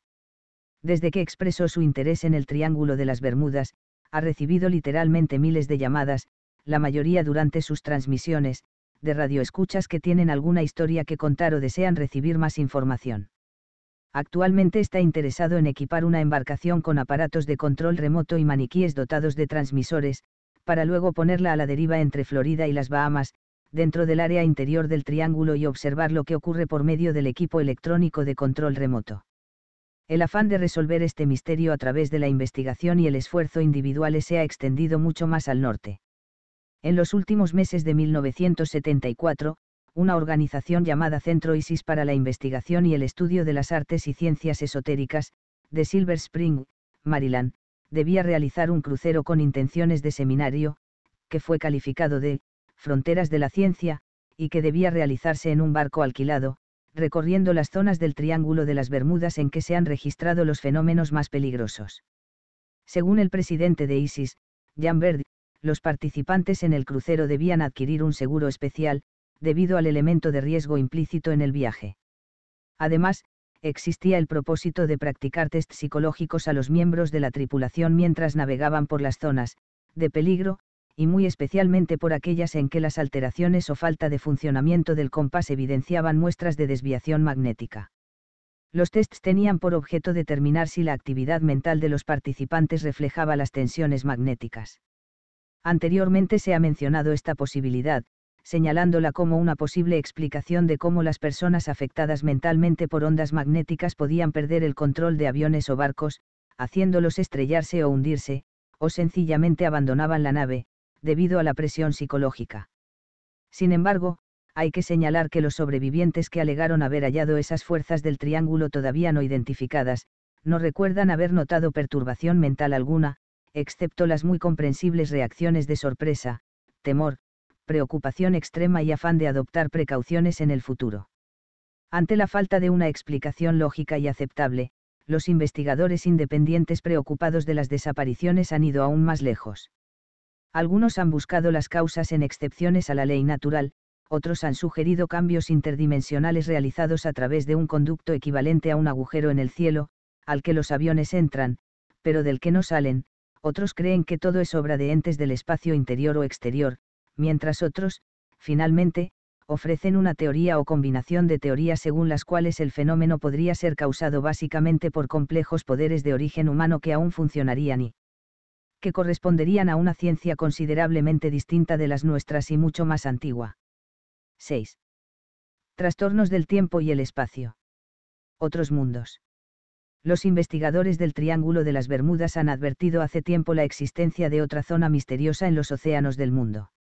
Está situada al sudeste de Japón, entre este país y las Islas Bonin, y más específicamente entre Iwo Jima y la isla Marcus, y su historia y su reputación la señalan como un lugar de grave peligro para barcos y aviones.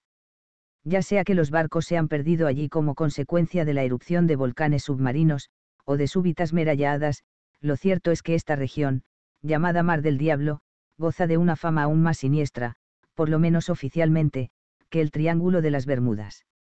Después de la investigación realizada por un buque del gobierno, en 1955, las autoridades japonesas resolvieron declarar la zona peligrosa. El mar del diablo ha despertado temor desde antiguo entre los pescadores, que creen que está habitado por seres satánicos, demonios y monstruos que se apoderan de los barcos desprevenidos. Naves de mar y aire desaparecieron regularmente allí durante muchos años, pero en una época en que Japón gozaba de paz, entre 1950 y 1954, se perdieron nueve modernas embarcaciones, cuya tripulación total alcanzaba a varios centenares de personas y en circunstancias características, intensas búsquedas por mar y aire, falta de restos o manchas de aceite, de los acontecimientos del Triángulo de las Bermudas.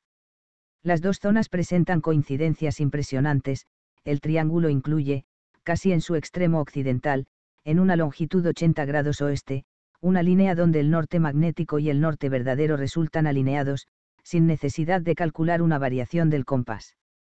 Esta misma longitud cambia su denominación cuando pasa por los polos, convirtiéndose en 150 grados este. Continúa desde el polo norte hacia el sur, pasa al este del Japón y cruza por el medio del Mar del Diablo. En este punto, la aguja del compás también señala hacia el norte magnético y el norte verdadero al mismo tiempo. Las inexplicables desapariciones ocurridas en este equivalente japonés del Triángulo de las Bermudas movieron al gobierno a realizar una investigación, que tuvo lugar en 1955. Esta expedición incluía a un grupo de científicos que iban recogiendo datos mientras su barco, el Kaidio Maru número 5, cruzaba el Mar del Diablo, y tuvo un final espectacular, de pronto, el barco investigador desapareció junto con su tripulación y los científicos la existencia de una o más zonas de desapariciones similares a estas en los océanos del mundo ha movido a hacer algunas especulaciones bastante desusadas. Se han elaborado teorías relativas a trastornos antigravitacionales, suponiendo que hay zonas en que las leyes de gravedad y de atracción magnética normal no funcionan de la manera que nos es familiar. Ralph Barker, autor del libro Great Mysteries of the Air, anota que los nuevos descubrimientos en el campo de la física, demuestran la existencia de partículas de materias antigravitacionales, y sugieren, la presencia de materia antigravitacional o contraterrenal de naturaleza totalmente distinta de las conocidas en este planeta, de asombroso poder explosivo cuando, se, aproxima a alguna materia de las conocidas, situada en ciertas regiones de la Tierra. Barker deja entrever la posibilidad de que esta sustancia haya llegado desde el espacio para depositarse bajo la corteza terrestre de los continentes y, con mayor frecuencia, de los océanos. Esta teoría ofrece una posible explicación de los trastornos electrónicos y magnéticos dentro de algunas zonas, pero no explica en cambio las numerosas desapariciones de barcos y aviones que se hallaban a la vista de tierra. En este sentido, cabe recordar los informes acerca de otras áreas de anomalías magnéticas, en que la fuerza de atracción de algo oculto bajo el agua resulta más poderosa que la del norte magnético polar. En su artículo titulado Los doce cementerios diabólicos alrededor del mundo, escrito para la revista Saga, Ivan Sanderson hace un estudio más detallado del Triángulo de las Bermudas y otras regiones sospechosas. Al señalar los lugares del mundo en que se han producido desapariciones de aviones y barcos, Sanderson y sus colaboradores descubrieron, en primer término, que la mayoría ocurrieron en seis zonas, todas las cuales tenían más o menos la misma forma oblonga y estaban situadas entre las latitudes 30 y 40 grados al norte y al sur del Ecuador. Entre ellas figuraban el Triángulo de las Bermudas y el Mar del Diablo. Al desarrollar aún más su teoría, Sanderson configuró una serie de 12 anomalías en torno del globo, que se producen a intervalos de 72 grados y tienen su centro exactamente en las latitudes 36 grados norte y sur. Son cinco en el hemisferio norte, en el sur y los dos polos. La razón por la cual el Triángulo de las Bermudas es el más célebre es que allí tiene lugar el mayor número de viajes. Las otras zonas, en cambio, aunque menos recorridas, presentaban también evidencias notorias de perturbaciones magnéticas temporales y espaciales. La mayor parte de estas regiones se halla al este de las masas terrestres continentales donde las corrientes oceánicas cálidas que se dirigen hacia el norte chocan con las frías que van hacia el sur. Además, allí se encuentran también los puntos noudals en que las corrientes de superficie toman una dirección y las submarinas otra. Estas últimas fluyen tangencialmente, y al sufrir la influencia de distintas temperaturas provocan turbulencias magnéticas que afectan la comunicación radial y quizá también la gravedad. En algunos casos, y cuando se presentan condiciones especiales, provocan la desaparición de embarcaciones aéreas y de superficie, haciéndolos dirigirse a otros puntos del tiempo o el espacio. El mundo dividido en 12 secciones o vértices de aberraciones electromagnéticas, de acuerdo con la teoría de Ivan Sanderson. Las dos áreas que no aparecen en esta proyección se encuentran en los polos. La zona correspondiente al este del Japón corresponde al Mar del Diablo, el equivalente japonés del Triángulo de las Bermudas. Sanderson pone de relieve un aspecto muy interesante de la extraña situación que se advierte en estas zonas cuando describe cómo algunos vuelos cuidadosamente programados suelen llegar con un asombroso adelanto. Hay aviones que han arribado con tanta anticipación con respecto a su itinerario, que la única explicación es que hayan encontrado un viento de cola de una velocidad de 800 km por hora, por ejemplo. Tales incidentes pueden ser el resultado de vientos no registrados, pero parecen producirse con más frecuencia dentro del Triángulo de las Bermudas y otras, zonas tormentosas, como si dichos aviones se hubiesen encontrado con la anomalía pero hubiesen logrado sortearla o evadirse del agujero del espacio, que ha costado la vida a tantos viajeros. Hace cinco años se produjo un incidente en el aeropuerto de Miami que significó un salto en el tiempo y que nunca ha sido explicado satisfactoriamente. El aparato afectado fue un Boeing 727 de la National Airlines que, al hacer la aproximación para aterrizar desde el nordeste, y cuando se hallaba dentro de la pantalla de radar del centro de control, desapareció abruptamente y por un lapso de 10 minutos. Luego, reapareció y aterrizó sin dificultades.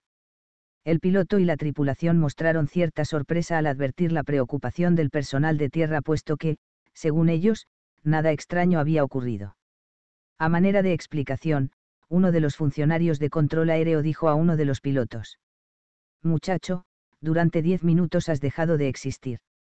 En aquel momento, la tripulación verificó la hora en sus relojes y en los diversos instrumentos horarios del avión y descubrieron que todos estaban atrasados diez minutos respecto de la hora real. Fue algo particularmente notable, puesto que el avión había practicado un control horario de rutina 20 minutos antes del incidente, y en aquel momento no se advirtió ninguna discrepancia con el horario real. Ivan Sanderson hace notar que nuestro planeta opera sobre la base del electromagnetismo y se pregunta si el Triángulo de las Bermudas y algunas otras zonas no funcionan como, enormes máquinas generadoras de otro tipo de anomalías.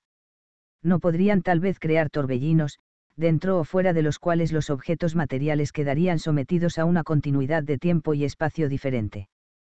Porque, aparte de las numerosas desapariciones ocurridas, en los últimos años se han producido un número inmensamente mayor de apariciones ocurrieron en todo el mundo, durante más de dos siglos y parecen seguir produciéndose, a pesar de los desmentidos oficiales y del hecho de que, en estricta lógica, son imposibles. Ningún investigador de los acontecimientos del Triángulo de las Bermudas puede eludir los informes acerca de apariciones de ovni. Los ovni han dado lugar a miles de documentos e investigaciones en los Estados Unidos desde 1947, en que se produjo la primera serie de visiones registrada en tiempos de paz en el resto del mundo se han producido millares de apariciones, 10.000, solamente en 1966. Muchos millones de personas sostienen haber visto ovni en Estados Unidos y en otros países. También han sido descritos por observadores competentes desde el punto de vista científico. Como dijo el Dr. J. Allen Inek, ex asesor de la Fuerza Aérea en esta materia, la inteligencia de los que se dedican a observar estos objetos, y de quienes han informado haberlos visto, es por lo menos normal. En muchos casos está por encima de lo normal y en otros es embarazosamente elevada. Los ovni han sido fotografiados con diversos grados de nitidez, se les ha observado siguiendo a aviones, en algunos casos los han interceptado o destruido, y en algunas ocasiones han aparecido en número considerable sobre capitales como Washington y Roma. Los comunicados del gobierno de los Estados Unidos, de la Fuerza Aérea y la Marina han atribuido la mayor parte de las visiones a la Luna, a cometas, a los lunares, espejismos, bolas de fuego, estelas de condensación, estrellas, meteoros, planetas, Venus, especialmente, aviones de prueba, luces antiaéreas, fuegos artificiales, autoquinesis, cuando un objeto observado parece moverse, postespejismos, cuando un objeto observado se desvanece tan lentamente que se le sigue viendo en otro lugar. Fuegos fatuos, fraudes o, sencillamente, ilusiones ópticas masivas. Sin embargo, los informes acerca de ovni siguen apareciendo y las diversas e importantes sociedades dedicadas a estudiarlos, así como una verdadera proliferación de libros sobre la materia, hacen que el tema se mantenga vivo. En todo caso, parece seguro que no son armas secretas pertenecientes a las potencias terrestres. Por cierto, durante la Segunda Guerra Mundial, cada uno de los dos bandos pensaba que los cazas fantasmas, luminosos que revoloteaban junto a los aviones de combate eran armas secretas del enemigo. Como se ha observado con toda crudeza, si los ovni fuesen armas secretas soviéticas, los rusos no lo callarían, por el orgullo que sentirían de haberlos inventado, y si fueran norteamericanas, los Estados Unidos no podrían mantenerlas fuera del alcance de su propia prensa. Es interesante anotar que aun cuando la posición oficial de la Fuerza Aérea estadounidense sigue siendo que los ovni no tienen explicación, y por lo tanto no existen, su circular normativa AFR 80 a 17 dio instrucciones detalladas a los pilotos acerca de las medidas que deben adoptarse cuando se está a la vista de alguno de ellos.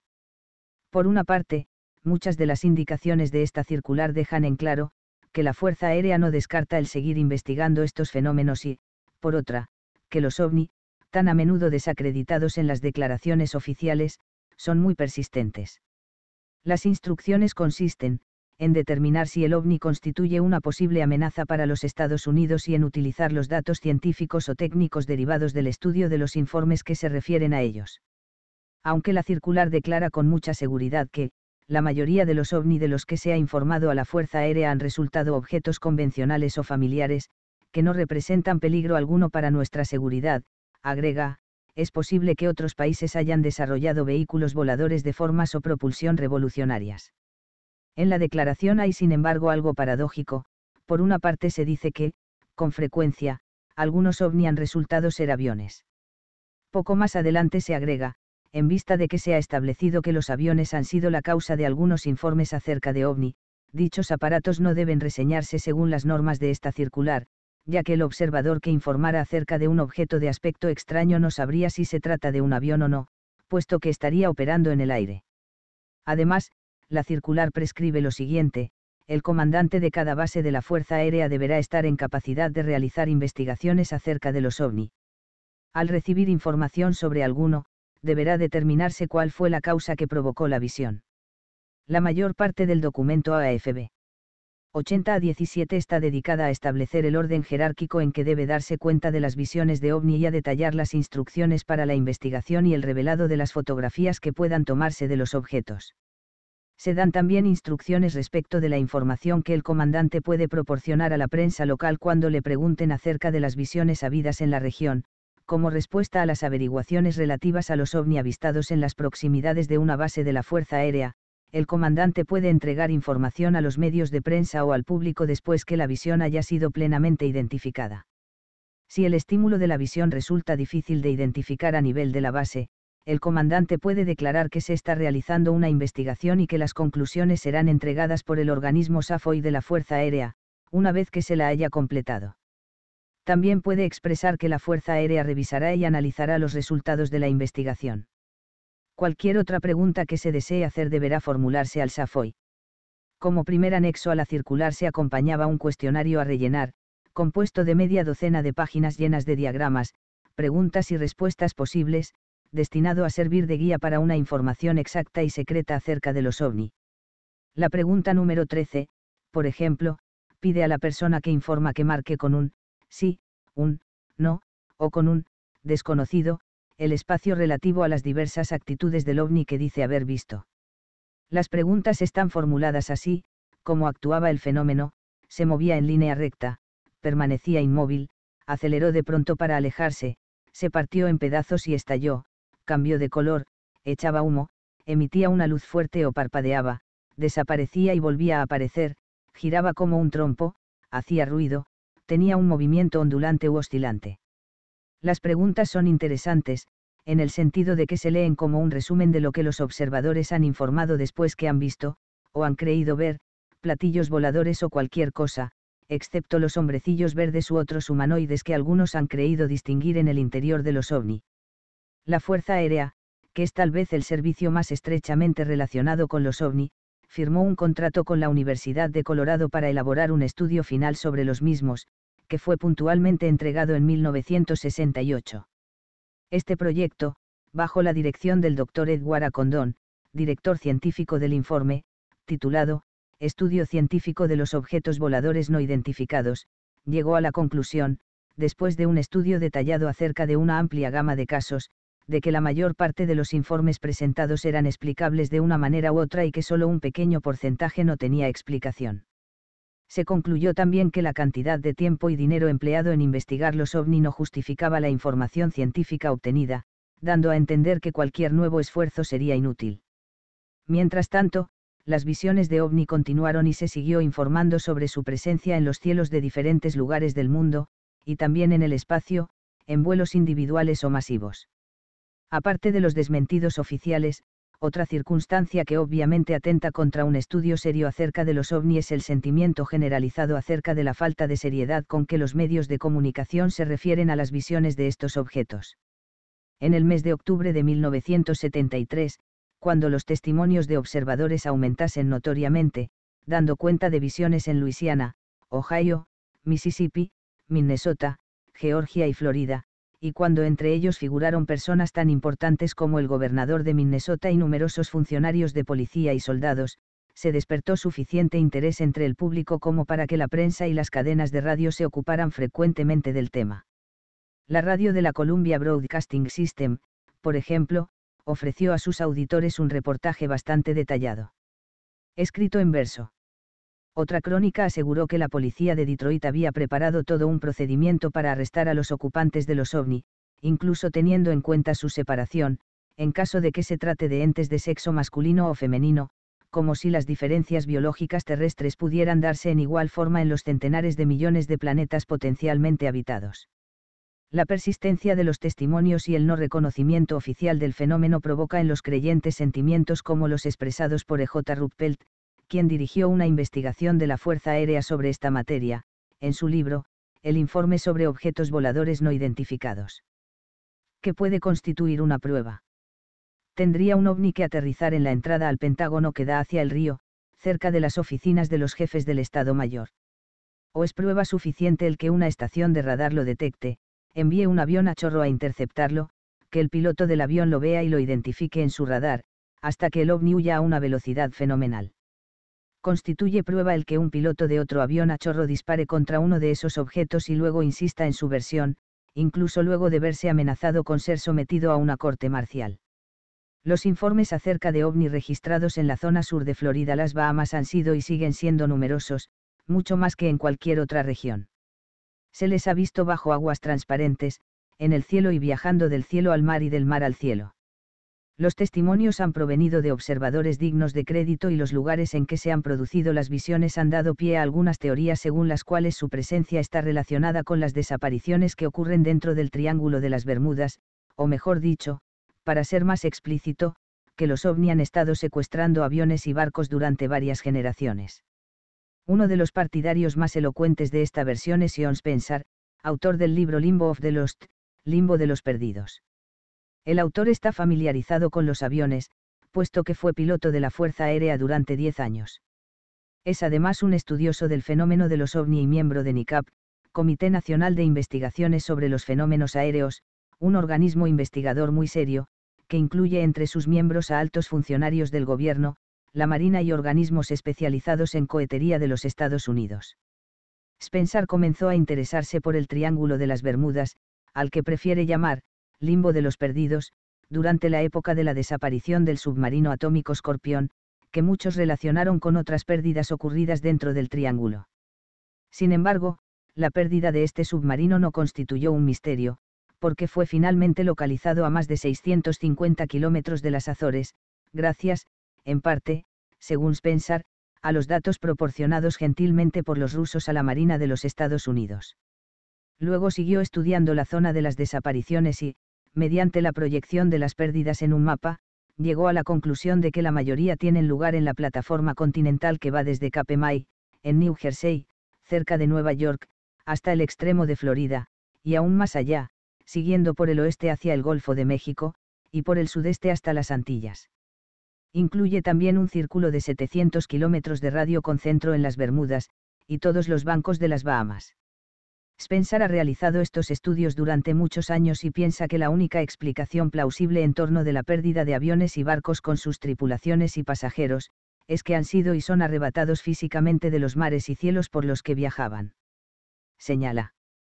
Puesto que la desaparición total de navíos de más de 175 metros de largo, en mares totalmente en calma y a 80 kilómetros de la costa, lo mismo que la de aviones a punto de aterrizar, no puede ocurrir, según, las normas terrestres, y sin embargo, siguen ocurriendo, me veo obligado a concluir que se los están llevando de nuestro planeta. El examen de los detalles de las visiones de ovni, no solo en nuestra época sino a lo largo de toda la historia escrita, le han llevado a creer que existen dos tipos principales de objetos, uno sería guion bajo el omnipresente platillo volador, que mediría unos 25 metros de circunferencia, y el otro un enorme navío madre, capaz de transportar una docena o más de platillos, o tal vez grandes ejemplares de muestra de embarcaciones terrestres. Este gigantesco aparato espacial de transporte correspondería a los de enorme tamaño y forma oblonga o cilíndrica de los que algunas veces se ha hablado, llamándolos objetos, con forma de puro, pero no con la frecuencia con que se menciona a los platillos. Spencer piensa que la razón de que se produzcan tantos golpes, en el triángulo, o limbo, es que allí las oportunidades de capturar ejemplares humanos son más numerosas, ya que, en general, los presuntos captars parecen evitar las operaciones de aterrizaje y los contactos con seres humanos. La zona está atestada de viajeros por mar y aire, y a esos entes extraños les resultaría fácil entrar y salir de allí. Según su opinión, la fuerza motriz de los ovni podría estar basada en una utilización muy sofisticada de las frecuencias radiales como propulsor. Esto explicaría los fallos electrónicos advertidos en casi todos los incidentes. La teoría de Spencer acerca de la razón por la que los raptos espaciales se producen en tan grande escala resulta inquietante y es compartida por diversos otros investigadores, que parecen haber llegado a la misma conclusión de manera independiente. Sostiene que, entre el asombroso número de planetas de los demás sistemas solares situados dentro de nuestra galaxia, existen aproximadamente 1021 estrellas, cada una dotada presumiblemente de su sistema solar, hay que suponer, de acuerdo con la ley de probabilidades, la existencia de civilizaciones altamente desarrolladas, en consecuencia, es posible que las poblaciones de otros planetas se hayan desintegrado en épocas remotas, debido al mal uso de la energía, y convertido en soles. Llame antes, sin haber dejado huella alguna de su historia, población y desarrollo científico y cultural de ahí que los visitantes de otros mundos podrían estar interesados en mantener una reliquia viviente de la Tierra en otros planetas, o tal vez desean impedir el avance de nuestra actual civilización, antes que el mal empleo de la energía nuclear se convierta en un peligro para otros mundos. O tal vez tienen otros motivos, que nos resulta imposible concebir.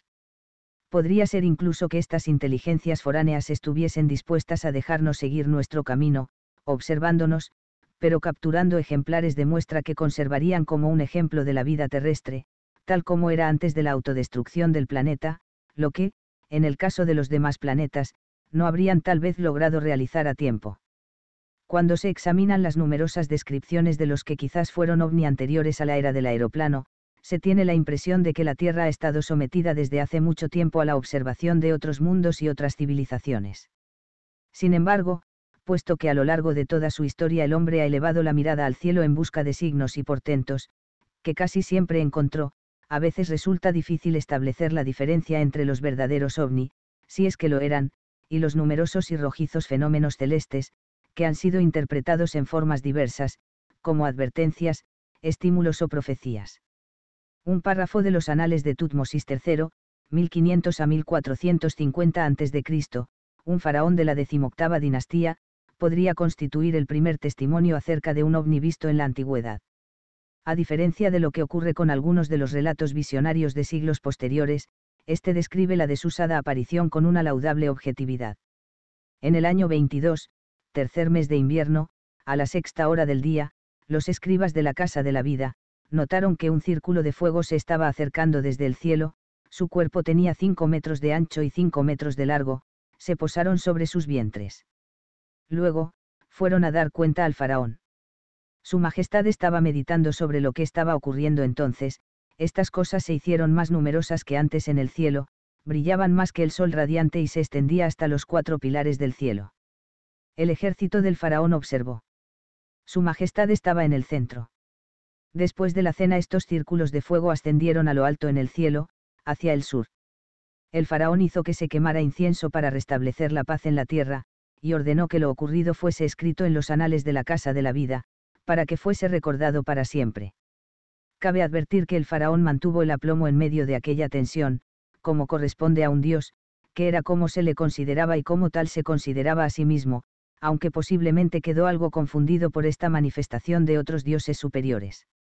El Gilgamesi, narración épica de la antigua Babilonia, heredada probablemente de la anterior civilización sumeria, describe al héroe Etana cuando los dioses le transportaron más allá de la tierra, hasta que estuvo tan lejos que el mar le parecía un estanque de agua y la tierra un cereal.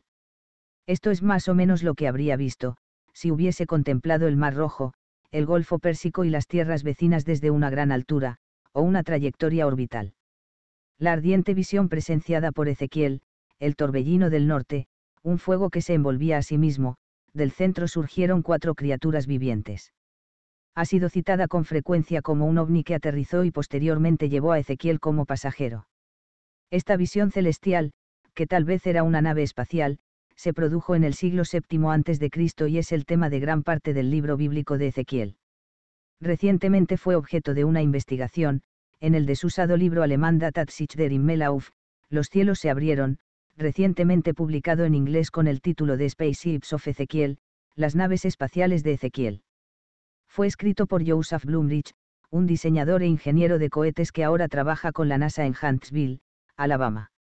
El Dr. Blumrich comenzó su libro con la intención de desvirtuar la teoría, algunas veces avanzada, de que la visión de Ezequiel fue realmente una nave espacial. Sin embargo, a medida que avanzó en su investigación, advirtió que las detalladas alusiones de Ezequiel a la aparición que había visto tendrían perfecto sentido si las ruedas dentro de las ruedas se hubiesen referido a una propulsión similar a la del helicóptero, que habría permitido al cohete central flotar sobre la Tierra. Comprobó también que los procesos habituales de aterrizaje y despegue de cohetes eran clara y detalladamente descritos por Ezequiel, cuando habla de los colores cambiantes según la velocidad, la explosión del viento, la velocidad de aterrizaje e incluso el traje del ocupante, con apariencia de tejido de asbesto. En vista de todo ello, Blumrich modificó su tesis y escribió un libro diametralmente opuesto al que había empezado, determinando por medio de referencias bíblicas, no solo que Ezequiel había visto una nave espacial repetidamente, sino que el ser descrito por Ezequiel como Dios era, sencillamente, el capitán del cohete. La descripción de Ezequiel no es sino una de una larga serie de relatos históricos acerca de lo que podrían haber sido ovni de la antigüedad, la Edad Media, el Renacimiento y la primera época moderna. Las diferentes formas en que los observadores los han descrito a lo largo de los siglos resultan curiosas, variadas y a menudo divertidas. Pero su misma variedad parece proporcionar una línea de narraciones que se van confirmando, cuando pensamos que los que los vieron se han referido a ellos con el vocabulario que resultaba más natural a sus mentes desconcertadas. Podríamos suponer, por ejemplo, que Ezequiel utilizó términos como, león, buey, y águila, para describir algunas de las características del cohete, comparando lo que era tal vez el mecanismo de aterrizaje con el pie de una res, descripción, por cierto, bastante adecuada, ya que él, que pertenecía a una economía pastoril, estaba familiarizado con aquellos animales salvajes y domésticos. Alejandro el Grande, que era a su vez un conocedor eminente del arte de la guerra, comparó un posible ovni, que en 320 a.C. interrumpió la marcha del ejército griego por el río Jaxartes hacia la India, con grandes y brillantes escudos plateados. Aristóteles, 384 a 322 a.C., aficionado al lanzamiento del disco de los atletas griegos, calificó los objetos que vio en el cielo de discos celestiales.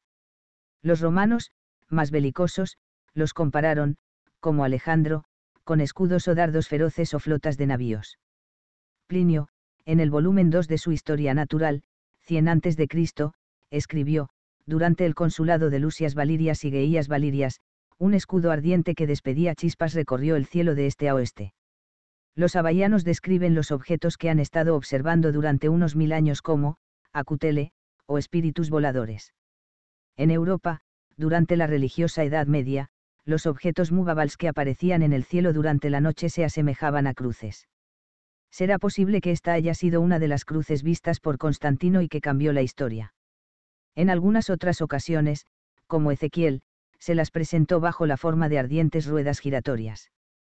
En la era de los descubrimientos y las exploraciones, los viajeros celestiales asumían, a ojos de los observadores, el aspecto de barcos, y más tarde, cuando se inventaron los globos, los ovni fueron descritos en Francia como brillantes globos rojizos. Durante el siglo XIX, en la ciudad de Vermont, famosa por sus telares, los que los veían los llamaban, usos aéreos. Y, así como en épocas anteriores se les describió según los nombres que venían más rápido a los labios de quienes los veían, durante nuestra propia civilización los hemos llamado platillos volantes, u objetos con forma de puro. Como dato interesante, habría que señalar que, en 1947, durante los dos primeros días de visiones masivas en los Estados Unidos, en Iowa y luego sobre el pico Mount Rainier, en Washington, se les identificó primero como discos, y luego moldes de pasteles, y finalmente se les llamó platillos. Frank Edwards, viejo observador de fenómenos no explicados, piensa que la tremenda explosión ocurrida en Siberia el 30 de junio de 1908, en una zona desierta a lo largo del río Yenisei, cerca del lago Baikal, y en la que solo murieron renos, no fue el resultado del choque de un meteorito contra la Tierra, como se pensó durante mucho tiempo, sino una explosión atómica producida por el estallido de una nave espacial cita al científico y escritor ruso Alexander Kazenev, quien declaró que, según recientes investigaciones, el daño que produjo la conflagración es idéntico al ocasionado por las explosiones atómicas causadas por el hombre en condiciones similares, con radioactividad prolongada y fusión de metales. No se ha recuperado ningún fragmento de meteorito, aunque, naturalmente, podrían hallarse enterrados a gran profundidad. Edwards concluye, en la catástrofe del río Yenisei, en 1908, perdimos un visitante del universo. En su libro El caso de los ovni, M. K. Jessup, un autor de considerable preparación científica, dada su condición de astrónomo y especialista en selenografía, experto en la Luna, opinó que las famosas desapariciones de barcos y los misterios del Triángulo de las Bermudas, como las que afectaron al Freya, al Mary Celeste, al Ellen Austin y a tantos otros, fueron causadas por ovni pero Yesap va más allá del triángulo y describe la desaparición de la tripulación completa del Seabird, un gran barco de vela, que se desvaneció después de enviar señales de saludo a un pesquero, cerca del puerto de Newport, en Rhode Island, en 1850. En el cuaderno de bitácora del Seabird se podía leer una nota escrita a 3,5 kilómetros del puerto, y en la mesa del comedor se halló dispuesta una comida completa. Aparentemente, el velero continuó su ruta hacia el puerto donde estaba anclado habitualmente, fue a vararse en la playa, como llevado de la mano de un gigante, y por la noche, aunque estaba firmemente enclavado en la arena, desapareció en medio de una tormenta. Tras examinar estos incidentes náuticos, Yesap llegó a la conclusión de que tales desapariciones eran, casi imposibles de explicar, excepto hacia arriba. Algo operaba desde arriba, con gran poder y velocidad de acción. Luego adelanta una sugerencia acerca del rigor selectivo, cierta evasión y carácter secreto. Agregando que son todos atributos de la inteligencia. Yesap creía que el desarrollo de nuestra era aeronáutica, es de un gran interés para nuestros vecinos del espacio, y que allí podría estar la explicación del creciente número de visiones de ovni habidas en años recientes, que estuvieron concentradas en gran medida en la zona del Triángulo situada frente a la costa de Florida y alrededor de Cabo Kennedy. El 10 de enero de 1964 se dio allí el caso de un ovni que entró en el radio de seguimiento del radar durante el lanzamiento de un cohete Polaris y que la pantalla lo siguió en su extraño curso durante 14 minutos, antes de volver a enfocar al Polaris. Aunque ampliamente comentada por los que se encontraban presentes, esta aparición nunca fue registrada por la prensa, posiblemente porque los misterios no suelen robustecer la confianza del público. La teoría de Yesap acerca del interés de los ovni en nuestra era aeronáutica, desplazado hacia nuestra era espacial, desde la muerte de aquella, en 1959, se ha visto considerablemente robustecida por algunos acontecimientos muy recientes. Durante los lanzamientos de algunos cohetes, sobre todo los Géminis 4 y 7, se han observado algunos ovni. Los astronautas del Géminis, McDivitt y Borman, observaron un duende, que avanzaba en paralelo a su nave y pensaron por un momento que podría ser necesario emprender una acción evasiva. Luego se informó que otro duende, había seguido al Géminis 7. El vuelo del Apolo 12 hacia la Luna se vio escoltado, por dos ovni, uno al frente y otro detrás, cuando se hallaba a 210.000 kilómetros de la Tierra, en el espacio exterior. Su presencia llevó al astronauta Gordon a comentar que eran, muy brillantes y parecían hacernos señales luminosas aunque desde entonces no ha habido confirmación del Centro Espacial de Houston o de la NASA, estas luces también fueron notadas por varios observatorios europeos. Más tarde, durante el mismo vuelo, los astronautas vieron otra luz brillante, que calificaron de tan grande como Venus, y que se situó entre ellos y la Tierra durante alrededor de 10 minutos, para luego desaparecer. Aunque debe tenerse en cuenta que estos objetos podrían ser cualquier cosa no identificada, incluso partes de los cohetes impulsores u otros restos flotantes en el espacio, las actividades de tales ovni, así como su capacidad para aparecer y desaparecer, parecen sugerir una dirección no orbital e independiente.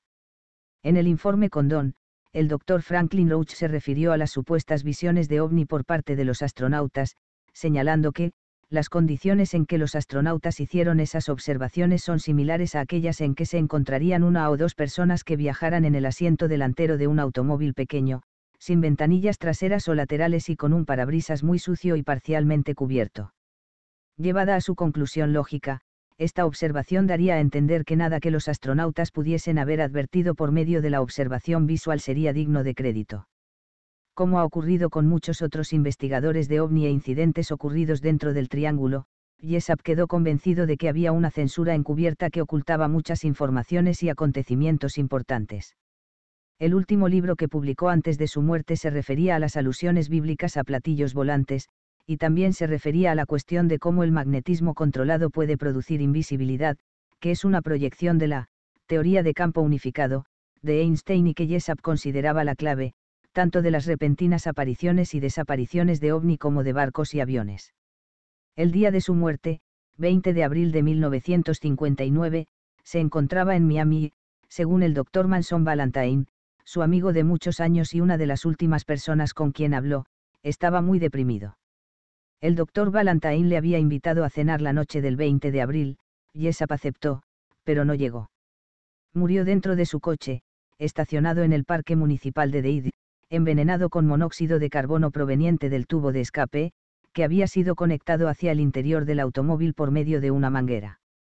Debido tal vez a la insistencia de Yesap en ciertos aspectos de la intervención de otros mundos en asuntos de este planeta, hay quienes piensan que su muerte no fue autoprovocada y que el incidente es una muestra de los peligros que se corren al investigar muy de cerca en este campo.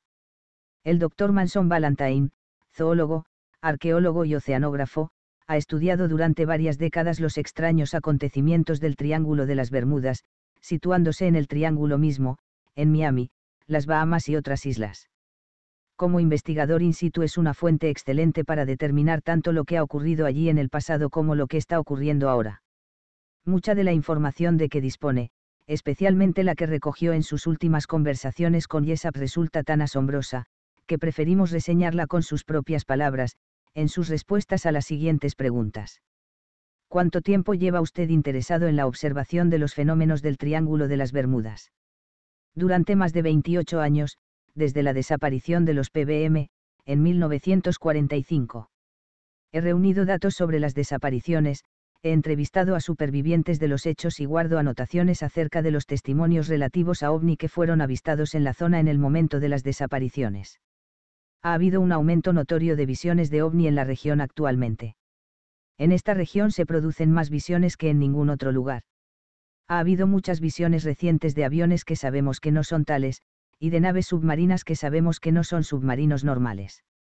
El capitán Dan del Maánico vio recientemente uno de estos artefactos, en abril de 1973. Es un marino de toda la vida y un observador tranquilo y de gran reputación. Tuvo dos visiones casi idénticas de un objeto no identificado, bajo las aguas transparentes de la corriente del Golfo, ambas aproximadamente en la misma zona, a más o menos un tercio de la distancia de navegación entre Great Isaac Light, al norte de las Bimani, y Miami, donde las aguas de la corriente del Golfo son muy profundas.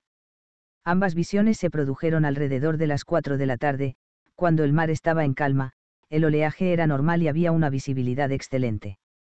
En ambos casos, hubo un objeto blanco grisáceo, liso, y de una forma parecida a la de, un puro muy grueso, de bordes redondos, que pasó rápidamente bajo la proa de su embarcación. Delma Anicou calculó que su tamaño era de unos 45 a 60 metros de largo, y su velocidad de por lo menos 100 a 110 kilómetros por hora. Cuando lo vio, de pronto, parecía que iba a chocarle y le dio la impresión de que se aprestaba a salir a la superficie justo delante de él. Pero, quizás advirtiendo su presencia, después de pasar directamente por debajo de su embarcación, el objeto se hundió y desapareció. No hubo turbulencias ni una conmoción apreciable. El objeto no mostraba aletas, elevadoras ni ninguna otra protuberancia que alterase la superficie lisa. Tampoco tenía ventanillas u ojos de buey. Los pilotos de aviones y las tripulaciones de barcos han visto ovni con tanta frecuencia en los cielos del Triángulo, que ya se han convertido en algo muy trivial, en especial sobre la lengua del océano. Lo que resulta más inquietante es la presencia de algunos de estos objetos revoloteando o suspendidos sobre las cumbres de los árboles, en el pantano o quefenoque. Algunos soldados y yo mismo los hemos visto. En una ocasión observé uno que tenía un rayo azul apuntando hacia las aguas de un lago. Tal vez estaba cargando agua o incluso muestras para el estudio de la fauna local. Cuando se produjo el apagón de abril de 1973 en Florida Meridional, fueron vistas algunas luces azul verdosas y azules en el cielo, especialmente en Turkey Point, donde está situado un reactor nuclear. Durante el gran apagón ocurrido hace algunos años en la costa del este, fueron observados alrededor de una docena de ovni.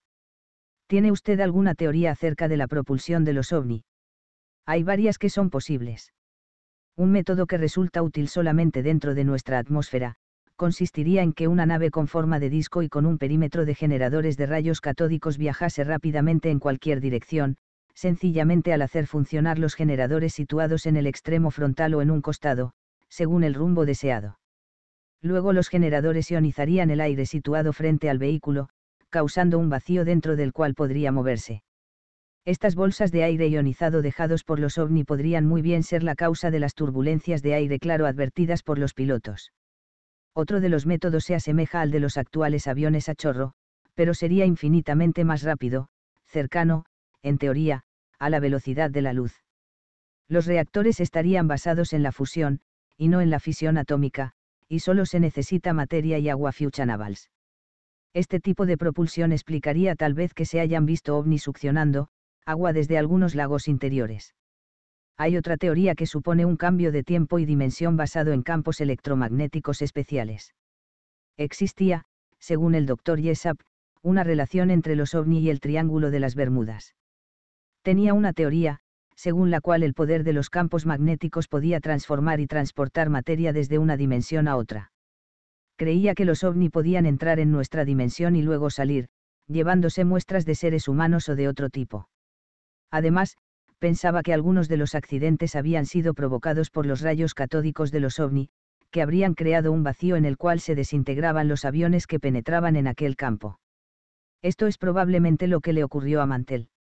Nota, el 7 de enero de 1948, el capitán Thomas Mantel y varios otros pilotos de la base Godman, en Fort Knox, persiguieron con sus Mustangs P-51 a un ovni, de enorme tamaño, que habían observado durante el día, cerca de la base.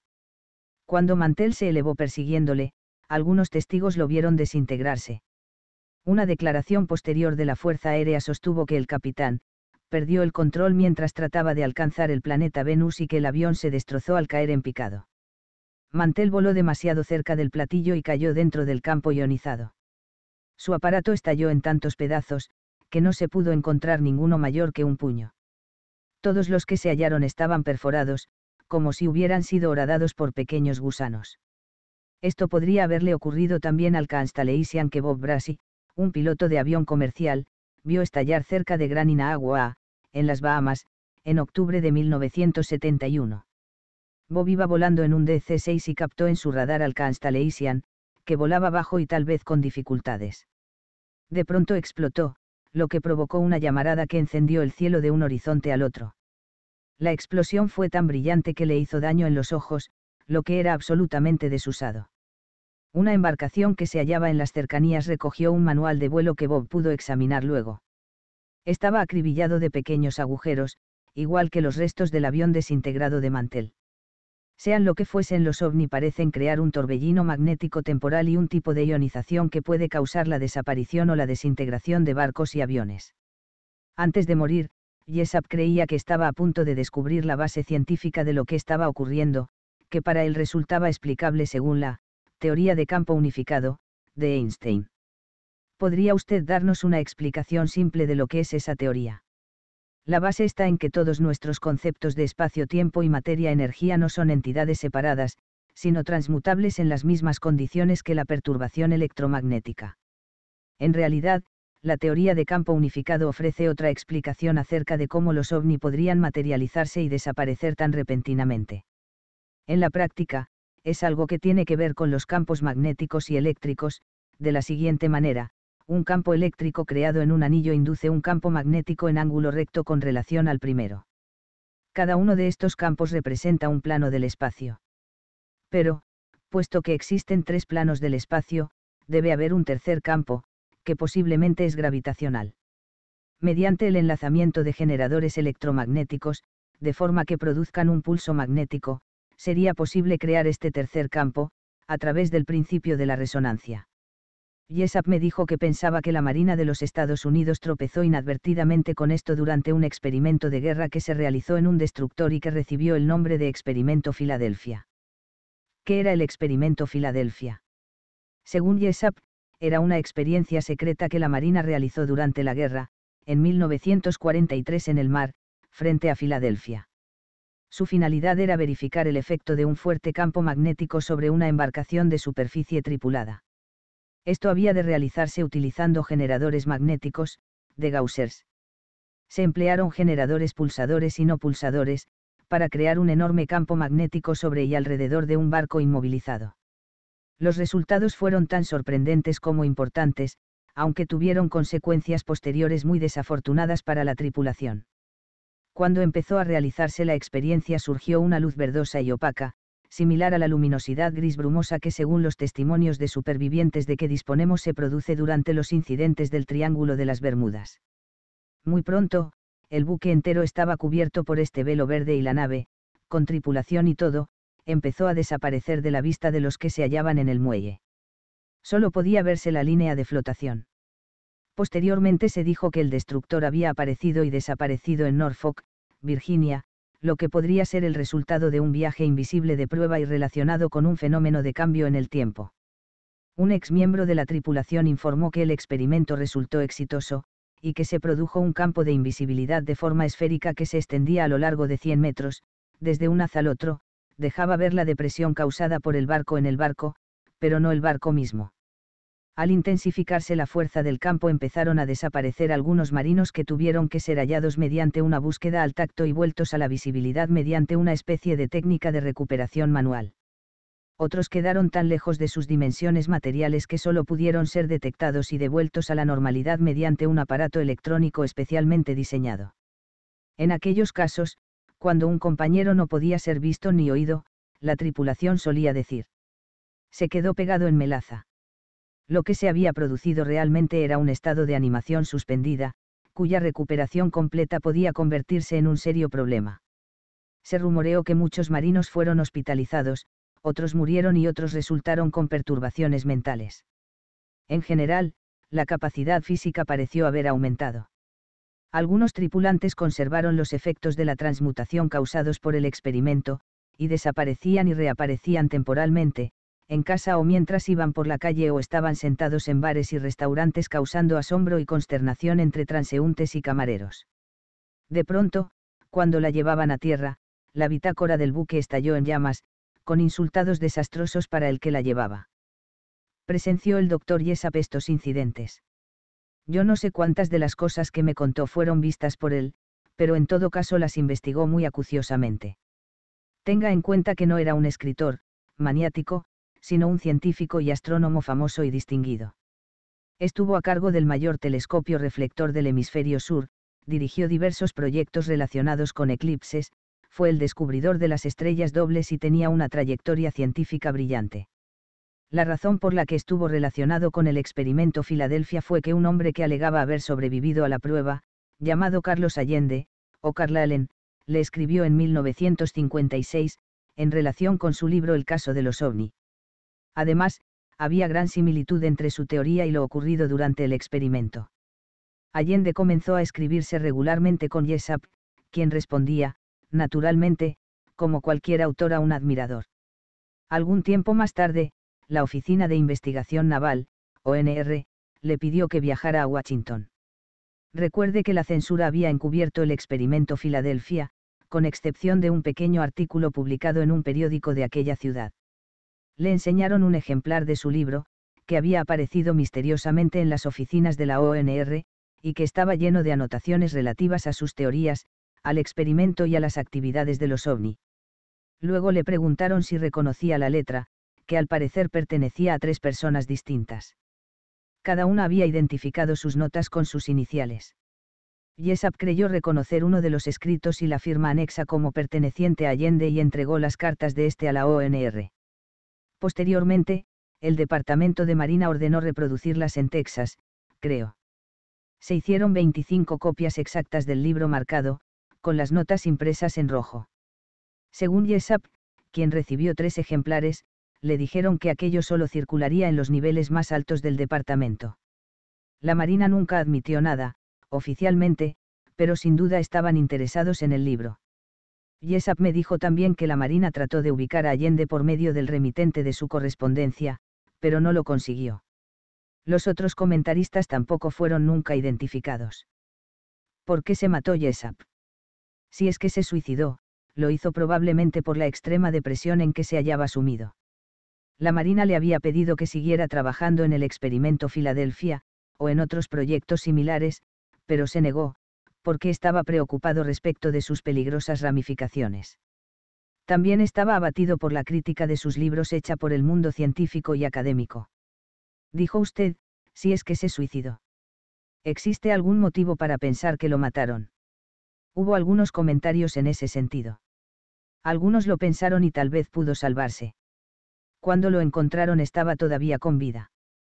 Tal vez dejaron que se muriera sus teorías eran muy avanzadas y tal vez había gente o influencias que deseaban evitar que se propagaran. Es curioso que el ejemplar del libro de la Marina lleno de anotaciones que pertenecía a Yesap y otro que regaló a Brian Treves, otro escritor especializado en ovni, desaparecieron del correo cuando fueron enviados a otras personas. ¿Está usted de acuerdo con las teorías de Yesap? En general, sí.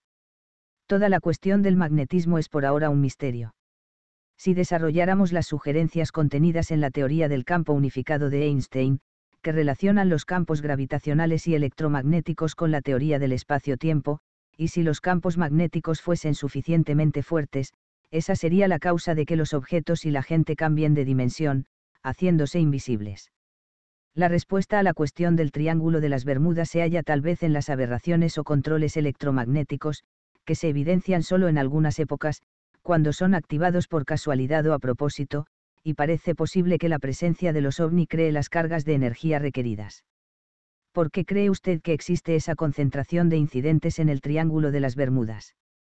Creo que es posible que los seres inteligentes que dirigen a los ovni no estén solo tomando muestras y verificando nuestro progreso científico, como lo demuestra su interés por Cabo Kennedy y nuestras pruebas espaciales, sino que están retornando a lo que podrían ser antiguos recintos sagrados o quizá centros o estaciones generadores de energía que actualmente están cubiertos por el mar. En años recientes hemos descubierto, cerca de las Bimani y en otros lugares de las Bahamas, grandes construcciones en el fondo del mar que constituyen indicios de que allí existía hace miles de años una civilización muy desarrollada.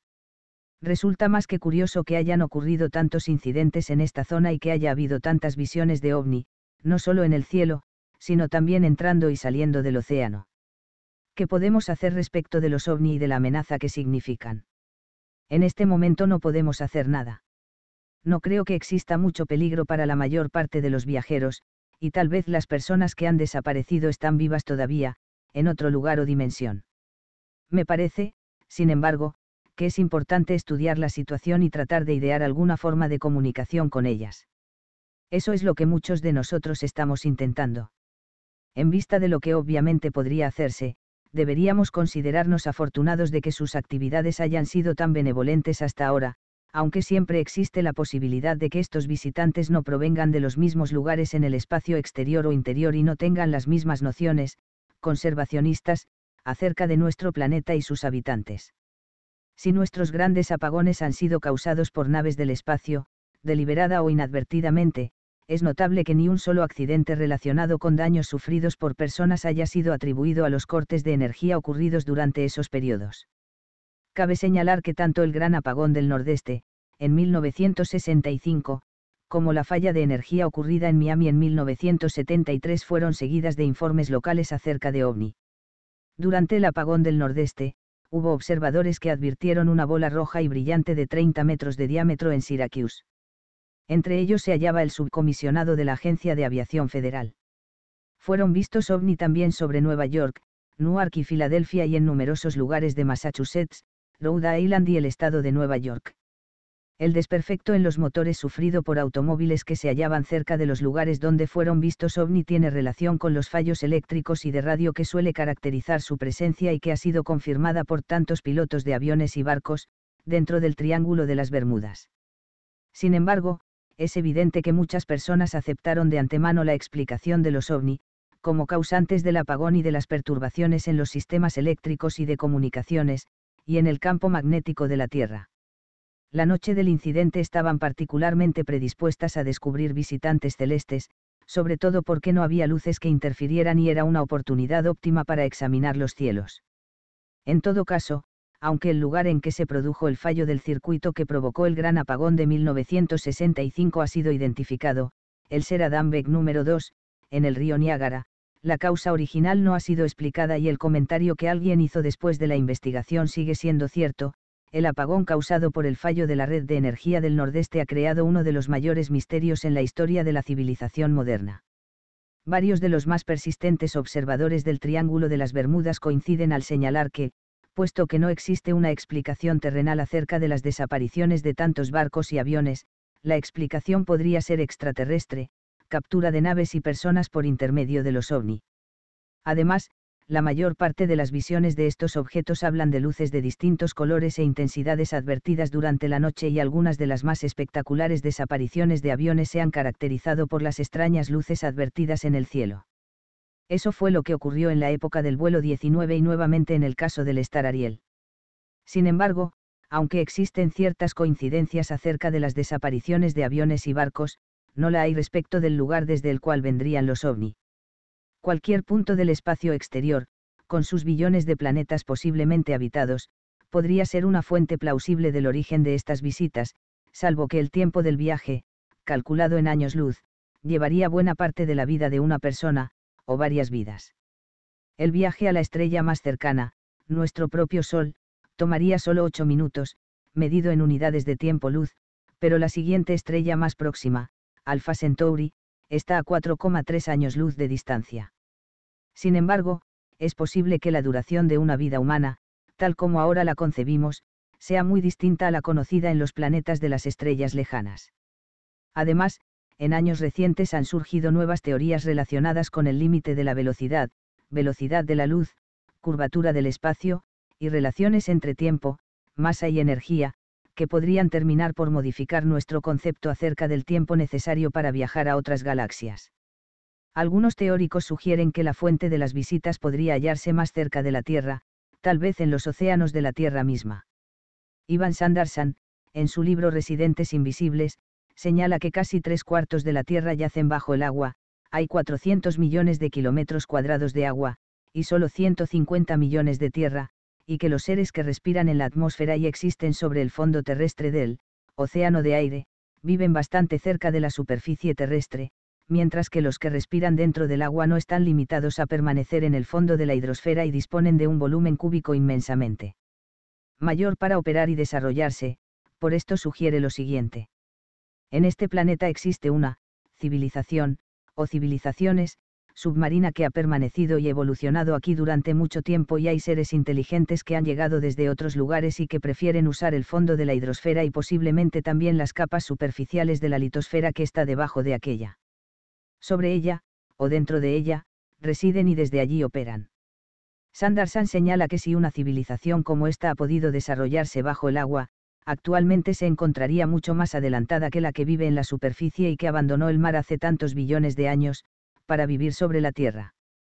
Al permanecer en el océano habría tenido la ventaja inicial de mantenerse en su ambiente original, para luego crecer con el tiempo preocupándose muy poco de lo que ocurría en tierra firme. La presencia de seres y actividades tecnológicas tan adelantadas bajo los mares del mundo ha sido tal vez la causa de las numerosas leyendas conservadas a lo largo de la historia y que se recogen incluso hoy, en una época en que los acontecimientos desusados se advierten y registran con mucha mayor precisión que en épocas anteriores. Esto explicaría los ovni de mar a aire vistos en el Triángulo de las Bermudas, y también el especial interés de los ovni por los avances tecnológicos que se advierten en Florida y aguas adyacentes. En cuanto a la verdad sobre su existencia, podría ser cuestión, no tanto de que nosotros los descubriéramos, como de que ellos nos descubriesen y vieran en nosotros una fuente de peligro para su propio medio ambiente. En cuanto a la posibilidad de que los ovni vengan volando desde otra dimensión, para secuestrar aviones, barcos y personas de la nuestra, existe la teoría relativa a las otras dimensiones, coexistentes, que a su vez tiene relación con la teoría de la materia negativa, una tierra negativa y mundos coexistentes. Todo ello resulta menos fantástico ahora que hace varias décadas, cuando fue sugerido por primera vez. El almirante Richard Byrd, un famoso explorador y piloto que voló en varias ocasiones sobre los intensos campos magnéticos de los polos, transmitió por radio un mensaje increíble mientras volaba sobre el Polo Sur, en 1929. Dijo que estaba penetrando a través de una niebla luminosa en una zona cubierta de vegetación y con lagos sin hielo. Agregó que veía grandes bestias, como bisontes y otros animales y seres que parecían hombres primitivos.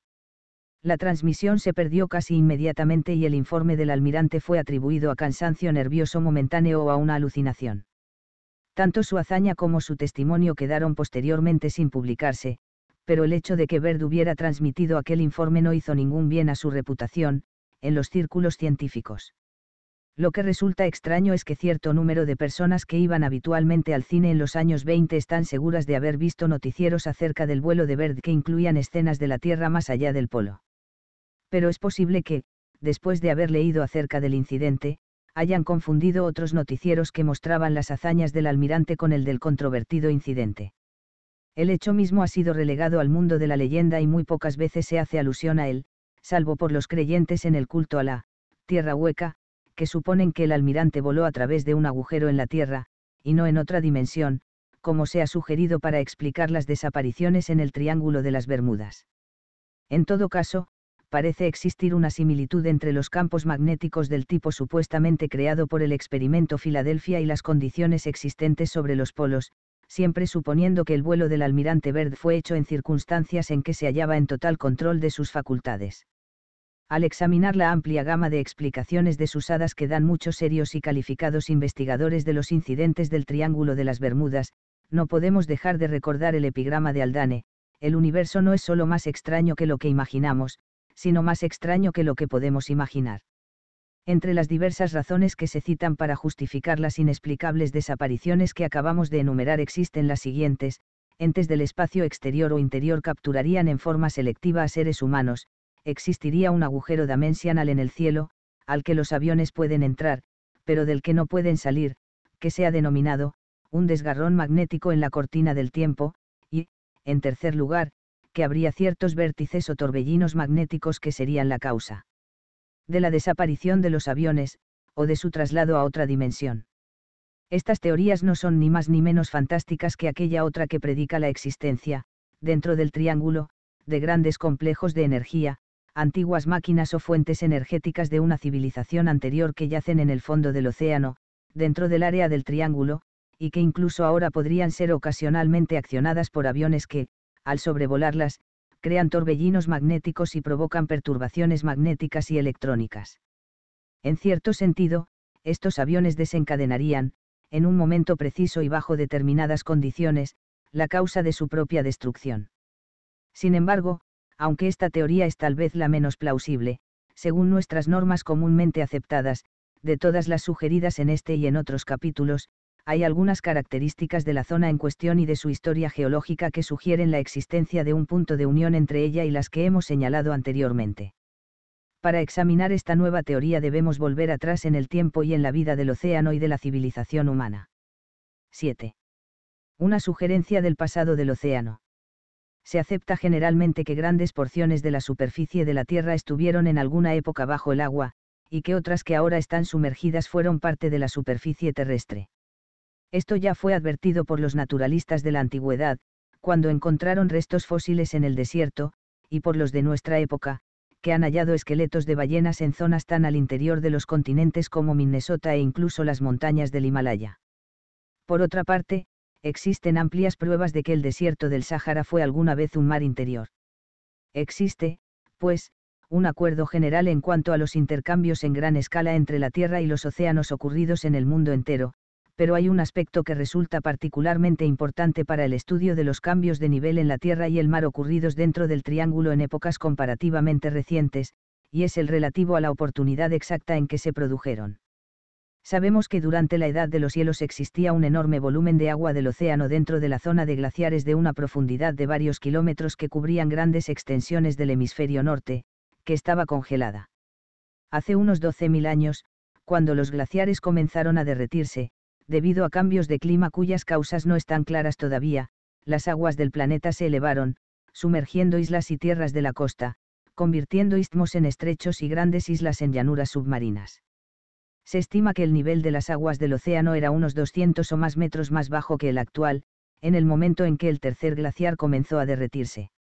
Además, muchas tierras que estuvieron alguna vez sobre las aguas pueden haber quedado aún por debajo de ese nivel, debido a la actividad volcánica que se produjo, en el mismo momento, o con posterioridad a la inundación, para usar la terminología bíblica utilizada quizá para describir estos acontecimientos.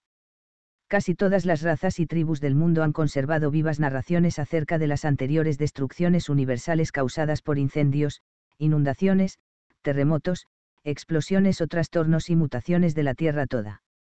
En la mayor parte de los casos, solo un superviviente, junto con su familia y algunos animales elegidos, han logrado iniciar una nueva vida, como lo hiciera Noé, en un nuevo mundo, una vez que las perturbaciones cesaron y las aguas recuperaron su nivel pero Noé fue solo un superviviente, el que resultaba familiar a los herederos de la tradición religiosa judeocristiana.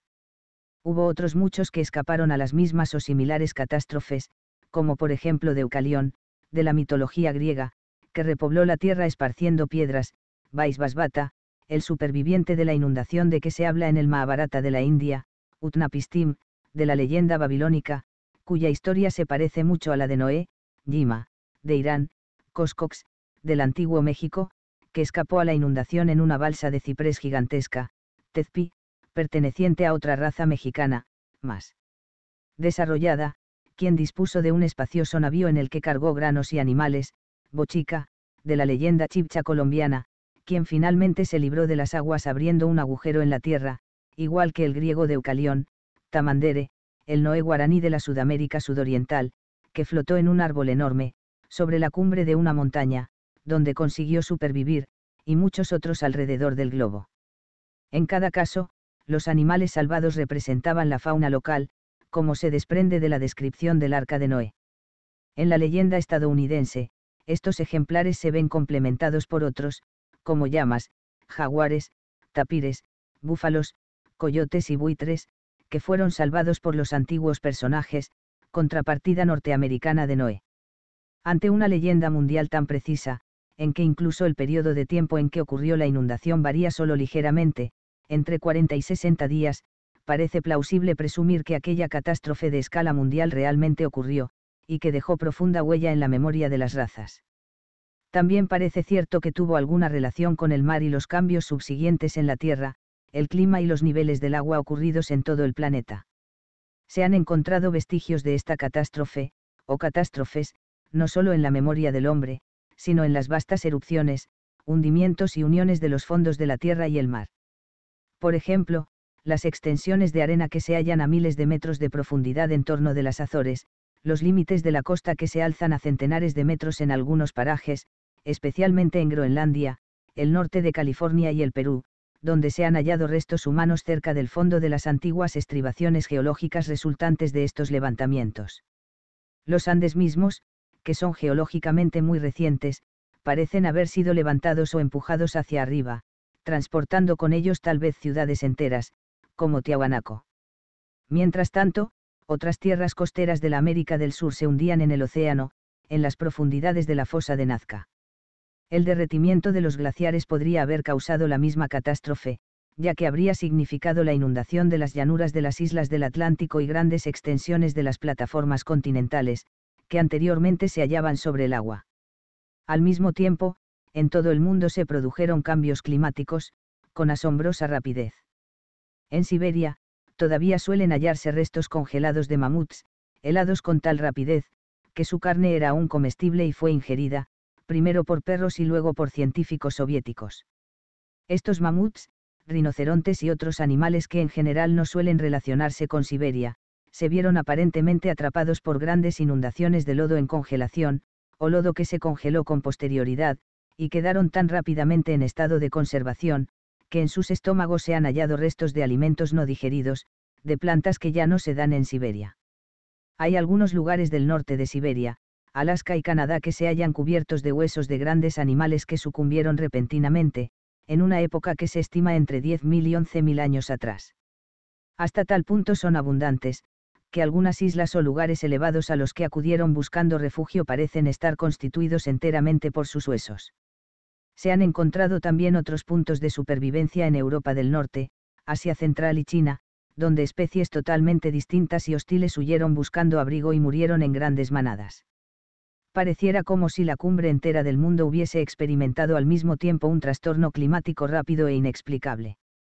No obstante, en otros hemisferios se hallan también señales de exterminación simultánea de especies, desde el gran cementerio de elefantes que existe en los Andes colombianos, hasta zonas bajo el agua, como el otro enorme cementerio de elefantes hallado frente a la costa de Georgia. Ninguno de estos animales eran habitantes naturales de los sitios en que los encontró la muerte en número tan elevado y en medio del repentino cambio climático que ocurrió hace 12.000 años.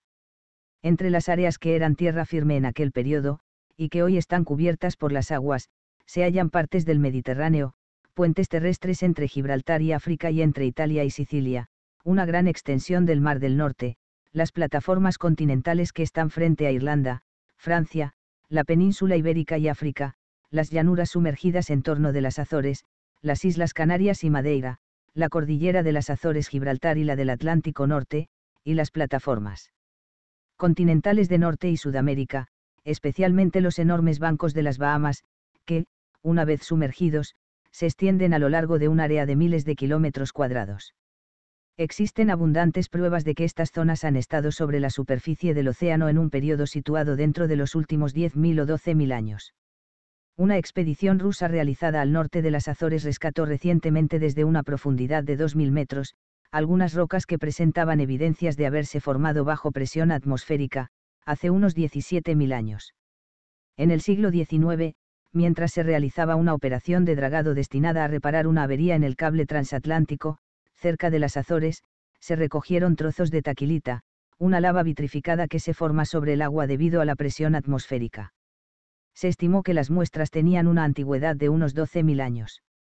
Aunque este incidente ha suscitado numerosos comentarios, resulta particularmente interesante examinar el motivo de la avería, o ruptura del cable, como un ejemplo de los movimientos que se producen en el fondo del océano. Lo que hizo que el cable se rompiera fue un repentino alzamiento de alrededor de 1.200 metros ocurrido en el fondo del mar. Un proyecto que están realizando actualmente, 1973 a 4, en las Azores un grupo de científicos de la Universidad de Halifax, destinado a la investigación de la energía geotérmica, ha dado como resultado indirecto la comprobación de que en los primeros 800 metros de núcleos perforados bajo el nivel del mar se encuentran indicios de que su formación se produjo sobre el nivel del mar. Ello implicaría que las grandes zonas que se encuentran alrededor de las actuales Islas Azores estuvieron alguna vez sobre las aguas. Hay otros recientes descubrimientos que parecen apoyar la fecha de 12.000 años atrás como aquella en que se produjo el hundimiento más reciente de grandes extensiones de tierra en el Atlántico. Esto coincidiría también en la época en que se estima que se formó el tercer glaciar. En 1956, los doctores R. Malaise y Pecoulby, del Museo Nacional de Estocolmo, manifestaron su creencia de que los fósiles de diatomeas, algas microscópicas, de agua dulce que el doctor Coulby extrajo de una profundidad de 3.600 metros, cerca de la cordillera atlántica, estuvieron depositados originalmente en un lago que existió en la superficie de la Tierra y que ahora se hallaría en el fondo del océano. La edad de estas diatomeas se estimó entre 10.000 y 12.000 años. Esta cifra resulta de una curiosa coincidencia con la descripción de la Atlántida que hace Platón en su diálogo Taimeo, donde se refiere a un gran continente que habría existido en el océano hace 9.000 años, unos 11.400 años antes de nuestra era. Aunque las fechas recogidas de leyendas resultan sospechosas, especialmente cuando son de segunda o tercera mano, Platón recibió su información indirectamente de Solón, quien, por su parte, la tomó originalmente durante un viaje de Sais, en Egipto, resulta sin duda notable que estos cálculos de tiempo surjan con tanta frecuencia en otros campos relacionados con estas tierras sumergidas. Sin embargo, hay otros indicios de que grandes zonas del Atlántico Occidental estuvieron alguna vez sobre el nivel de las aguas.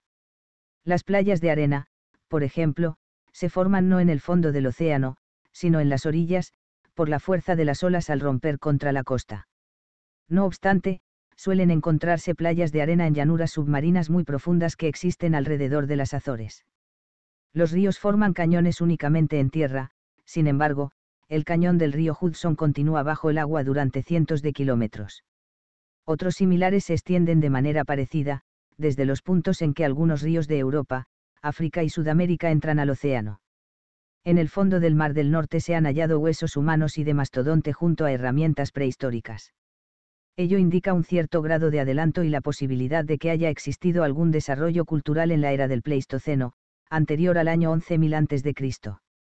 Pero, tal vez el más notable indicio de cómo se han estado sumergiendo los restos culturales de los pueblos prehistóricos desde el derretimiento de los últimos glaciares son los edificios submarinos, las paredes, diques y caminos que suelen encontrarse ahora con frecuencia cada vez mayor bajo las aguas de las costas occidentales de Europa y Sudáfrica y las suborientales de Norteamérica. En estas últimas se han hallado edificios submarinos, paredes y caminos de piedra que llevan hacia el este desde las costas de Yucatán y Honduras. Dichos caminos podrían conducir a ciudades sumergidas que se encontrarían aún más allá, mar afuera. Hay incluso un ejemplo de, muralla, marina de 10 metros de alto y 185 kilómetros de largo que se interna en el océano frente a Venezuela y cerca de la desembocadura del Orinoco. En un comienzo se creyó que era un fenómeno natural, pero sus líneas rectas y su estructura tienden a desmentir esta primera apreciación. Hay fuertes indicios de que en el Mar Caribe existía una masa de tierra continental, de la que algunas islas y cordilleras de las Antillas podrían ser cumbres supervivientes.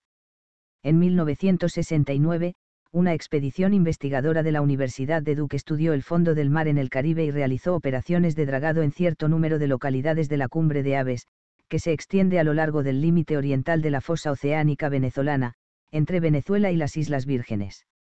En 50 oportunidades se sacaron a la superficie rocas de granito, ácido ígneo, que normalmente solo se encuentran en los continentes. Comentando este hecho, el doctor Bruce Ezen, un distinguido oceanógrafo, observó, hasta ahora, los geólogos creían que el granito ligero, o rocas de ácido ígneo, existían solo en los continentes y que la corteza terrestre bajo el mar estaba compuesta de rocas basálticas, más pesadas y de color oscuro.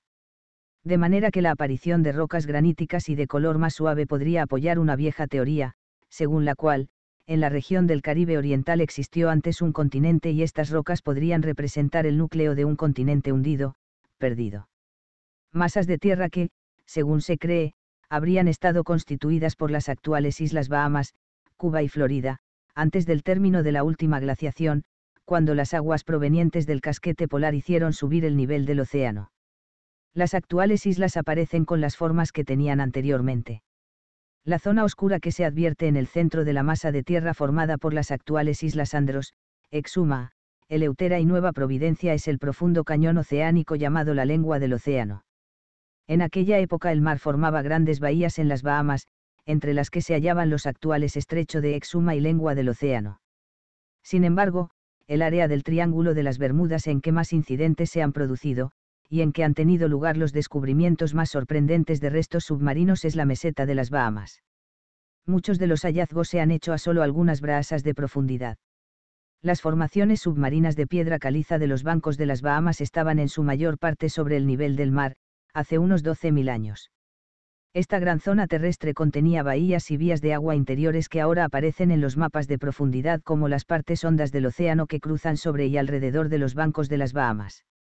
En una época anterior al levantamiento del mar, esta considerable extensión de tierra formaba una gran isla o conjunto de islas que albergaban una cultura muy compleja, si hemos de creer lo que señalan los restos submarinos.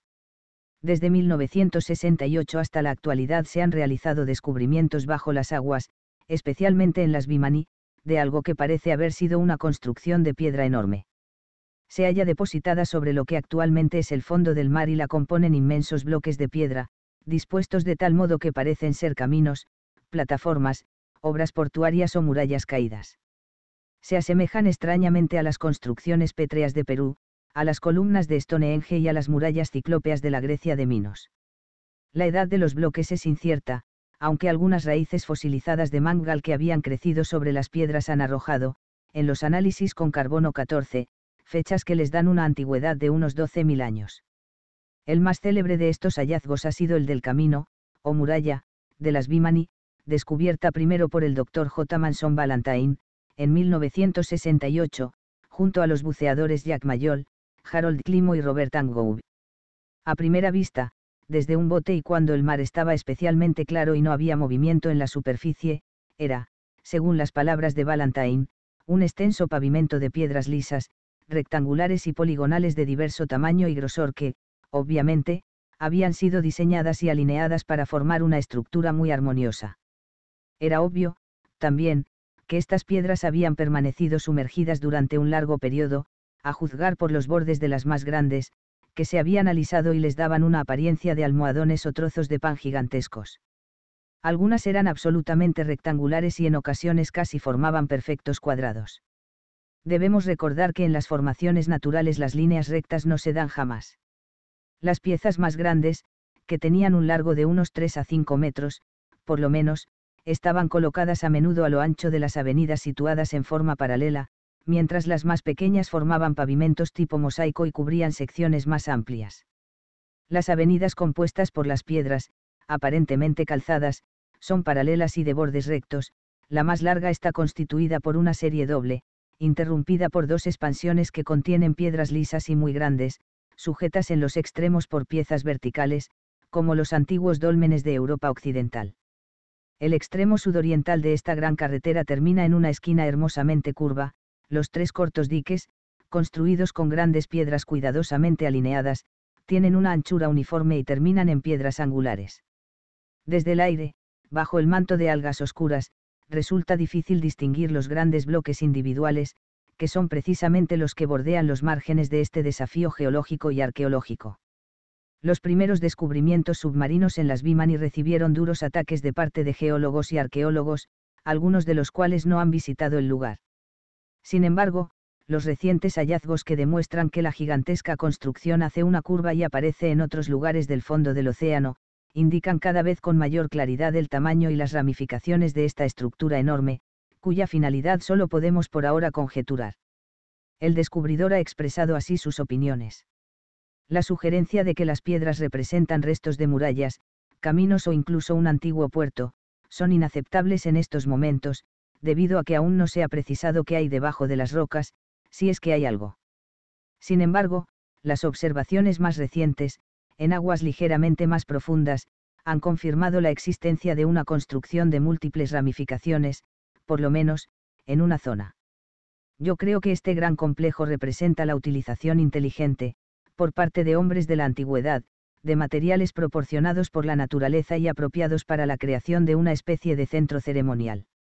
En relación con esto, debe recordarse que algunos lugares sagrados, como el Círculo de Glastonbury, 55 kilómetros de circunferencia, y los trazados del desierto de Nazca, en el Perú, de líneas e imágenes de animales de 1800 metros de largo, que solo pueden apreciarse desde el aire, por sus gigantescas proporciones, no tienen prácticamente ningún punto de referencia con nuestra tecnología moderna, ya que la finalidad de estos artefactos majestuosos nos resulta incomprensible.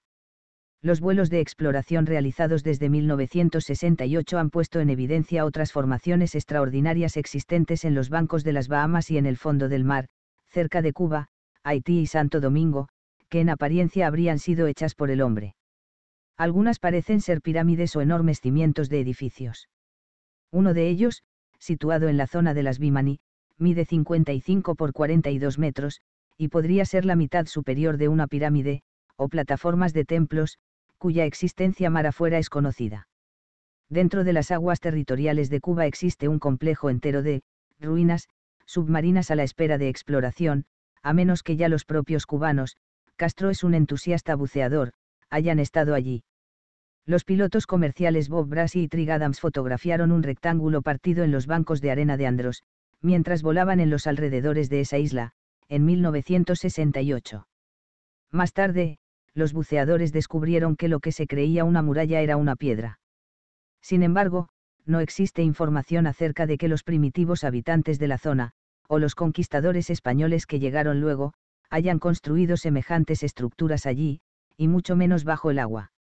Cerca de Cayo Lobo se ha localizado y fotografiado lo que se cree que puede ser un camino sumergido o una muralla que corre a lo largo de las cumbres de un acantilado es posible que la antigua carretera tuviese ya ese trazado cuando tanto ella como la montaña se hallaban sobre el nivel del mar. Tal vez la visión de escalones labrados en la plataforma continental frente a la costa norte de Puerto Rico, de la que informaron el capitán de la Marina francesa George Ogot y el teniente Gerard de Froberville desde el batiscafo Archimede, representaba simplemente una escalera construida en un acantilado rocoso, que descendía hasta el antiguo nivel del mar, hace 12.000 años. En México, frente a la costa de Yucatán, existen numerosas vías terrestres que han sido a menudo observadas desde el aire. Parten de la playa, en línea recta hacia localidades submarinas desconocidas que se hallarían muy lejos, mar afuera, en aguas más profundas. Aunque los caminos de enlace en tierra son invisibles, debido a la jungla que los ha cubierto, los que se encuentran bajo el agua pueden distinguirse todavía cada cierto tiempo, cuando alguna tormenta o las corrientes los dejan al descubierto. En 1967, los integrantes de una misión que se hallaban a bordo del submarino de gran profundidad Aluminaut observaron lo que les pareció un enorme camino sumergido, o tal vez un pavimento que había estado previamente sobre el agua, frente a las costas de Florida, Georgia y Carolina del Sur. Aparentemente, la carretera estaba construida o pavimentada con óxido de manganeso, y cuando se le instalaron ruedas especiales al Aluminaut, pudo avanzar a lo largo de la carretera, que en algunos lugares alcanzaba una profundidad de unos 900 metros, como si fuese un automóvil que se desplazaba a lo largo de un camino normal, salvo que se hallaba en el fondo del mar. El tamaño de la superficie pavimentada era demasiado ancho para sugerir que había sido construido por el hombre. Esto fue lo mismo que ocurrió con un muy extenso sector, embaldosado, del fondo del océano que fue observado por el Dr. Bruce Ezen, del Observatorio Lamant, durante una profunda exploración submarina, en la zona de las Bahamas. Entre los hallazgos hechos en las Bermudas, que parecieran haber sido construidos por el hombre, algunos son muy visibles, pero otros se encuentran, no solo bajo el agua, sino debajo del fondo mismo del mar. Es un hecho que los trabajos en piedra, o los cimientos pétreos enterrados bajo una acumulación de capas de tierra de las diversas eras, o como resultado de terremotos o inundaciones, transforman el musgo o los otros tipos de plantas que viven sobre ellos. Esto ha conducido a algunos exitosos descubrimientos en el pasado, tanto en tierra como bajo el mar. Se han descubierto y reconstruido algunas estructuras que van desde campamentos y caminos romanos en ruinas, en Inglaterra, hasta viejos sistemas de canales y murallas de ciudades de lo que alguna vez fue Babilonia y Asiria, o Irak, y ciudades perdidas enteras, en Irán y Asia Central. Esto ha sido posible al estudiar la variedad de formas y degradación de la flora en tierra o en los pantanos y zonas submarinas. Hay líneas rectas que muestran, en los colores de la superficie, los lugares en que se hayan enterrados los cimientos de murallas o en que existieron canales y carreteras. El antiguo puerto etrusco de Espina, en Italia, desapareció hasta tal punto que se le creyó legendario mientras no se hallaron las huellas de sus muros, cimientos, canales y muelles, absolutamente invisibles desde tierra pero claramente perceptibles desde el aire. La posibilidad de localizar antiguos emplazamientos desde el aire ha sido utilizada con éxito en las Bahamas, donde la plataforma continental es lo bastante superficial como para distinguir en una observación aérea los restos de construcciones submarinas. En muchos lugares, dentro de la zona de bancos de las Bahamas existen asombrosas variedades de grandes plazas, rectángulos, cruces, largas líneas paralelas unas a otras, tal vez caminos que algunas veces dan vuelta en ángulo recto, círculos concéntricos, triángulos, hexágonos y otras formas geométricas. Todas han sido descubiertas gracias a la presencia, o ausencia, de musgo sobre las ruinas. Bajo el agua, los exámenes verificados por los buceadores indican que las construcciones de piedra descubiertas por las líneas existentes en el fondo yacen a varios metros de profundidad bajo la arena. Con todas estas desusadas muestras que ahora están siendo investigadas, uno podría preguntarse por qué nadie las había advertido antes. Parte de la respuesta es que, sin duda, nunca se le ocurrió a nadie buscar una civilización perdida en los bancos de las Bahamas, especialmente dado que existían tantos emplazamientos por descubrir en el Mediterráneo. Las investigaciones submarinas en esta zona y frente a la costa de Florida han estado concentradas especialmente en los barcos españoles cargados de tesoros, que ciertamente son objetivos que deparan una recompensa financiera más inmediata que el descubrimiento de alguna civilización olvidada y difícil de identificar. Incluso teniendo las pruebas en la mano, se está gastando tantos esfuerzos en los círculos científicos para descalificar los hallazgos como entre los exploradores e investigadores para atraer la atención pública hacia ellos. Hay que hacer notar también que algunos investigadores muy distinguidos dudan antes de enfrentar la opinión hostil de otros arqueólogos y oceanógrafos, o sencillamente no están dispuestos a enfrentarla. Ocurre también que las construcciones y artefactos hallados hasta ahora podrían quedar cubiertos por la acción de tormentas y mareas, y volverían a perderse. Sin embargo, es notable comprobar que, desde 1968, se ha producido cierto levantamiento del fondo del Banco de la Gran Bahama, descubriendo huellas de nuevas formaciones, allí donde fotografías anteriores de la misma zona no permitían distinguir ninguna. Este fue el caso de una estructura que tenía la forma de una gran flecha. Estaba hecha de piedra, tenía 30 metros de largo y se hallaba entre los callos Northcat y Southcat, en las Bimani. Había otra al sudeste de South Keikas, apuntando en dicha dirección y siguiendo otra línea recta en el fondo que aún no ha sido explorada. Algunos de los lugares ya descubiertos parecen también estar alzándose, o tal vez la acción de las mareas los están despojando de los sedimentos, de manera que su estructura, artificial o construida por el hombre, puede apreciarse mejor. El doctor James Thorne, distinguido oceanógrafo y buceador, que es sin duda neutral, o en todo caso se muestra escéptico en cuanto al tema de las civilizaciones perdidas bajo el mar, examinó recientemente las gruesas columnas que sostienen algunas de las piedras de la muralla, de las Bimani. Ello significó una convincente refutación de las opiniones de numerosos otros oceanógrafos, en el sentido de que todo el complejo de las Bimani y de los otros lugares de las Bahamas son formaciones naturales. Otro grupo de buceadores, que habían hallado el ancla sumergida de un galeón español, descubrieron mientras la examinaban y rastreaban el fondo alrededor de ella, que estaba puesta sobre un piso de mosaico, o terraza, que pudo haberse hundido miles de años antes cada vez que se encuentran restos de alguna civilización sumergida en el Atlántico, o en otras zonas, se publican una serie de libros y artículos de revistas que suelen identificarlos con el continente, perdido, de la Atlántida. La Atlántida, cuya imagen ha intrigado a la humanidad desde épocas remotas, fue descrita con muchos detalles por Platón en sus diálogos Taimeo y Critias como la tierra de la edad de oro del hombre, un grande y maravilloso imperio mundial que, se hundió bajo el mar, en medio de violentos terremotos e inundaciones, en un solo día y una sola noche de lluvia, y que esa es la razón por la cual el mar es impenetrable en esos lugares. Como es natural, se han identificado las ruinas submarinas de las Bahamas con la Atlántida, aunque Platón, el más famoso comentarista de este continente perdido, parece haberlo situado enfrente de las columnas de Heracles, Hércules, hoy conocidas como Estrecho de Gibraltar, en algún lugar del Atlántico. Una lectura detenida del relato de Platón revela sin embargo una información en extremo interesante, que sugiere que el imperio atlántico no era una isla, sino una serie de grandes islas a lo largo del Atlántico, cuyo poder se había extendido a ambos lados del océano. Platón escribió. En aquellos días, aproximadamente hace 11.500 años, el Atlántico era navegable y había una isla situada frente a los estrechos llamados columnas de Heracles, la isla era mayor que Libia y Asia juntas y era la ruta hacia otras islas, y desde ellas podía uno pasar a través de todo el continente situado en dirección opuesta y que rodea el verdadero océano, porque este mar que se halla dentro de los estrechos de Heracles, el Mediterráneo, es solo un puerto, con una entrada estrecha, pero el otro. Es el verdadero mar y la tierra que lo rodea podría en verdad ser llamada un continente. Debe señalarse que Platón mencionó a Libia, es decir, África, y Asia, pero específica y separadamente habla del continente, es decir, el continente hacia el oeste que, según había dicho antes, se hallaba dentro de la égida de la Atlántida.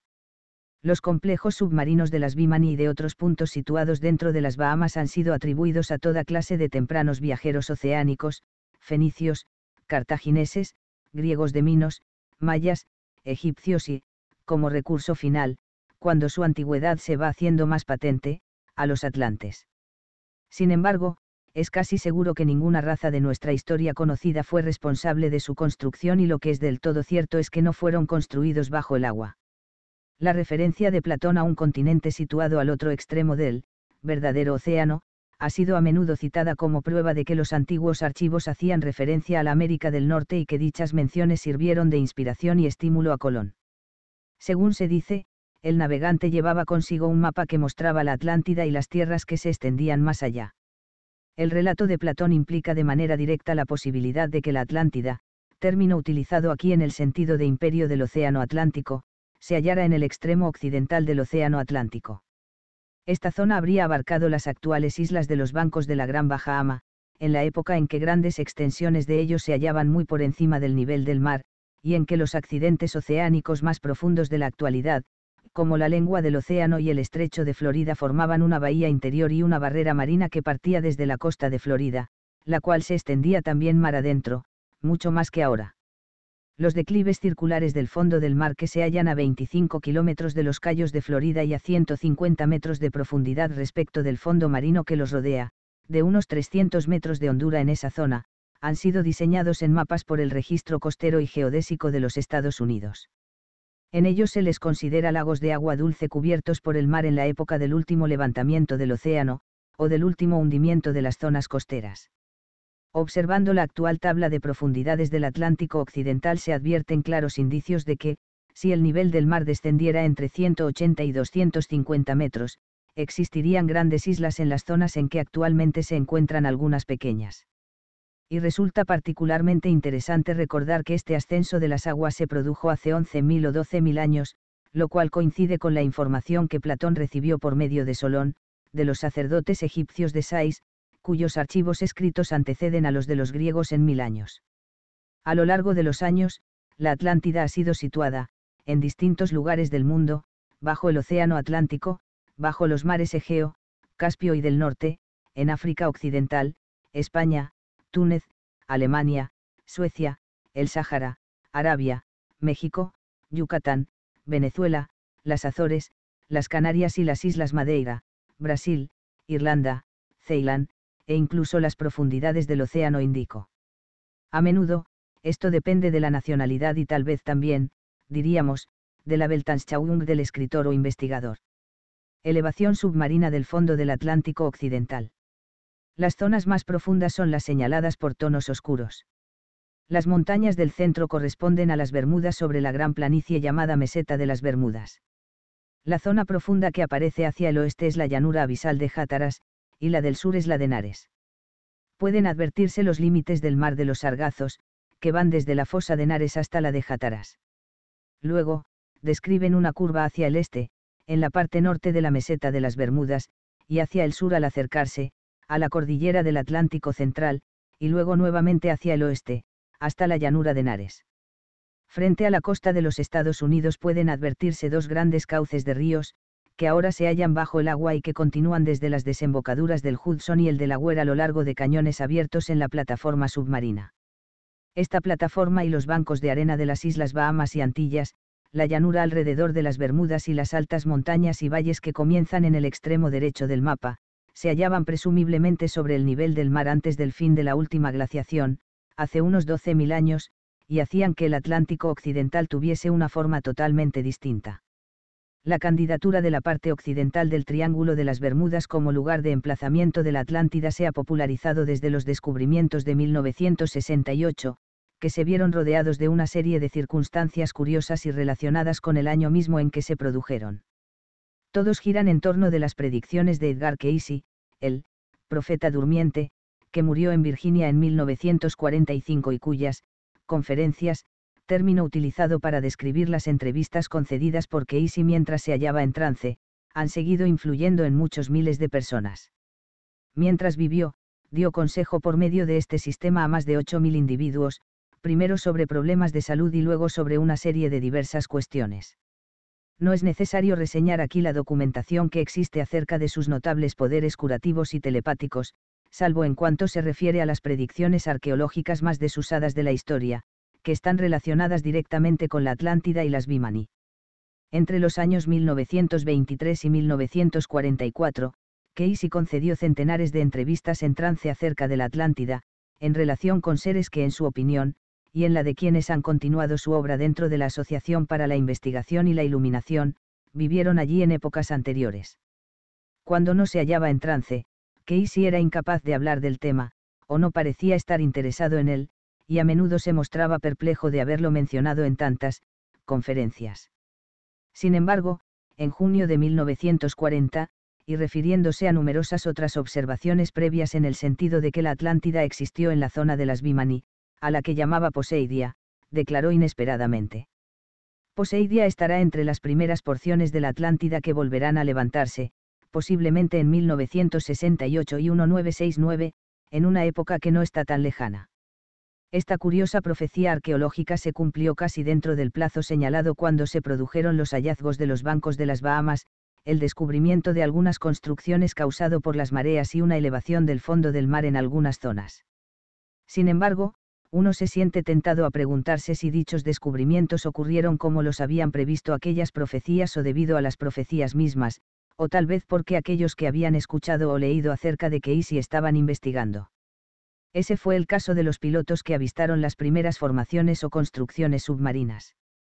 Como era de suponer, los descubrimientos de los complejos sumergidos realizados en 1968 y en los años siguientes, tal como se había profetizado 28 años antes, hicieron que mucha gente examinara con renovado interés las demás referencias de Casey a la Atlántida y a toda la región. Si las conferencias, del vidente y las antiguas leyendas se basaban en recuerdos de hechos reales, podría contemplarse la posibilidad de que algunas fuerzas desarrolladas por una civilización anterior científicamente muy adelantada actuasen todavía dentro de la región en que estuvieron concentradas en una época, y debería estudiarse también la posibilidad de que las aberraciones electrónicas, magnéticas y gravitacionales del Triángulo de las Bermudas fueran un legado, tal vez negativo, de una cultura tan antigua que no habrían quedado restos de ella y acerca de la cual nuestras memorias serían más instintivas que concretas. 8. Sorpresas de la prehistoria.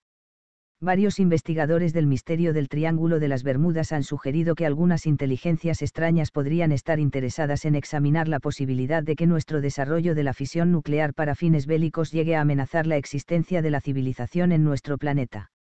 Agregan que dichos seres inteligentes estarían incluso preocupados, ya que la energía nuclear habría destruido anteriormente otras civilizaciones, en este y en otros planetas. El periodo durante el cual ha vivido en este planeta un hombre racional y de inteligencia comparable a la del que hoy conocemos podría extenderse unos 40.000 o 50.000 años hacia atrás, o incluso más allá. En consecuencia, si consideramos que una civilización como la actual tardaría alrededor de 10.000 años en progresar hasta el punto en que la ciencia y la tecnología alcanza la capacidad de consumar su propia destrucción, todavía tendríamos un amplio margen de tiempo en que podrían haber existido una o más culturas anteriores a la nuestra en este mundo. Cualquier civilización técnicamente adelantada conseguiría tal vez desarrollar, intencionalmente o por casualidad, el poder inherente a la fisión nuclear, a la nuestra le costó bastante menos de 10.000 años, y, en este momento, tendría que decidir si adopta algún sistema para controlar su avance o prefiere arriesgar su propia ruina. Si semejante cultura hubiese existido y causado su destrucción, desapareciendo luego, su recuerdo habría quedado tal vez conservado en las leyendas, o no sería sugerido por algunos artefactos anacrónicos de antigüedad incierta, o por grandes ruinas imposibles de identificar o explicar. Y estos son precisamente los elementos que tienden a señalar el emplazamiento de dicha cultura en la zona ahora cubierta por las aguas del Triángulo de las Bermudas. En sus conferencias sobre la Atlántida, Edgar Cayce insistió reiteradamente en las que parecen ser referencias a fuentes de energía nuclear, rayos láser y meísar comparables a los nuestros y utilizados en general en los mismos campos en que hoy los disfrutamos, si es que podemos usar esa palabra. Sus descripciones acerca de los usos que les daban y su observación sobre el peligro que encierra su utilización inadecuada podrían pasar hoy por crónicas y comentarios editoriales corrientes. Pero ¿cómo sabía que todo esto, hace más de 35 años? El vidente describió estas fuentes de energía con bastante detalle. Eran grandes generadores que producían fuerza para impulsar naves aéreas y submarinas y con capacidad para producir iluminación, calor y alimentar sistemas de comunicación. Con ellas se operaban ciertas formas de radio y televisión y se las utilizaba también para enviar fotografías a larga distancia. Proporcionaban igualmente la potencia necesaria para modificar y rejuvenecer tejidos vivos, incluso del cerebro, y eran también utilizadas para controlar y disciplinar clases sociales completas. Sin embargo, debido al mal empleo de las fuerzas naturales que habían creado, y a trastornos civiles y externos, los atlantes desencadenaron finalmente ciertas fuerzas incontrolables de la naturaleza que fueron la causa de su propia destrucción. Esta creencia de que Isi aparece también en las leyendas acerca de muchas antiguas culturas que existieron en el mundo.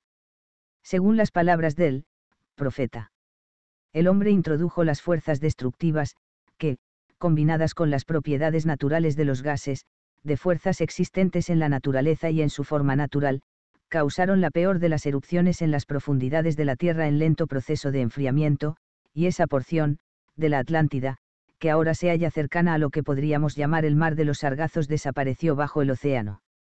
En su relato acerca de la prehistoria, Casey parece haber predicho específicamente el uso de rayos láser y meísar, para cuyo conocimiento faltaban muchos años entonces, 1942. Describió una gigantesca fuente de energía de cristal en la que la luz aparecía como medio de comunicación entre lo infinito y lo finito o como un sistema utilizado para lograr las comunicaciones con las fuerzas del exterior. Más tarde llegó a ser un punto de irradiación, así como un centro desde el cual partían las señales radiales que guiaban las diversas formas de transición y viaje a través de los periodos de actividad de los atlantes. Estaba dispuesto como un cristal, aunque de manera muy distinta a la del primero que fue utilizado, originalmente, aquí no deben confundirse estos dos, porque había muchas generaciones de diferencia. Fue en aquellos periodos cuando se produjo la orientación de aeroplanos o sistemas de viaje, aunque en aquella época ellos viajaban lo mismo por aire que por encima o por debajo del agua. Sin embargo, la fuerza desde la cual estaban dirigidos se hallaba en la estación central de energía, o piedra tuaoi que era, y el rayo sobre el que actuaba. En otra, conferencia, se refirió a un lugar en, Poseidia, en otras palabras, la zona de las Bahamas, que entonces se hallaba sobre el agua. La describió así. La acumulación de fuerzas motivadoras de la naturaleza provenientes del gran cristal que condensaba las luces, las formas, las actividades, de manera de guiar a las naves no solo por el mar, sino por el aire, en muchas de las aplicaciones del hombre ahora conocidas, como la transmisión del cuerpo y de la voz, como el registro de aquellas actividades en lo que pronto será algo práctico, creando vibraciones para hacer posible la televisión, como se le llama en el presente. El presente, en este caso era 1935. En una conferencia, de 1932 hizo una interesante alusión al transporte de cargas y materiales de gran peso. Por medio del uso de, los recientemente descubiertos gases y los de las formaciones eléctricas y aéreas en la desintegración de las fuerzas atómicas para producir energía propulsora de aquellos medios o modos de transporte o viaje, o para levantar grandes pesos o cambiar las fuerzas mismas de la naturaleza. El hecho de que los pueblos supuestamente primitivos de la prehistoria hayan dejado enormes piedras que aún se encuentran en su sitio, tras miles de años, y sobre las cuales las razas que le siguieron han levantado nuevas construcciones, ha constituido, desde hace mucho tiempo, un misterio arqueológico. Las piedras colocadas por razas anteriores desconocidas son tanto más grandes y difíciles de transportar que las dispuestas por las culturas subsiguientes, de manera que su presencia y modo de transporte resultan inexplicables. Uno de los ejemplos que podrían citarse es el de los bloques de pórfido de Ollantaytambo y Ollantayparubo, en Perú, que fueron transportados a lo largo de grandes distancias, sobre montañas y abismos y luego colocados en las cumbres de otros acantilados de 300 metros de altura. Otro, el de los enormes sillares de piedra de Sacsayhuamán, en Perú, tan grandes y laboriosamente encajados unos con otros, que los incas atribuyeron su construcción a los dioses. O los bloques de 100 toneladas de los cimientos de Tiahuanaco, en Bolivia, sobre los cuales se construyeron, de alguna manera, enormes edificios, a pesar de que la altura es de 4.000 metros sobre el nivel del mar. O las grandes piedras del calendario u observatorio de Stonehenge, en Inglaterra, o los bloques masivos de la pared submarina o cimientos o contrafuerte marino, o las piedras verticales de la Bretaña prehistórica, uno de los cuales pesaba más de 340 toneladas y tenía una altura de 20 metros, y las enormes piedras de las fundaciones del templo de Júpiter, en Baalbek, Siria, emplazadas allí mucho antes de la construcción del templo y una de las cuales pesa 2.000 toneladas. Como casi todas estas construcciones resultan extremadamente difíciles de explicar en términos de nuestra apreciación de las habilidades ingenieriles de las culturas que pensamos que las erigieron, se ha sugerido que una civilización superior fue la autora de su construcción. Esta teoría se ve apoyada por el hecho de que muchas de estas ruinas inexplicables se parecen mucho.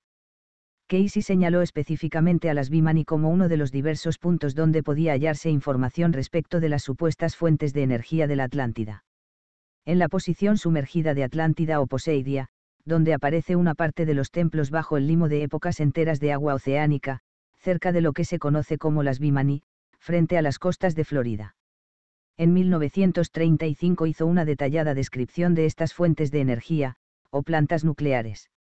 El hijo de Casey, Edgar Evans Casey, ingeniero y escritor, comentando la paradoja de que los relatos de su padre acerca de la prehistoria hubiesen anticipado en varias décadas nuestros propios descubrimientos científicos, escribió en su libro Edgar Casey on Atlantis, un observador profano de nuestra época difícilmente podría describir con mayor claridad nuestros últimos adelantos científicos. El relato de Casey, recogido en 1933, aunque publicado en 1968, se refiere a un edificio donde estaría guardado un complejo refractario, o de cristal. En el centro de un edificio construido sobre piedra no conductora, algo similar al asbesto y con, otros no conductores, como los que actualmente se están fabricando en Inglaterra bajo un nombre que es muy conocido para muchos de los que se ocupan de esas cosas. El edificio construido sobre la piedra era oval, o tenía forma de cúpula, dentro de la cual podía haber, una sección que se desplazaría hacia atrás, de manera que la actividad de las estrellas, la concentración de energías que emanan de los cuerpos en ignición y de elementos que se encuentran y no se encuentran en la atmósfera terrestre.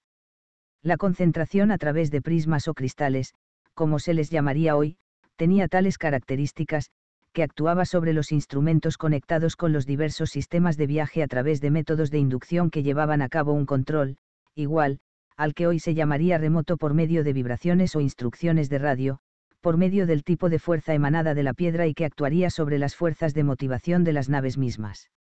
El edificio fue construido de manera que, cuando la cúpula se retiraba, prácticamente no había obstáculo para la aplicación directa de la energía sobre varias naves que iban a ser impulsadas a través del espacio, ya fuera dentro de su radio visual o dirigidas bajo el agua o por debajo y a través de otros elementos.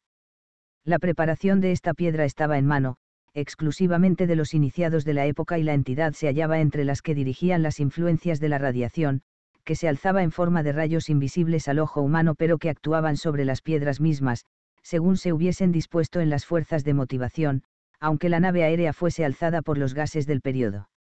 O bien guiaba a los vehículos de placer que pudieran pasar cerca de la Tierra, o a las naves submarinas o de superficie. Estas eran entonces impulsadas por la concentración de rayos de las piedras que estaban concentradas en el medio de la estación central de energía, o planta generadora, para utilizar la expresión actual. Casey se refiere constantemente al uso inadecuado de las tremendas fuerzas desarrolladas por esta supercivilización. La extracción de los poderes del mismo Sol, para trasladarlos al rayo que causa la desintegración del átomo, provocó la destrucción de aquella parte de la Tierra. En el caso, y solo en el caso de que ocurriese un cataclismo, o una serie de cataclismos, la gran fuente energética se habría precipitado al mar, junto con las populosas ciudades, murallas, canales y otras construcciones de la Atlántida. Es interesante tener en cuenta que los propios emplazamientos sugeridos por esta teoría corresponden a los lugares en que se producen muchas de las aberraciones electromagnéticas características del Triángulo de las Bermudas, la lengua del océano, por ejemplo, o las Bimani. Aunque resulta difícil suponer que semejantes complejos energéticos puedan seguir funcionando después de miles de años, es interesante observar lo que sucede con las misteriosas, aguas blancas, que han sido advertidas por muchos exploradores, desde Colón hasta los astronautas. Pareciera que los canales o corrientes de agua blanca tienen su origen en el misino o los mismos puntos de emanación, siguen una dirección similar y luego se desvían a lo largo de un kilómetro y medio o más. Las líneas son nítidas al comienzo y luego se hacen menos precisas, casi como si encerraran algunos gases liberados bajo presión. Las desviaciones del compás y las perturbaciones eléctricas podrían ser causadas por una enorme concentración de metal depositado bajo el agua. Esto ha sido observado en varios lugares del mundo donde existen conocidos depósitos de hierro que provocan variaciones en los compases. Las masas del substrato o de la subsuperficie podrían incluso provocar alteraciones en el oleaje de los mares. En un informe elaborado por la NASA en 1970, acerca de una cavidad en la superficie del océano sobre la fosa de Puerto Vico, los científicos atribuyeron el fenómeno a una extraña distribución de masa debajo del fondo del océano, que sería la causa de la deflexión de la fuerza de atracción de la gravedad. En el caso del Triángulo de las Bermudas se ha sugerido que algunas fuentes de energía destruidas han conservado sin embargo algo de su fuerza y que, al ser accionadas en ciertas oportunidades, podrían ser no solo la causa de las desviaciones magnéticas y electrónicas, sino también la fuente de impulsos eléctricos de las tormentas magnéticas. Esta teoría, una de las más extrañas entre las elaboradas para explicar los incidentes del Triángulo de las Bermudas, es la que se sugiere en las conferencias de Casey. Sin embargo, cabría preguntar si existe alguna razón por la cual las personas que sienten curiosidad científica deben atribuir seriedad a cualquiera de las declaraciones de Casey, y sin que esto obste para que las admiren, como producto de su viva imaginación. Aunque es cierto que algunas de las fuentes energéticas que él describió hace 35 años no habían sido aún descubiertas o imaginadas siquiera en el mundo real, y otras no habían sido todavía desarrolladas, debe recordarse que Casey no era médico, ni historiador, sino simplemente un curandero clarividente de gran reputación. Sin embargo, algunas de las profecías que hizo durante sus charlas y que no tienen nada que ver con curaciones, han resultado perturbadoramente exactas. Por ejemplo, las relativas a la bomba atómica, el asesinato de presidentes y a disturbios raciales en Estados Unidos e incluso a deslizamientos de lodo en California. Además, las conferencias, de Casey se basaban en las visiones o recuerdos que sus personajes conservaron de sus vidas durante pasadas encarnaciones. Esta circunstancia ha hecho que aquellas personas que por motivos religiosos, por convicción científica o por razones de lógica no aceptan la teoría de la reencarnación, nieguen verosimilitud a los dichos de Casey. Sin embargo, cabe preguntarse si no habrá otra explicación que justifique esas descripciones tan detalladas y científicamente válidas sobre las civilizaciones anteriores y su potencialmente peligroso desarrollo.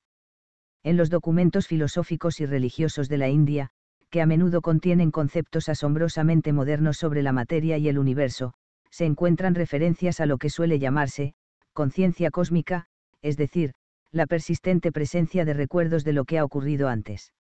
Hoy, la existencia de la telepatía, la influencia y la oculta presencia de la memoria y el poder de las emanaciones psíquicas, lejos de verse despreciados por la moderna investigación científica, están siendo seriamente estudiados, no solo en la Tierra sino también en el espacio, y no solo como fenómenos sino también como medios de comunicación. Los Estados Unidos y la Unión Soviética, las dos potencias espaciales más adelantadas, están realizando experimentos que sugieren que la ciencia ficción podría estar experimentando una metamorfosis, y convirtiéndose en ciencia del futuro. Es posible esperar adelantos sorprendentemente novedosos en esta área, en la que hasta ahora algunos individuos muy bien dotados han tenido la habilidad de recoger, casi sin estar conscientes de ello, los pensamientos actuales de otros, y tal vez también sus escondidos recuerdos del pasado. En este caso, el pasado podría estar constituido por las memorias heredadas con los cromosomas de nuestros antecesores. Del mismo modo como heredamos atributos físicos y tendencias de nuestros padres y abuelos, así también heredamos esos recuerdos, aunque posiblemente en un grado menor, de nuestros ancestros más distantes. Estos cromosomas de la memoria podrían formar parte de este legado. Dentro del cerebro humano hay amplio espacio, que según se estima solo se utiliza en un 10% para la recolección de un banco de recuerdos heredados. Estos explicarían la existencia de memorias incompletas en algunas personas, la aguda sensación de haber estado antes en un lugar en el que nos consta no haber estado jamás, la desoladora certeza de haber vivido un largo espacio de tiempo en un solo sueño, el hecho de que algunas personas recuerden en ciertas ocasiones, y no siempre bajo hipnosis, detalles de vidas pasadas que a menudo suelen resultar históricamente exactos, cuando se descubren informaciones ignoradas acerca del periodo en cuestión, los casos de repentina capacidad para hablar fluidamente los idiomas de sus antepasados que se dan en los niños, en circunstancias que es imposible que los hayan aprendido y que posteriormente vuelven a olvidarlos. Estos factores conocidos se suelen atribuir a menudo a la reencarnación de las almas, en la que creen los hindúes, los budistas y los devotos de la que tal vez es la religión más antigua, la del antiguo Egipto. Sin embargo, la posibilidad de una memoria heredada ofrece una alternativa que, si bien resulta casi lo mismo, se ve de alguna manera modificada cuando pensamos que el alma del individuo no sería la de una persona cualquiera, situada en cualquier época, sino la de nuestros antepasados, que se reencarnan en nosotros y nos legan sus memorias acumuladas y sus demás atributos. Es lo mismo que ocurre con las generaciones, de computadoras, que pueden programarse de tal manera que la totalidad de sus bancos de datos pueden implantarse en las nuevas máquinas que han de sucederías. En todo caso, ya sea que Edgar Cayce se comunicara realmente con las almas o con las memorias reencarnadas de la gente a quien servía, el efecto era similar y el interés por la Atlántida que despertaron sus conferencias, dio al tema un renovado atractivo, que aumentó constantemente, a medida que los descubrimientos inesperados de la última década parecieron dar notable respaldo a sus alusiones al continente perdido. Aquellos que se aferran a la teoría de que antes de que aparecieran las primeras manifestaciones de una cultura en Egipto y Sumeria existió una civilización mundial altamente desarrollada, han sido considerados durante mucho tiempo cultistas, sensacionalistas, visionarios, o, sencillamente, tontos. Esta reacción de lo que podríamos llamar el orden establecido, de los estudios arqueológicos y prehistóricos resulta comprensible cuando tomamos en cuenta que la existencia de una gran civilización anterior al tercer milenio antes de Cristo trastornaría considerablemente las muy ordenadas etapas y sucesivos periodos de la historia, desde sus comienzos en Egipto y la Mesopotamia, pasando por las culturas de Grecia y Roma, hasta culminar con nuestra propia, supercivilización, de hoy. Suelen hacerse a menudo referencias agradecidas a otras antiguas culturas muy poco conocidas, como por ejemplo las civilizaciones prehistóricas de las Américas, India, Asia Central y algunas otras zonas que en ningún caso afectaron nuestra propia, línea directa, de civilización. En todas las antiguas culturas existe una abundancia de leyendas y documentos relativos a la repentina aniquilación de una gran cultura anterior al diluvio, que habría progresado tanto, que llegó a desafiar al cielo, a los dioses, o a Dios. Estas leyendas, extrañamente semejantes entre sí, podrían constituir sencillamente relatos atractivos difundidos por el mundo durante miles de años en los antiguos mercados y a lo largo de las rutas de las caravanas o de los barcos, y posteriormente conservadas en los documentos religiosos de casi todos los pueblos de la Tierra. Los conquistadores españoles comprobaron que ya en las civilizaciones indígenas de América, en la época de la primera conquista, existían leyendas acerca de un diluvio universal, de una torre que los hombres trataron de levantar hasta el cielo, y cuyos constructores se vieron condenados por una confusión de idiomas que parecía de inspiración divina, y muchas otras que nos resultan familiares. Las poblaciones indígenas de todo el mundo han conservado leyendas que viven a la sombra de ruinas enormes, cuya construcción solo pudo realizarse gracias a técnicas de transporte y colocación de piedras de una tecnología extremadamente avanzada. Dichas leyendas se refieren siempre a una raza de apariencia divina que desplazaba los enormes bloques de piedra, muchos miles de años antes del comienzo de su propia historia. Incluso existen rastros de lo que pudo ser un remoto lenguaje comercial, un antecesor tal vez del griego antiguo, con rasgos arameos, y que ha sido localizado en zonas tan remotas del Medio Oriente que pareciera haber sido extendido por mares y océanos hasta las más distantes playas. Pueden hallarse palabras de griego arcaico en el havaiano y en otros lenguajes polinésicos, en el maya de Yucatán, en el náhuatl de los aztecas y en el ahora perdido guanche, de las Islas Canarias, que era hablado por una misteriosa raza blanca. Los guanches, descubiertos y rápidamente exterminados por las expediciones españolas del siglo XV, conservan el recuerdo de una gran patria y de una cultura superior que se habría hundido en el océano. Las viejas lenguas americanas también tenían palabras de claro origen arameo y fenicio y otras análogas a las de los idiomas sinítico y polinésico del otro lado del Pacífico, lo cual sugería largos viajes y contactos culturales de enorme antigüedad. Se han encontrado inscripciones en fenicio, arameo, sinoico, griego y otras lenguas no identificadas, que aparecen con frecuencia creciente en las selvas de Norte y Sudamérica, conocidas como zonas de segundo desarrollo. Pero las leyendas, mitos religiosos y curiosidades lingüísticas no bastan de por sí para inspirar fe en las afirmaciones hechas en los documentos de Casey y en las tradiciones, leyendas e incluso archivos escritos de la antigüedad que se refieren a un conocimiento científico altamente desarrollado y a la existencia, en épocas arcaicas, de diversos elementos modernos relacionados con viajes, comunicaciones y destrucción en escala cósmica. La cordillera del Atlántico. Pueden apreciarse las conexiones con África y Sudamérica, interrumpidas solamente por la zona de fractura, ZF, ecuatorial. En la leyenda del grabado aparecen numeradas las islas que surgen de la cordillera.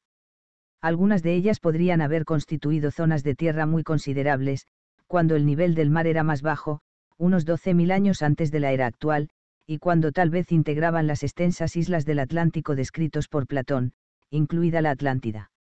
Las profundidades oceánicas aparecen de color blanco, en cada uno de los extremos.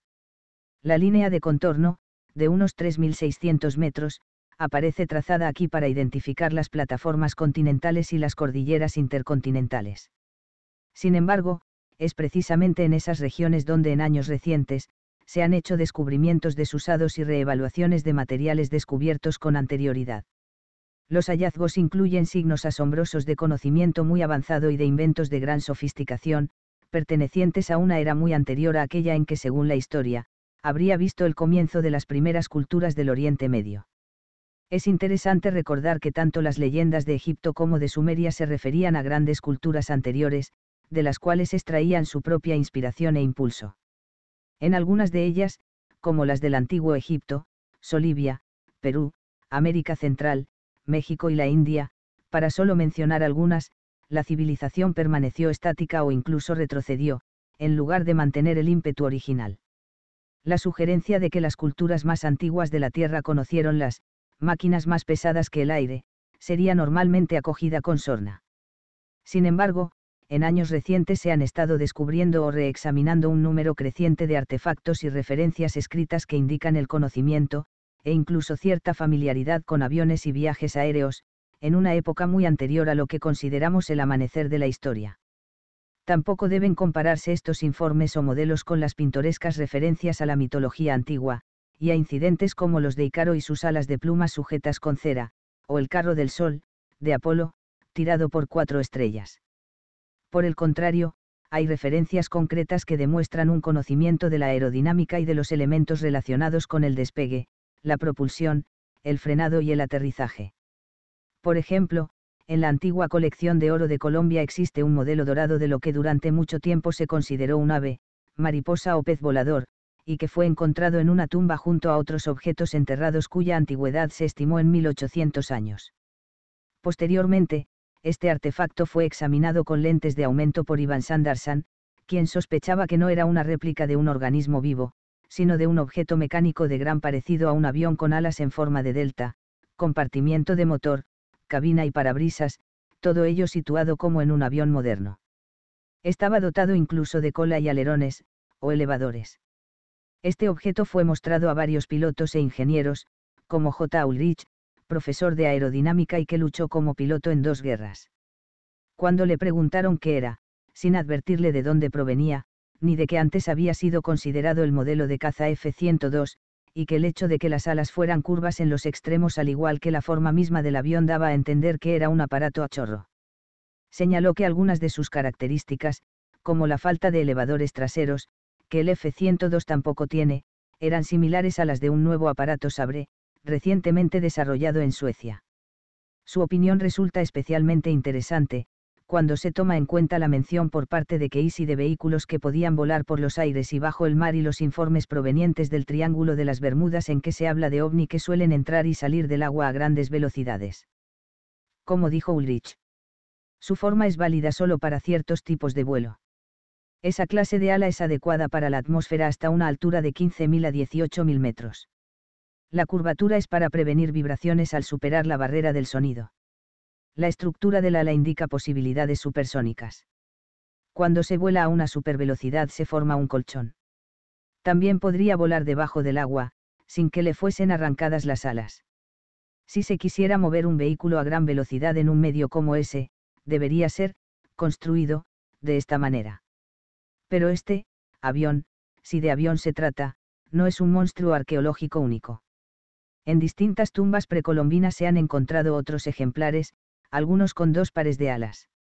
Solo cabe suponer que otros curiosos modelos de aparatos mecánicos desarrollados en épocas prehistóricas y tal vez no reconocidos como tales ni siquiera por sus ulteriores usuarios, se perdieron cuando los invasores españoles fundieron todos los artefactos de oro que pudieron hallar para convertirlos en lingotes de fácil distribución entre los conquistadores. En las obras de arte de las antiguas culturas de las Américas se han encontrado representaciones pictóricas de objetos que han sido identificados o reconocidos de manera cada vez más insistente como aviones o cohetes. Debido a que la mayor parte de los documentos escritos y gráficos acerca de aquellas naciones civilizadas fueron destruidos por los españoles, estas referencias se han conservado en otras formas, algunas veces grabadas en roca, o pintadas en jarrones, o esculpidas en piedras o tejidas en los lienzos que envolvían a las momias. En Palenque, México, existe un buen ejemplo de esto, se trata de una figura maya semi-reclinada y labrada en piedra sobre la tapa de un sarcófago que se encontró dentro de una pirámide. No se sabe lo que representa la figura en detalle.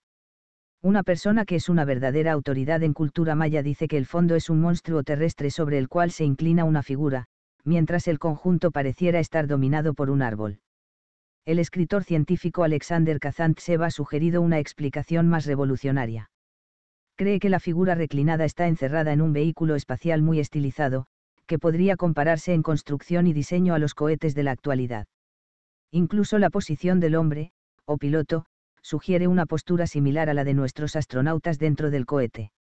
Se pueden reconocer todos los detalles, desde la antena, el sistema de dirección de vuelo, el turbocompresor, el tablero de control, los tanques de combustible y la cámara de combustión, hasta la turbina y el tubo de escape, aunque puede que algunos aparezcan modificados, para conseguir ciertos efectos estéticos.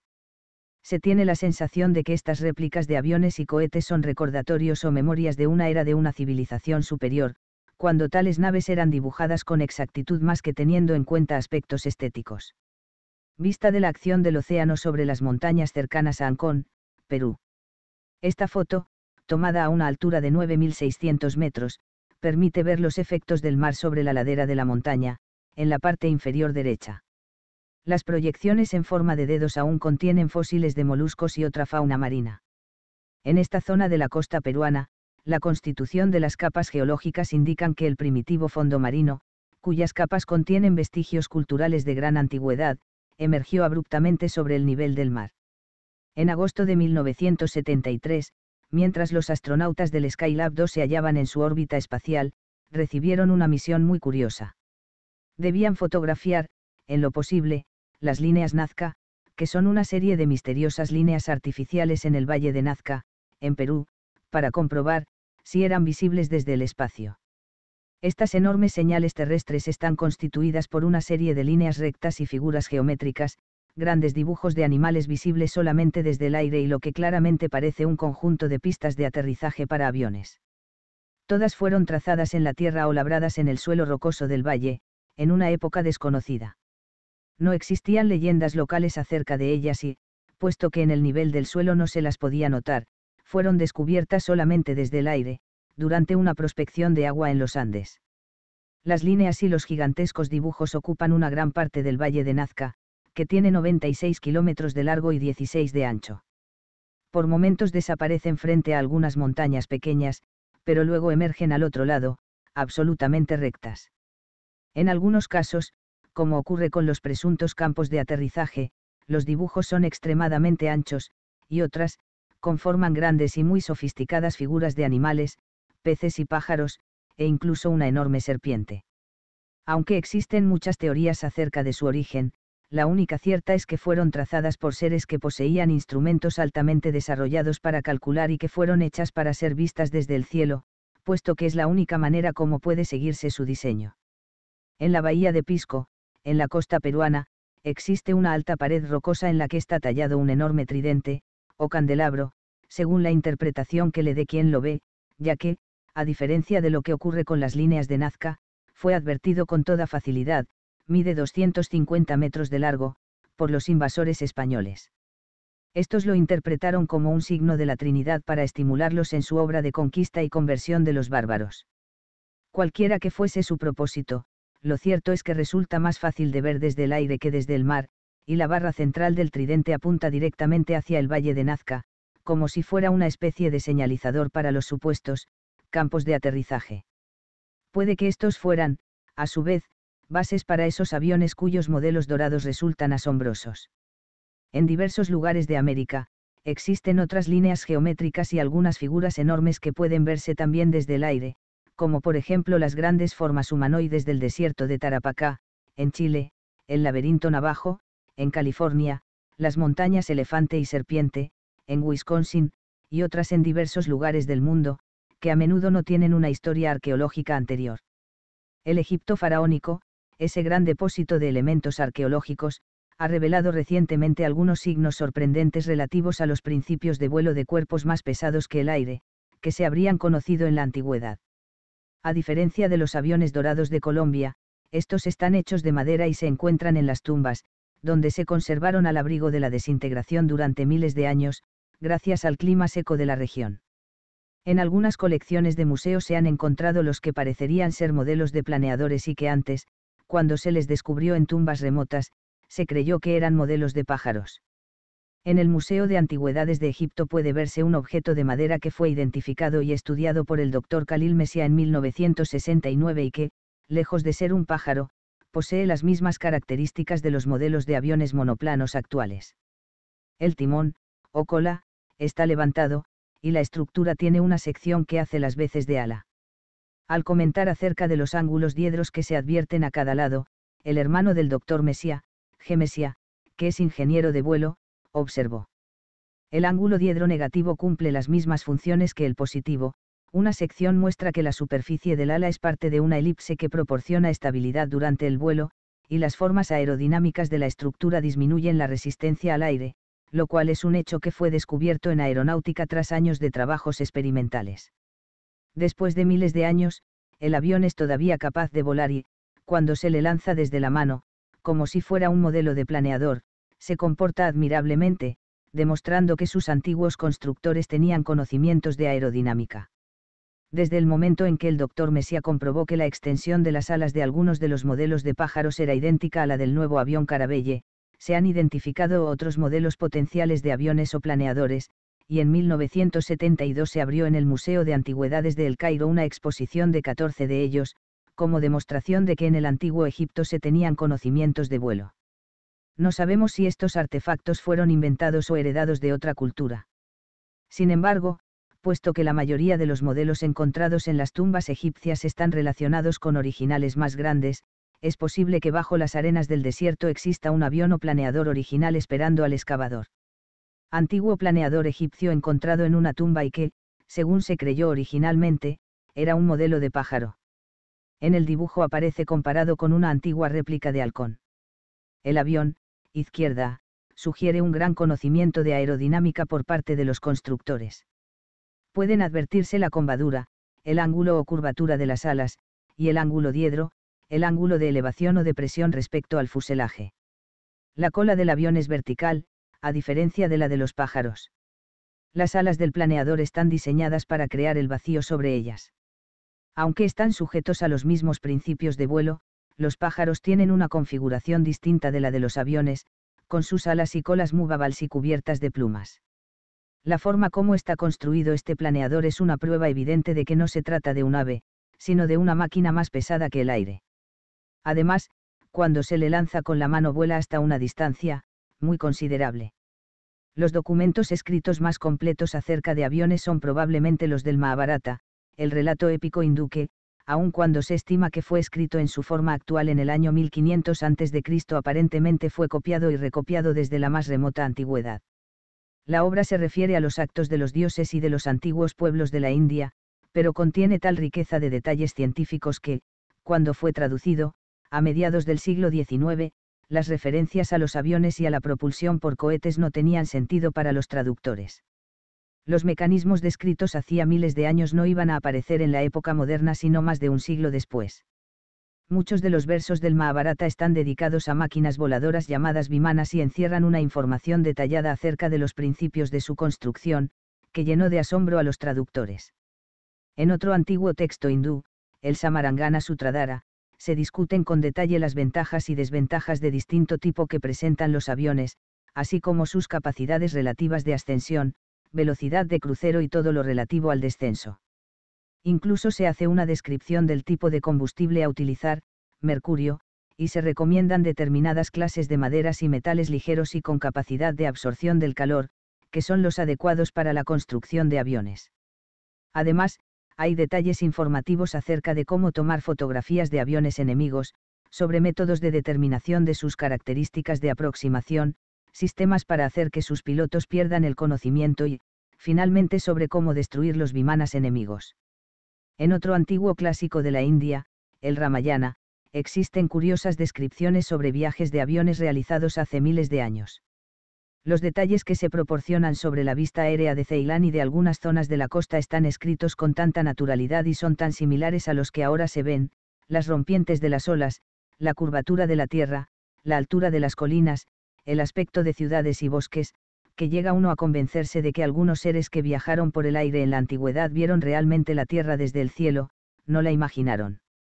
En una versión contemporánea del Ramayana, el Mahariba Chanta, el héroe dios Rama, a su regreso de Lanka, donde acaba de rescatar a su mujer Sita, recibe como presente un Vimana, que es descrito así, tiene completa libertad de movimientos, se desplaza a la velocidad que se desee, totalmente bajo control, y su accionar es siempre obediente a la voluntad, de quien lo maneje, dispone de compartimientos con ventanas y tiene excelentes asientos, es un caso de texto clásico que parece un aviso de Er India. En este mismo texto encontramos un diálogo que resulta particularmente asombroso cuando advertimos que se adelantó en varios miles de años a los viajes espaciales y a las narraciones acerca del aspecto que tenían las cosas en el espacio. Rama, el movimiento de este excelente carruaje parece cambiado. Visisara. Este carruaje está abandonando ahora su cercanía al mundo medio. Sita, ¿cómo es que, siendo de día, aparece, ese círculo de estrellas? Rama, reina. Ciertamente, es un círculo de estrellas, pero debido a la gran distancia no podernos percibirlo de día, ya que nuestros ojos están encandilados por los rayos del sol. Ahora que ha desaparecido, con el ascenso de este carruaje. Y así podemos ver las estrellas ya sea que estos relatos constituyan recuerdos de una civilización técnicamente muy adelantada, o que se trate de simples fantasías, comparables a algunas de las imaginadas por los actuales escritores de ciencia ficción, algunos de estos relatos del pasado remoto suenan extrañamente contemporáneos, excepto en lo relativo al material usado como fuente de poder para el avión, lo cual, naturalmente, podría haber sido mal traducido del original dentro de él uno debe colocar el motor de mercurio con su sistema de calefacción debajo. Gracias a las energías latentes en el mercurio, que hacen funcionar la turbina, el hombre que fuera sentado en su interior podría viajar a gran distancia por el cielo, debe haber cuatro depósitos de mercurio en su interior. Cuando son calentados por medio de un fuego controlado, el bimana desarrolla un poder de trueno por medio del mercurio. Si este motor de hierro, con uniones adecuadamente soldadas, es llenado de mercurio y el fuego se dirige hacia la parte superior, desarrolla una gran potencia, con el rugido de un león, e inmediatamente se convierte en una perla en el cielo. Pero los modelos y descripciones de aeronaves y los relatos acerca de cohetes y vuelos espaciales son solo una indicación, no una prueba, de un alto desarrollo científico. No obstante, hay algunas técnicas y artefactos que fueron reconocidos como lo que eran muchos años después de su descubrimiento y que proporcionan una prueba más tangible acerca de las capacidades tecnológicas del pasado remoto, que antes no se sospechaban. La computadora estelar, de Antiquitera es un buen ejemplo de esto. Se trata de un pequeño objeto de bronce que consiste en láminas y ruedas o radios soldados por el mar, que fue recogido hace 70 años junto a otros objetos, estatuas en su mayoría, de un antiguo naufragio depositado en el fondo del mar Egeo. A comienzos de la década del 60, cuando fue sometido a un estudio detallado y a la acción de ácidos por diversos arqueólogos, como Derek de Solía Price y George Stamires, resultó que se trataba de un aparato para la localización de las estrellas y un computador de órbitas planetarias. Era un mecanismo para verificar posiciones por la noche que demostraba un conocimiento astronómico y de navegación insospechado en épocas remotas. Como decía el doctor Price, en ningún otro sitio se conserva un instrumento como este. Encontrar una cosa así es como encontrar un avión a chorro en la tumba del rey Tat, lo cual es una posibilidad que tal vez no está del todo fuera de los límites de lo verosímil, dados los recientes descubrimientos. Relieve de una muralla del templo de Geite, Dendera, Egipto. Tiene una antigüedad de miles de años y muestra lo que fue originalmente descrito como, objetos rituales, pero que a un observador moderno le parecen poderosas bombillas eléctricas, dotadas de cables que están unidos a un interruptor o generador. Se han encontrado pruebas de conocimiento de la electricidad en distintas zonas de Egipto y el Oriente Medio, así como indicios de su utilización en la fundición de metales y posiblemente también en iluminación. En algunos museos podrían hallarse otras pruebas concretas de adelanto técnico, clasificadas como objetos religiosos, juguetes o sencillamente, sin clasificar. Poco antes de la Segunda Guerra Mundial, cuando excavaba en un lugar cercano a Bagdad y de una antigüedad calculada en 2000 años, el arqueólogo alemán Wilhelm Konig extrajo ciertos artefactos muy curiosos, que consistían en cilindros cubiertos de asfalto. Se hallaban dentro de unos jarrones y estaban provistos de un tapón de hierro. En otras palabras, eran pilas secas desprovistas del electrodo, que posiblemente se habían evaporado. Cuando se les agregó un nuevo electrodo, sulfato de cobre, algunas de estas baterías funcionaron perfectamente. Después de su primer hallazgo, Koenig identificó algunas partes de otras baterías que ya se hallaban en exhibición en los museos y que estaban catalogadas como objetos, de uso desconocido. Desde que las encontró y las identificó, se han hallado muchos otros ejemplares en Irak y en otros lugares del Oriente Medio. Estas pilas eran usadas aparentemente para niquelar metales, pero habría que preguntarse si este antiquísimo conocimiento de la electricidad, heredado tal vez de una cultura primitiva y luego olvidado, hasta su redescubrimiento en el siglo XIX, no era aprovechado para otros fines, aparte del niquelado. En el mundo de Grecia y Roma se utilizaban antorchas y lámparas de aceite para la iluminación, y en todos los lugares donde existen pasajes entre edificios de la época pueden hallarse trazas de humo en los techos. Sin embargo, en el caso de la más remota civilización egipcia, los techos de túneles subterráneos, bellísimamente labrados y pintados, no muestran señales de antorchas ni de lámparas de aceite. Tampoco las hay en las paredes ni en los cielos rasos de ciertas cuevas de Europa Occidental donde los pintores de cavernas de la Madeleine y Aurignac realizaron sus obras maestras, con admirable sofisticación, hace 12.000 y hasta 30.000 años. En el templo de Hazar, en Dendera, Egipto, existe una antigua pared tallada que durante mucho tiempo ha sido considerada un enigma arqueológico. En ella se representa una escena en que dos sirvientes parecen transportar gigantescos bombillos luminosos con filamentos interiores en forma de serpientes muy finas y conectados a una caja o interruptor con cables trenzados y que se asemejan poderosamente a potentes lámparas eléctricas apoyadas en aisladores de alta tensión. El Dr. John Harris, de Oxford, ha señalado lo siguiente. Los cables son virtualmente una copia exacta de las actuales ilustraciones de obras de ingeniería. Parecen muy pesados y estriados, lo que indica un haz de muchos conductores más bien que un simple cable de alto voltaje. Existen otras ilustraciones en papiro y en piezas talladas que han sido conservadas durante miles de años, gracias al clima seco de Egipto y que, al ser examinadas con un criterio moderno y no comprometido, parecen ilustrar claramente el uso desde antiguo de ciertos artefactos contemporáneos. Debe recordarse que en los documentos egipcios se hace referencia al reino de los dioses anteriores a la primera dinastía, que fue una época de superior civilización y poderes milagrosos, compartidos, según los recuerdos y documentos existentes, por las más antiguas culturas de la Tierra. Resulta sorprendente comprobar que algunas antiguas culturas, considerablemente más antiguas que Grecia y Roma, poseían conocimientos de astronomía, matemáticas superiores, cálculos del tiempo y medidas de la Tierra y el Sistema Solar, miles de años antes de que fueran redescubiertos o vueltos a determinar, en la época moderna. Para obtener esa información, las antiguas culturas tendrían que haber dispuesto de telescopios u otros instrumentos suficientemente precisos como para realizar los cálculos exactos. Al estudiar algunos mapas medievales se han hecho extraordinarios descubrimientos. El profesor Charles Hapgood, que ha realizado algunos de los más notables, pasó muchos años examinándolos y verificó que contenían mucha información acerca de la Tierra que suponemos era desconocida en la época en que fueron diseñados. Algunos han sido copiados y recopiados durante siglos, a partir de originales desaparecidos de la biblioteca de la antigua Alejandría, y demuestran un conocimiento asombrosamente exacto de tierras aún por descubrir, de acuerdo con la historia que se nos ha enseñado, en el momento en que fueron realizados los originales e incluso las copias. Por ejemplo, se alude a la existencia de América del Norte y del Sur y a la Antártida, miles de años antes de Colón. El mapa Piri Reis, que es una sección de otra carta mundial mucho mayor existente en la antigüedad y que fue hallado en 1929, en medio del desorden del harem del derrocado sultán de Turquía, muestra con toda claridad la costa de la Antártida, tal como habría sido sin los hielos que la cubren, y describe la topografía del interior, desprovista de hielos también.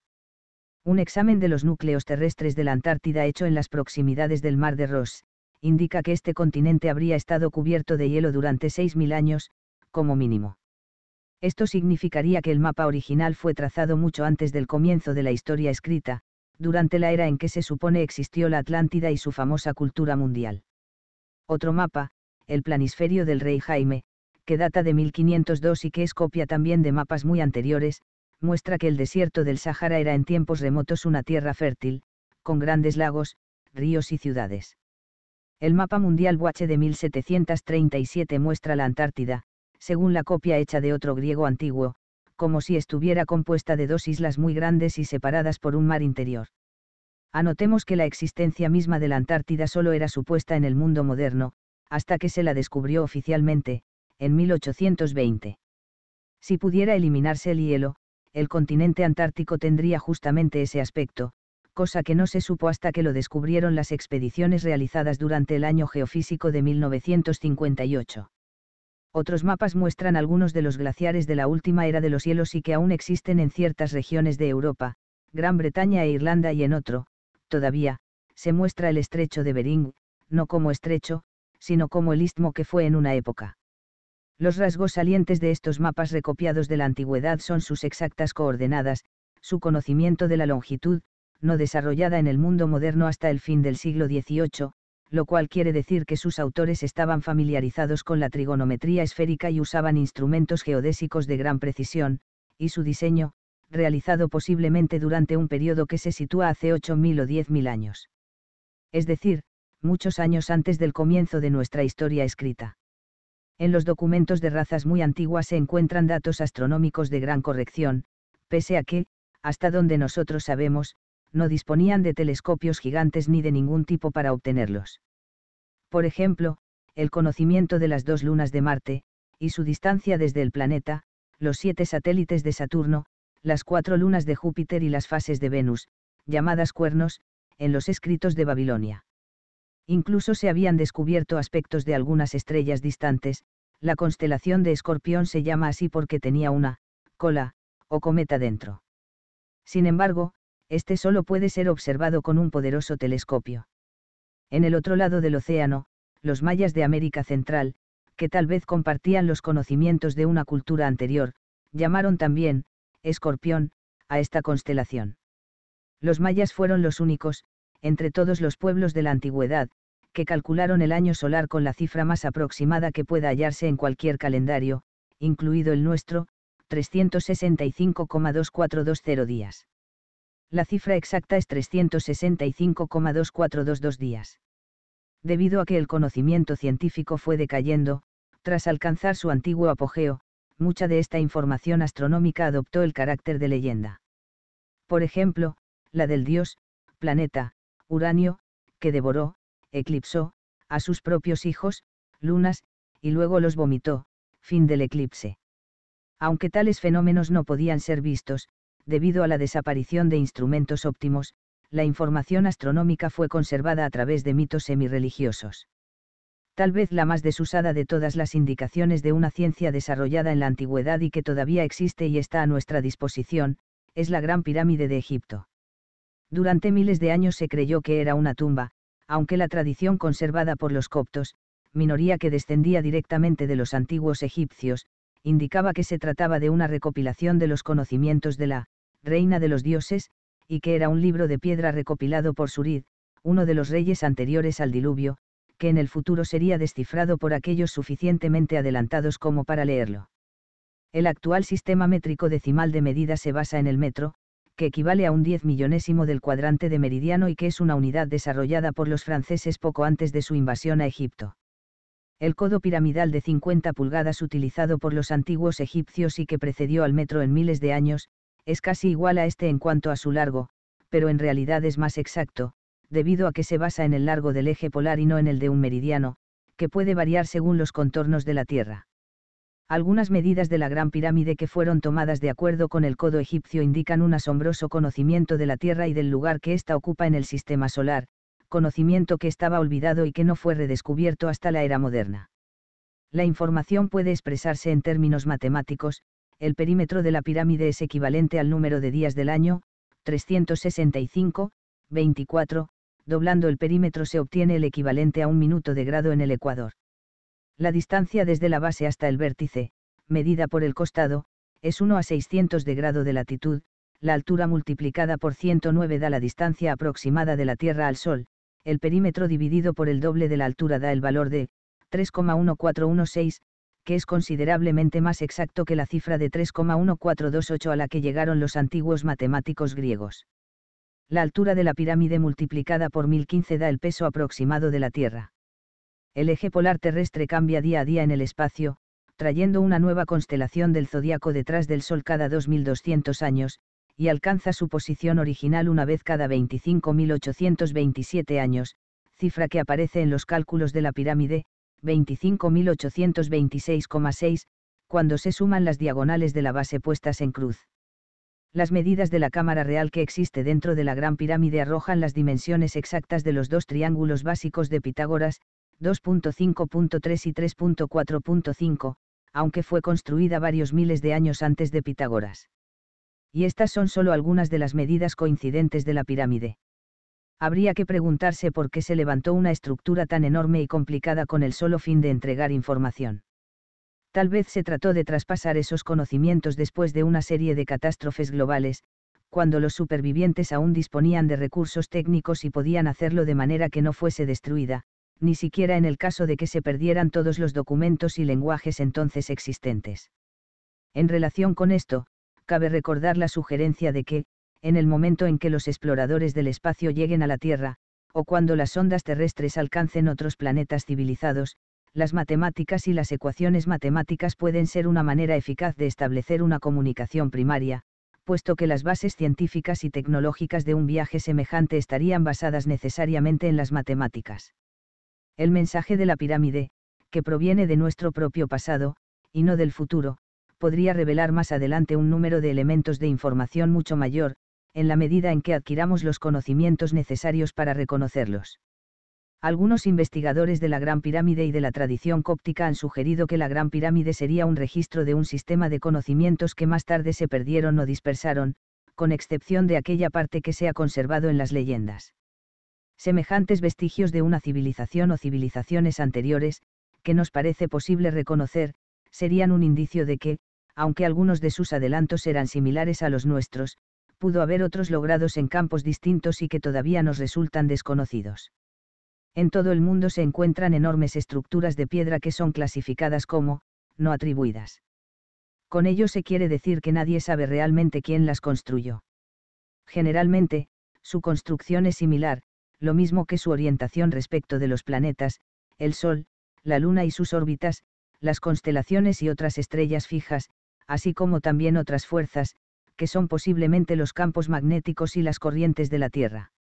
Entre estas enigmáticas estructuras prehistóricas hay que incluir las pirámides de Teotihuacán en México y las más viejas ciudades de Yucatán, las ruinas preincaicas de los Andes peruanos y las líneas del Valle de Nazca, las ruinas enormes de Tiahuanaco, situadas a una altura de 4.000 metros, las gigantescas estructuras de piedra de las islas británicas, especialmente Stonehenge y Avebury, y las grandes piedras verticales de Bretaña, algunas de las cuales continúan bajo el mar, las ruinas prehistóricas de las islas del Mediterráneo, del Oriente Medio y de Asia Sudoriental, los restos ciclópeos de las Carolinas, las Marquesas y otras islas del Pacífico, las estructuras manolíticas existentes bajo el Caribe, el complejo pétreo de niebla, en España y las obras del norte de África, incluido Egipto, cuyo origen se desconoce, la orientación de los grandes montículos de piedra de los Estados Unidos y las pirámides arcaicas de la China. Hasta la primera década del presente siglo, todas las viviendas de China eran orientadas por un nigromante, antes de su construcción, con el fin de aprovechar las afortunadas vías o corrientes invisibles que se desplazan a lo largo y ancho de la Tierra. Debe recordarse que los primeros compases vinieron de la China. El doctor Ernst Borgmann, un agudo comentarista del paisaje arquitectónico de la China, pensaba que la disposición de templos, pagodas y pabellones, orientados hacia un centro desde el cual irradian, se asemeja a un campo magnético. El procedimiento, que consiste en seguir las líneas de fuerza de la Tierra, en chino se llaman Feng Shui, viento-agua, posiblemente un resabio de alguna ciencia muy avanzada de la antigüedad, ha sido ahora descartado como algo propio de hábitos supersticiosos y feudales. Sin embargo, otra forma de superstición, la acupuntura, que podría también ser una reliquia científica valiosa y disfrazada a través de los siglos como algo mágico, ha sido elevada a una posición de respetabilidad por el actual régimen chino. Si en la antigüedad se hubiese comprendido y desarrollado la fuerza del magnetismo y del magnetismo invertido, hasta un punto en que la gravedad, que es en sí una forma de magnetismo, pudiera haber sido canalizada como otras fuerzas naturales, dispondríamos de una explicación acerca de algunas de esas construcciones prehistóricas que se nos antojan técnicamente imposibles y muchas de las cuales parecen haber sido literalmente lanzadas sobre las cumbres de las montañas y colgadas de los bordes. De los precipicios, cual piedras monolíticas que hubiesen volado hasta allí. Resulta inquietante pensar que algunos restos de antiguas técnicas electromagnéticas podrían estar aún protegiendo las pirámides egipcias, mientras los científicos de la actualidad tratan de desentrañar sus secretos, que en este caso serían cámaras selladas ocultas en su interior. Desde hace algún tiempo se ha estado llevando a cabo un proyecto que consiste en penetrar la estructura interna de la pirámide de Chefren, en Giza, por medio de rayos cósmicos. Los trabajos son dirigidos por el Dr. E. Argoud, de la Universidad de Ain Siams, de El Cairo, quien utiliza, entre otros equipos, una nueva computadora IBM 1130. Aunque las pruebas se realizan con toda pericia, los registros diarios han ido arrojando, para las mismas secciones, modelos completamente diferentes, según el Dr. Goud, es algo que desafía todas las leyes conocidas de la ciencia y la electrónica. Y que resulta, científicamente imposible. Un artículo del Times de Londres señaló, se ha llegado a la conclusión de que las esperanzas de realizar un gran descubrimiento se han convertido en una masa de símbolos ininteligibles, y el Dr. Goud, al resumir la forma en que el proyecto ha fracasado hasta ahora, dijo, en la pirámide opera alguna influencia que desafía todas las leyes de la ciencia. Pero, más que un desafío a la ciencia, lo que podría ocurrir es simplemente que hubiese otras leyes que no comprendemos todavía, como por ejemplo tensiones y fuerzas de atracción que representan los poderes ocultos de la Tierra, el Sol, la Luna, los planetas y las estrellas. En su libro, The View Over Atlantis, Visión sobre la Atlántida, Ion Michei se refiere a la unidad que muestra la cultura prehistórica y observa, la Tierra está sembrada de obras prehistóricas de ingeniería relacionadas con el uso del magnetismo polar. Luego sugiere que vivimos, dentro de las ruinas de una antigua estructura cuyas vastas dimensiones la han hecho ya invisible. De allí la relación que hay entre los grandes restos pétreos de la prehistoria que aún se yerguen en las llanuras, montañas, desiertos, en las selvas y bajo los mares del mundo. Según su opinión, los filósofos de aquella época, consideraban que, la Tierra era una criatura viva y su cuerpo, como el de cualquier otra criatura, tenía un sistema nervioso en su interior, relacionado con su campo magnético. Los centros nerviosos de la Tierra, que en el cuerpo humano coinciden con los puntos de acupuntura de la medicina china, eran conservados y reverenciados en edificios sagrados, dispuestos como un microcosmo del orden cósmico. Existen indicios de que en el pasado remoto pudo existir una o más civilizaciones mundiales que desaparecieron, como resultado de las catástrofes naturales o provocadas que se produjeron mucho antes de lo que se recuerda como los inicios de nuestra historia cultural, en el cuarto milenio antes de Cristo estos indicios han sobrevivido en buena medida como fragmentos de un conocimiento avanzado y que fue renarrado o recopiado a lo largo de los siglos. Resulta difícil o imposible precisar la fecha en que fueron erigidos algunos edificios o monumentos, pese a su majestuosidad y a que podría provenir de aquel periodo. Además, la extensión del lapso que hemos observado previamente para la aparición y desarrollo del hombre civilizado, apenas permite disponer del tiempo necesario para construir esta cultura, que en gran medida es materia de hipótesis. No obstante, los recientes descubrimientos del Dr. Louis Leakey y Mary Leakey en la garganta de Olduvai, Tanzania, y los de Richard Leakey en Kenia, indican que el hombre primitivo pudo existir hace dos millones de años, y los descubrimientos en las cuevas de Bayonet, en Francia, han establecido que la fecha de algunas herramientas primitivas es de un millón de años. El estudio de los cráneos del hombre de Cro-Magnon, que, según se ha considerado generalmente existió hace 30.000 o 35.000 años antes de nuestra era, indican que la capacidad de su cráneo y el tamaño del cerebro que se desprende de ella era por lo menos igual y algunas veces superior al nuestro.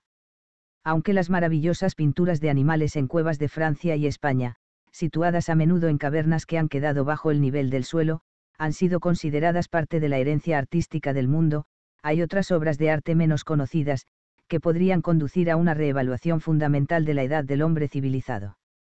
En Lusac-les-Châteaux, Francia, hay imágenes talladas en trozos lisos de roca, cuya edad puede calcularse por las capas de tierra que las cubren y que muestran unos dibujos pertenecientes a la época que habitualmente se asocia con el hombre de las cavernas, de una calidad tan sorprendente, que parecen increíbles.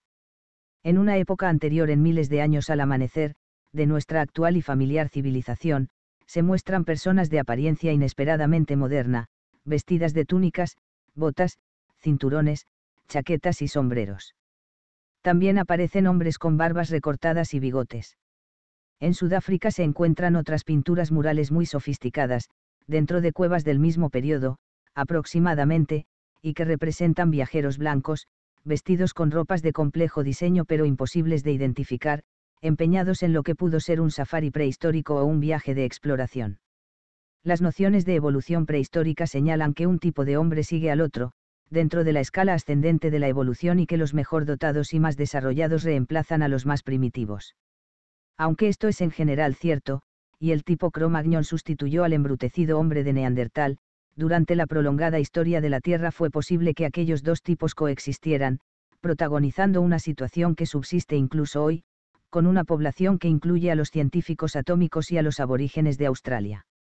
Si hubiese existido una civilización anterior a la que conocemos, parecería razonable esperar que existiese alguna señal que lo demostrase y que nos proporcionara una prueba concluyente, si es que algo puede ser concluyente en la investigación arqueológica, de que tal cultura técnicamente desarrollada existió, no solo hace algunos años, sino miles de años atrás. Sin embargo, tal como sucedería si nuestra civilización fuese destruida, la mayor parte de los edificios, máquinas y artefactos se pudrirían o enmohecerían y quedarían diseminados o irreconocibles, antes de que pasaran algunos miles de años. Podrían sobrevivir algunos indicios, si quedasen enterrados en la Tierra en movimiento, debajo del subsuelo y los hielos del norte o de la Antártida, o escondidos en el fondo del mar. El desarrollo del carbono 14, el argón potásico, el uranio teórico, la termoluminiscencia, la dendrocronología y otros sistemas de identificación de edad, han sacudido algunas de nuestras más antiguas teorías acerca de las primeras fechas de la civilización. En Gvenia, Lesoto, existe una mina de hierro que era trabajada por mineros desconocidos hace 43.000 años. En Irán se han encontrado herramientas de piedra a las que se ha atribuido una antigüedad de 100.000 años. En el norte de Michigan se han descubierto labores mineras de cobre de gran magnitud que aparentemente son anteriores a los indios en miles de años. En Utah, un nuevo túnel perforado en una mina de carbón permitió descubrir una serie insospechada de túneles de antigüedad desconocida. El carbón hallado en esos túneles había estado tan expuesto a los elementos, que resultó inservible para quemar no había leyendas indias relativas a dichas minas, y los indios no utilizaban técnicas de túnel para extraer el mineral. A medida que el hombre ha explorado más el interior de la Tierra, se han ido descubriendo algunos artefactos conservados dentro del carbón, piedras u otras capas sólidas, lo cual sugiere una edad tan antigua, que solamente se la ha podido calcular de manera estimativa. En Fischer Canyon, Nevada, se halló la huella de un yacimiento de carbón cuya antigüedad se calculó en 15 millones de años.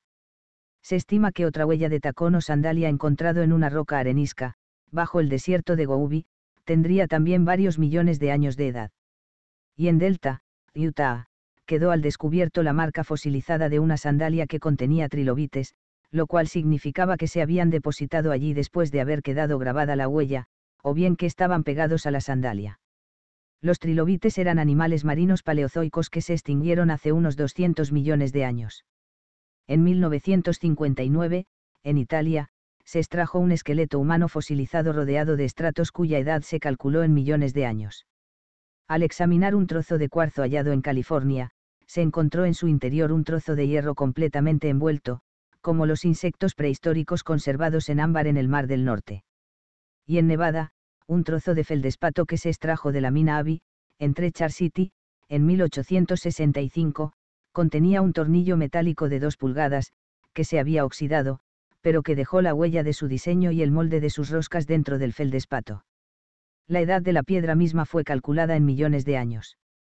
El siglo pasado se descubrió en la aldea de Chundorf, cerca de Bockklabrück, Austria, un pequeño objeto metálico con forma de cubo, de menos de un centímetro de largo y ancho, que se hallaba en el interior de un bloque de carbón. En torno del cubo hay una línea que forma una especie de canal y que tiene bordes redondos, como si hubiese sido hecha a máquina. Naturalmente, no hay explicación acerca de qué era o cómo llegó hasta el interior del bloque de carbón, hace millones de años. En la época de la conquista del Perú, un grupo de indios dirigidos por españoles descubrió un clavo dentro de una roca. El hecho produjo conmoción, no solo por la aparente antigüedad del clavo, sino porque el acero era desconocido en América antes de la llegada de los españoles. En Blue Lake Springs, Kentucky, se extrajo un mastodonte de una profundidad de 4 metros pero, al seguir excavando, se halló un pavimento de piedras un metro más abajo del lugar donde había estado el animal. Este es solo un ejemplo de los varios hallazgos de antiguas obras de piedra hechos dentro de Estados Unidos. Resultó tan antiguo, que no se ha aceptado la determinación de su edad por medio de los objetos que le rodeaban no se hallaban sobre él, como en el caso del mastodonte.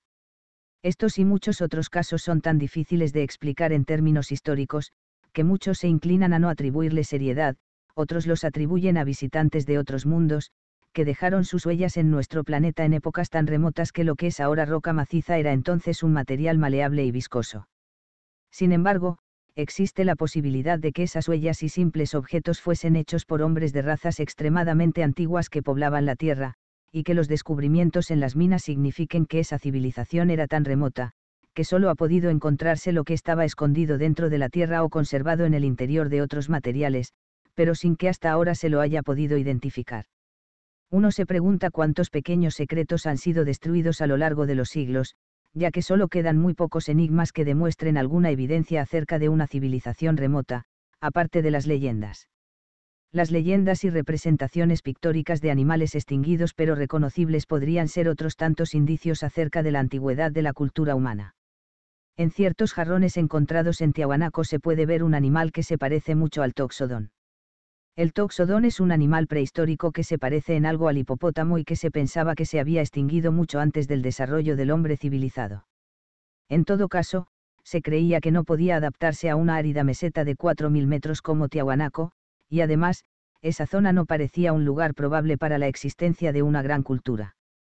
Existen indicios, como la presencia de terrazas por encima de la actual línea de nieves en las montañas circundantes y la fauna oceánica que existe en un profundo lago, que hacen pensar que toda la zona podría haber estado miles de metros más abajo cuando se construyó Tiahuanaco, tal vez en el nivel del mar y en la costa. En la meseta de Marcahuasi, cerca de Kenco, Perú, hay enormes tallas en piedra, y en ciertos casos se dan laderas completas que han sido modificadas por el tallado. Estas obras preincaicas, pese a hallarse desgastadas por épocas incontables, pueden ser identificadas como leones, caballos, camellos y elefantes, ninguno de los cuales se sabe que haya vivido en Sudamérica durante la era del hombre civilizado. También pueden hallarse en el Perú llamas dibujadas sobre cerámicas muy antiguas, que se encontraron en las ruinas de una ciudad costera cerca de Pisco y que son representadas con cinco dedos, como eran hace muchos miles de años, en lugar de los cascos hendidos que desarrollaron posteriormente. En ciertos petroglifos esculpidos en formaciones rocosas de Norte y Sudamérica se han descubierto animales que parecieran ser dinosaurios.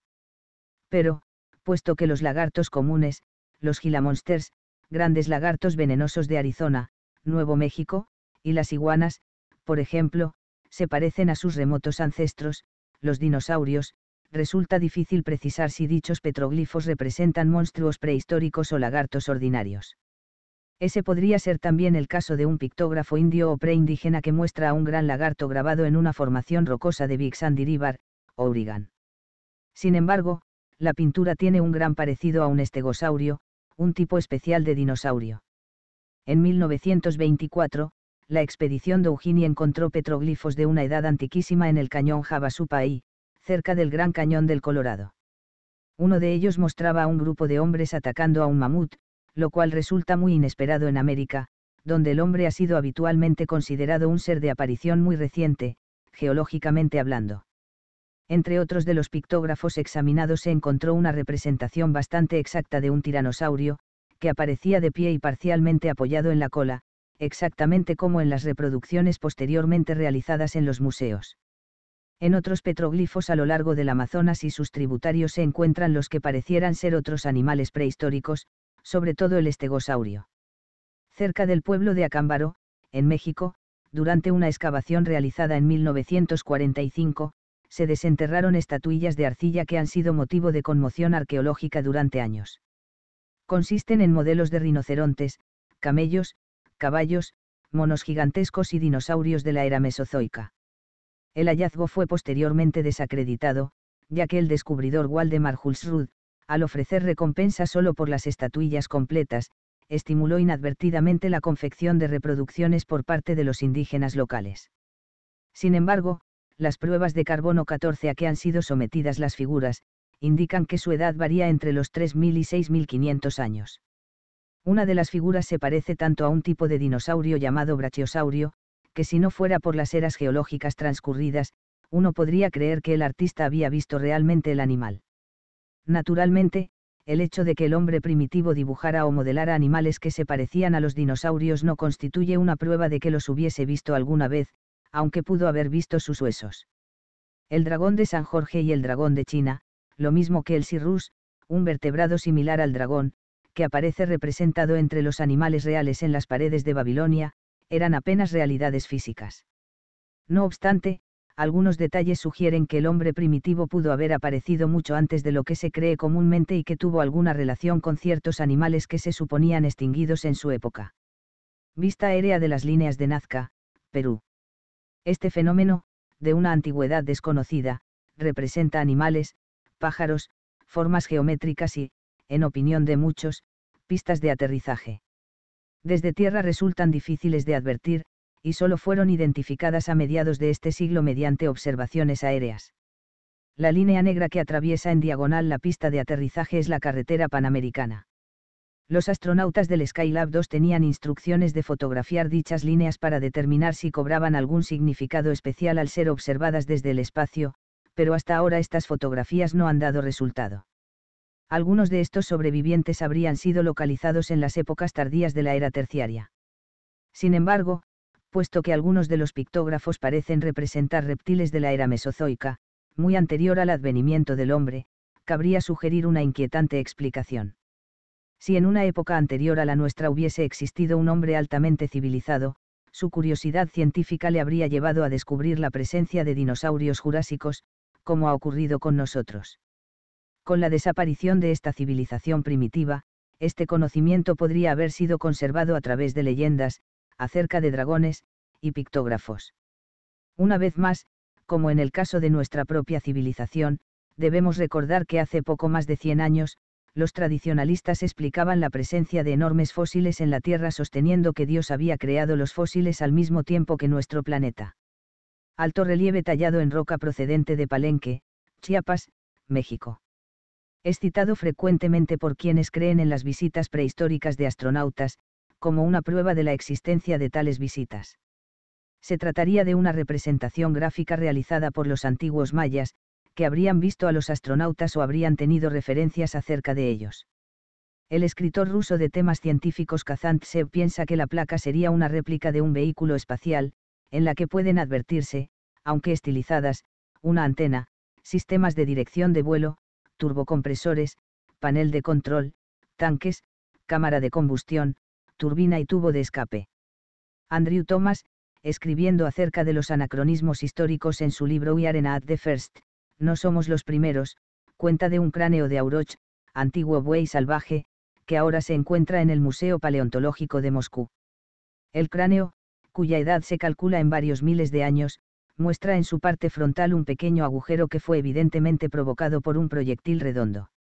La falta de líneas radiales quebradas, la velocidad y el calor desarrollados por el proyectil, al igual que su forma, sugieren que se trataba de una bala. La supuesta bala no fue disparada después de la muerte de Laurok, ya que la investigación mostró que la herida había sanado algún tiempo después de haber sido infligida. En el Museo de Historia Natural de Londres hay otro ejemplar similar. Se trata de un cráneo humano encontrado en una cueva en Zambia y con una edad atribuida de 40.000 años, que muestra un agujero similar en el costado izquierdo, igualmente sin trizaduras radiales. Las posibilidades que sugieren estos disparos prehistóricos, si es que son tales, resultan inquietantes aunque estos descubrimientos podrían considerarse aislados, apuntan hacia la posibilidad de que el hombre civilizado haya existido en la Tierra desde hace mucho más tiempo que el que antes se creyó. Sin siquiera considerar la posibilidad de que alguna civilización hubiese llegado a la Tierra desde el espacio exterior, como se ha sugerido frecuentemente, habría habido tiempo y espacio en la historia de nuestro propio planeta como para que se hubiesen desarrollado una o varias culturas hasta el punto de aniquilarse a sí mismas por medio de guerras, trastornos ambientales, o de haber sido destruidas por otras fuerzas que habrían desencadenado inconscientemente. Si partimos de un punto en la antigüedad situado en el año 4000 a.C., advertimos que nuestra propia cultura ha progresado desde la agricultura y el pastoreo primitivos hasta la fisión nuclear en un lapso de solo 6.000 años. Tomando en cuenta la edad de la humanidad, ha habido mucho tiempo para que otras culturas llegaran a un nivel similar al nuestro. Al reconsiderar algunos de los antiguos documentos que han llegado hasta nosotros, podríamos obtener cierta información en el sentido de que la humanidad alcanzó anteriormente nuestra actual capacidad de destrucción. Aunque existen indicios de grandes explosiones de la superficie de la Tierra en la Biblia, Sodoma y Gomorra, en la mitología griega y en muchas de las leyendas de los indios de Norte y Sudamérica, es en los antiguos testimonios escritos de la India, copiados y recopiados desde la antigüedad prehistórica, donde encontramos, descritos con bastante detalle, el uso y efecto de algo que se parece mucho a las explosiones atómicas durante una guerra. En varios de los antiguos libros de la India, que a diferencia de lo ocurrido con tantos documentos occidentales escaparon al fuego y la destrucción, pueden hallarse referencias inesperadas a esos recientes adelantos de nuestra civilización tecnológica. Dichas alusiones describen, como si hubiesen sido escritas hoy y no hace miles de años, cuestiones como la relatividad del tiempo y el espacio, los rayos cósmicos, la ley de la gravedad, la radiación, la naturaleza cinética de la energía y la teoría atómica. La escuela baisésica de los filósofos científicos de la antigua India, desarrolló o conservó la teoría de que los átomos estaban en incesante movimiento. Subdividieron la medida del tiempo en una serie increíble de fracciones de segundo, y el más infinitesimal fue considerado como el periodo empleado por un átomo para atravesar su propia unidad de espacio.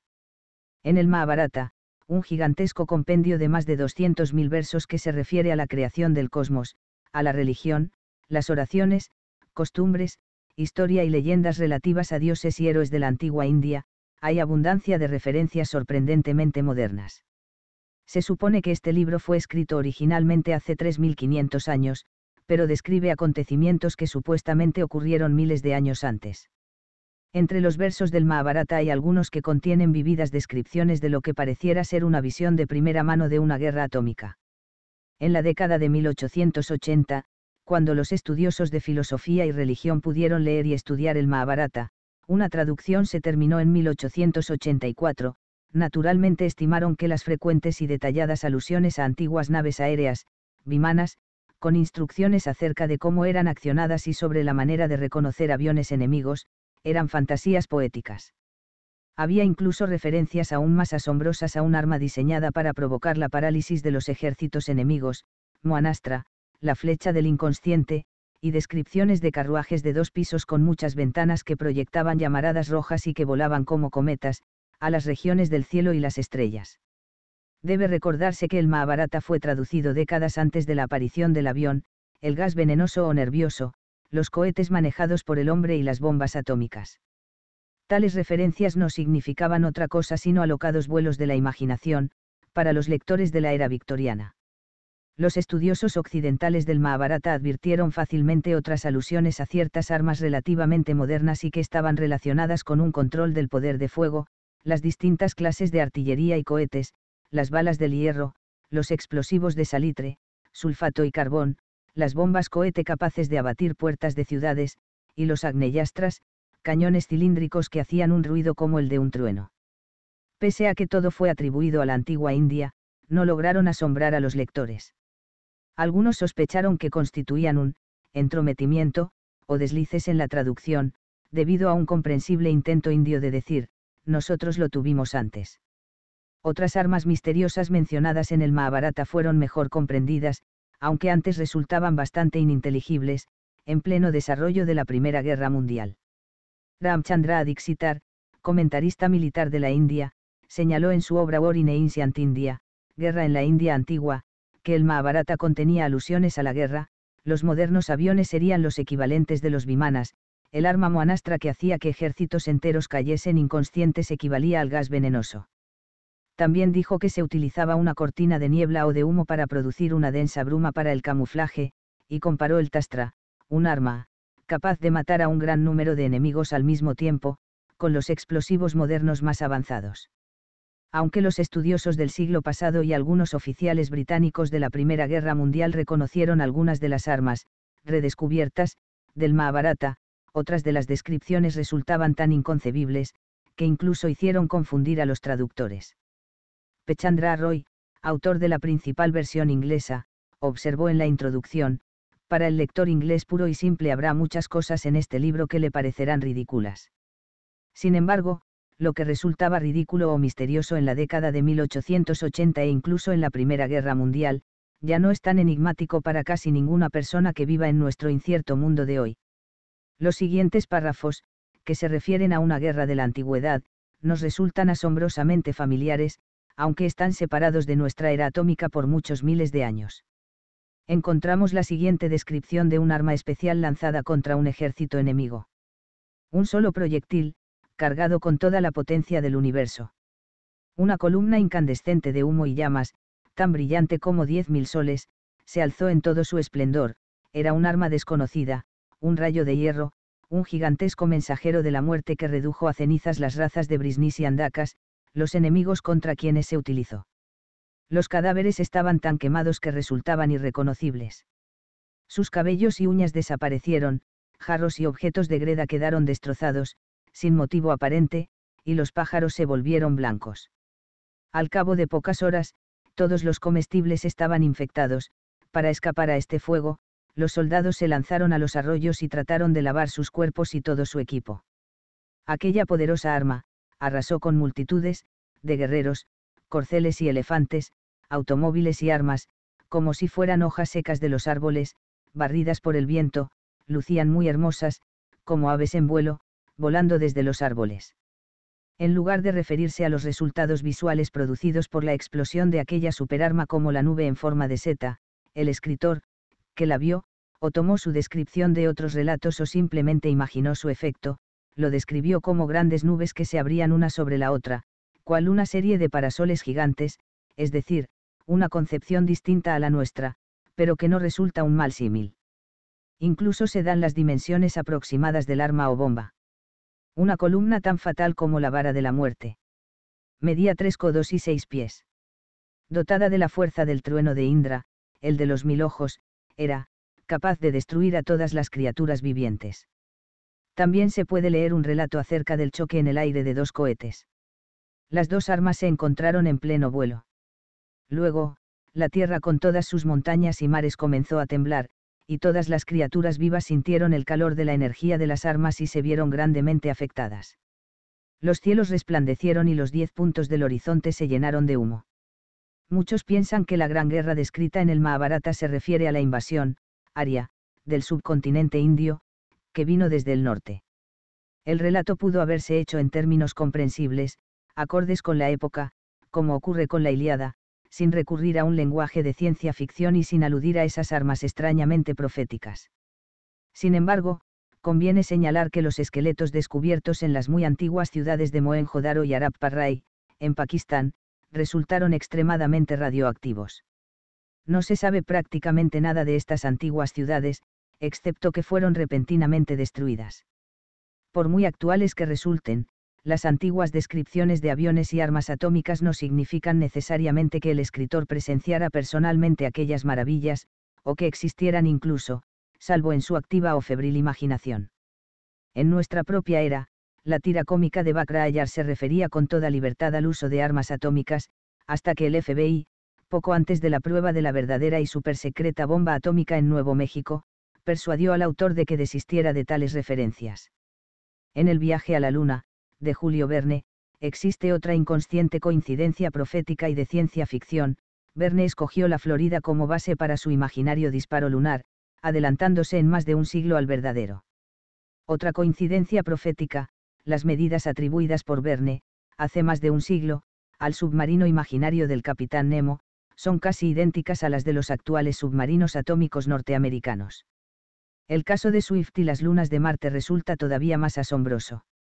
Al escribir los viajes de Gulliver, en 1726, Swift describió los satélites de Marte y dio sus dimensiones aproximadas, que resultaron correctas, y también detalles acerca de su revolución en torno del planeta, pese al hecho de que las lunas a las que se refirió tan de paso, y exactamente, en su obra de ficción no fueron descubiertas hasta 1877. Sin embargo, Verne, Swift y el creador de Backrayers vivían en una época científica, en que la posibilidad de tales descubrimientos o inventos era solo cuestión de tiempo. Pero los documentos indios provienen tal vez de hace más de 6.000 años. Algunos asiáticos, y occidentales también, que suscriben la teoría de que el hombre civilizado ha existido durante un periodo mucho más largo que el sospechado anteriormente, al correr la cortina del tiempo ciertamente no parecen hallarse siglos y ni siquiera milenios que pudieran añadirse, no descartan la posibilidad de que hayan existido en todo el mundo olas de civilizaciones con puntos cumbres y desapariciones. Algunas de ellas no han dejado huellas, salvo en la leyenda.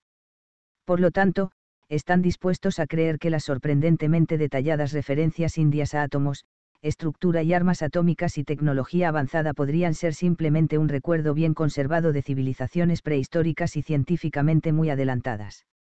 En las leyendas acerca de la India, debiéramos también considerar el hecho de que algunas regiones de la superficie de la Tierra parecen mostrar cicatrices atómicas adquiridas miles de años antes de las actuales actividades atómicas. Estos lugares existen en Siberia, Irak, Colorado y Mongolia, donde las pruebas atómicas chinas están dejando nuevas cicatrices, comparables a las antiguas y, en algunos sitios, situadas en un nivel del suelo inferior al actual. Durante una excavación exploratoria realizada en Irak en 1947, fueron saliendo a la luz sucesivas capas culturales, en lo que uno podría llamar el pozo de una mina arqueológica. Partiendo del nivel actual, la excavación pasó por los niveles culturales urbanos correspondientes a Babilonia, Caldea y Sumeria, luego por los de las primeras aldeas, luego por otros correspondientes a los labradores primitivos de los años 6000 a 7000 a.C. y, más abajo, por los indicios de una cultura de pastores, para llegar finalmente a una era correspondiente a la cultura de la Madeleine de las cavernas, que existió hace unos 16.000 años. Más abajo aún, al fondo de todos los niveles apareció un piso de cristal fundido, que no se parecía a nada, salvo al suelo dejado en el desierto de Nuevo México por las explosiones que inauguraron nuestra actual era atómica. 9.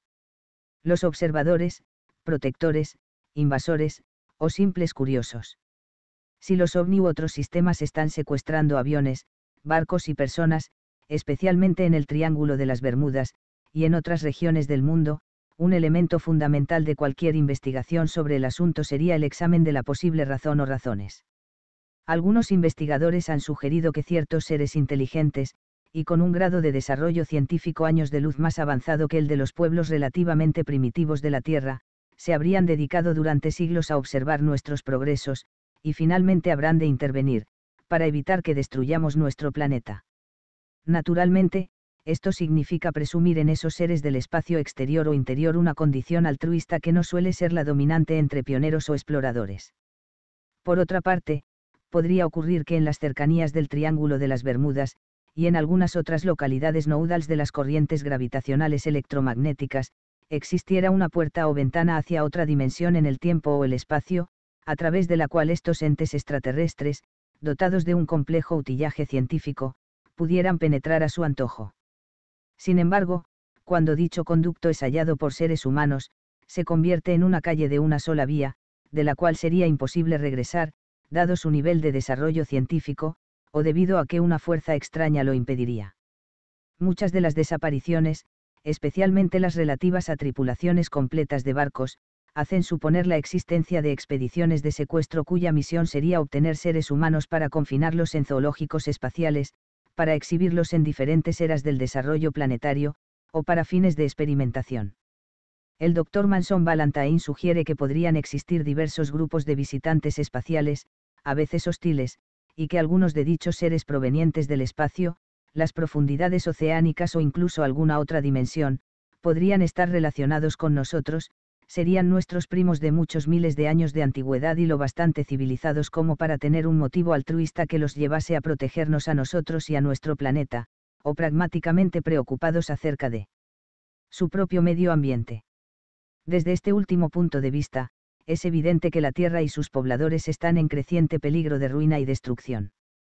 Esto habría podido producirse en diversas ocasiones en los milenios anteriores, pero aunque la Tierra estaba en peligro, no fue convertida en un lugar inhabitable a diferencia de lo que tal vez sucedió con diversos planetas y lunas cercanos. Entre algunas razas que han desaparecido casi completamente se conservan aún recuerdos de catástrofes casi fatales, y según las tradiciones de otras muy antiguas, no ha habido una sino varias hecatombes globales. Las razas indígenas de América Central han contado hasta ahora tres veces el fin del mundo, y aseguran que habrá de producirse el cuarto en una fecha no muy lejana, en esta ocasión por el fuego.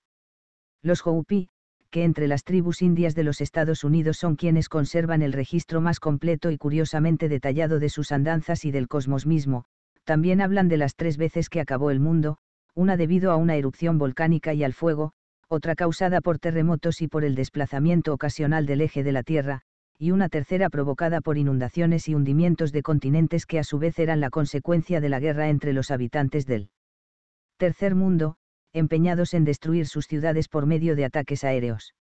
Entre paréntesis, la referencia al desplazamiento del eje de la Tierra es en sí una muestra del extraordinario conocimiento que había alcanzado una pequeña tribu india, no solo acerca de la verdadera forma de la Tierra, sino respecto de su rotación. La teoría según la cual la Tierra perdería temporalmente su velocidad de rotación y luego volvería a ajustaría corresponde a una tesis científica posterior desarrollada por Hugo Class Brown, quien atribuye dicha perturbación a un exceso de peso causado por la acumulación de hielo en uno de los polos. Las antiguas leyendas religiosas de la India describen nueve crisis mundiales, mientras otras culturas de la antigüedad varían un tanto en relación con el número, aunque no respecto de la frecuencia regular de las catástrofes planetarias. En su diálogo Critias, Platón cita a un sacerdote egipcio que dijo al legista ateniense Solón, de visita en Egipto. Ha habido, y volverá a haber muchas destrucciones de la humanidad, debido a numerosas causas. Después de explicar a Solón cómo habían conservado los egipcios sus memorias respecto de algunos de estos acontecimientos, gracias a sus archivos, observó. Y luego, en el periodo habitual, la corriente del cielo baja cual una pestilencia, y así, tiene uno que empezar todo de nuevo, desde niño. Agregando, como una alusión tajante respecto de la falta de registros griegos ustedes recuerdan solo un diluvio, y sin embargo, hubo muchos. La teoría cíclica de la civilización que prevaleció en el mundo antiguo y existe todavía, en cierta medida, en Asia, se halla en marcado contraste con la teoría del progreso lineal de nuestra propia cultura, con su preocupación por el paso y la presión del tiempo y la constante marcha adelante de la civilización y el desarrollo científico. No obstante, en la medida en que nuestros conocimientos se hacen mayores, podríamos descubrir que lo sospechado por observadores de la antigüedad realmente ocurrió. Las catástrofes mundiales y las destrucciones de civilizaciones completas podrían haber sido anteriormente el resultado de muy diversas causas, algunas de las cuales podrían hallarse hoy frente a nosotros, aunque nos neguemos resueltamente a contemplarlas. Entre ellas, una de las más destacadas es la del exceso de población, un problema mencionado solamente, entre todos los documentos de la antigüedad, por el Mahabharata, como si el subcontinente indio hubiese sufrido entonces como ahora de una población excesiva. La guerra nuclear, a la que se alude en los documentos antiguos y que hoy constituye un dilema fundamental, es, naturalmente, una manera indirecta de resolver el problema, aunque acarrea otro, que es el de que destruye gran parte de la vida del planeta e incluso daña su futura habitabilidad. Si las reacciones atómicas son suficientemente fuertes, provoca además desastres sísmicos e inundaciones debidas al derretimiento de los hielos. Incluso ahora podrían estar preparándose otras catástrofes, no relacionadas con la actividad atómica, pero ligadas al desarrollo tecnológico y cuyos resultados solo serán conocidos con el transcurso del tiempo. Por ahora, además de estar empeñados en nuestros experimentos atómicos, en el derroche de la energía nuclear, en la polución ambiental del agua y el aire y en el desequilibrio de la ecología, realizamos de manera muy poco sensata algunos experimentos graduales que podrían tener consecuencias catastróficas. La observación del Dr. Columbus Islin, exdirector de la Woods Oceanographic Institution, es un ejemplo de lo que decimos. Al referirse al aumento de dióxido de carbono en la atmósfera, señaló. Durante los últimos 100 años, el creciente uso de combustibles fósiles en nuestra civilización industrial mundial ha debido traducirse en la producción de alrededor de 1.700.000 millones de toneladas de dióxido de carbono, que equivale al 70% de la cantidad que existe actualmente en la atmósfera. Debido a que dos tercios del aumento de esta sustancia son absorbidos por el mar, puede esperarse una mayor cantidad de dióxido de carbono en la atmósfera de un 20%. No es fácil predecir el efecto que tendrá ese incremento, pero existen razones para pensar que producirá el aumento de la temperatura de las capas inferiores de la atmósfera en varios grados. De esa manera y más o menos a pesar de nosotros mismos, estamos realizando un gran experimento. El efecto que produciría el derretimiento de los polos provocado por el hombre, con grandes meralladas e inundaciones de las zonas costeras del mundo entero, hace recordar aquella inundación de la prehistoria, que ahora no nos parece en absoluto legendaria y que cubrió zonas de la superficie terrestre en el Atlántico, el Caribe, el Mediterráneo y otros lugares. Incluso el derramamiento de petróleo por alguno de los cada vez mayores superpetroleros o desde el oleoducto de Alaska podría hacer que el hielo polar se fundiera en grandes cantidades y con impredecibles resultados. La extinción de gran cantidad de especies de la fauna terrestre podría llegar a ser otra causa de futuros desastres, sobre los cuales no podemos todavía formarnos una opinión. Debemos recordar que, en una catástrofe anterior, Noé, que era un ecólogo antes que se pusiera de moda serlo, recogió en su arca a siete parejas de cada uno de los animales más útiles y también rescató un par de cada una de las otras especies, útiles o inútiles. Tal vez en caso del hombre y de otros entes de inteligencia similar, el salto desde la barbarie a la civilización y finalmente al conocimiento y capacidad para utilizar la fisión nuclear es un proceso natural que ya ocurrió antes, no solo en la Tierra, sino también en otros lugares del universo. Tal vez otros sistemas civilizados, extraterrestres o incluso de este planeta, como lo han sugerido Valentine, Sanderson y otros, aunque invisibles para nosotros, han superado este afán de autodestrucción y están estudiando nuestro mundo por medio de rutas o puertas abiertas como el Triángulo de las Bermudas. Su finalidad sería aprovecharlo como lección, o bien conservar algunas partes con fines de estudio, o impedir que se autodestruya. Tal vez se proponen orientarlo incluso, del mismo modo en que las naciones más poderosas tratan de guiar a las menos desarrolladas. Sin embargo, adjudicar cualquier propósito a tales observadores significaría suponer que piensan como nosotros, los animales salvajes no pueden comprender por qué los coleccionistas quieren atraparlos y exhibirlos, en lugar de matarlos y comerlos. Tal vez, como se ha sugerido, los ovnis son simples exploradores, de nuestro planeta. Si es así, lo han estado observando durante un tiempo excesivamente largo. Si hubiese algo de cierto en la hipótesis de que seres extraños han estado visitando y observando la Tierra y recogiendo información y muestras para algún propósito ignorado, especialmente en la zona del Triángulo de las Bermudas, sería muy interesante preguntarse qué razones tendrían los ovni para concentrarse en esa región. En la antigüedad remota se produjeron visiones de aeronaves, celestiales, que sugieren que los ovni habrían aparecido en zonas que se hallaban en su apogeo, como para comprobar cada cierto tiempo dónde se estaban desarrollando los nuevos centros de civilización y si eran potencialmente peligrosos o no. No tenemos más que señalar la serie de antiguos testimonios relativos a visitas celestiales de dioses o navíos a la Tierra, para distinguir una vaga tendencia a poner énfasis en algunos aspectos que van cambiando con el tiempo. Las primeras visitas narradas en detalle fueron las hechas al antiguo Egipto en la época de Tutmosis III y el viaje espacial emprendido por el sumerio Etana. Por cierto, disponemos de indicaciones más detalladas acerca de contactos extraterrestres en el libro de Ezequiel, quien cuenta de visitas de aparentes navíos espaciales, que habrían llegado a la Tierra en cuatro ocasiones dentro de un espacio de 19 años. Ezequiel asegura que los vio en dos oportunidades y que, al igual que Etana, pudo viajar en ellos.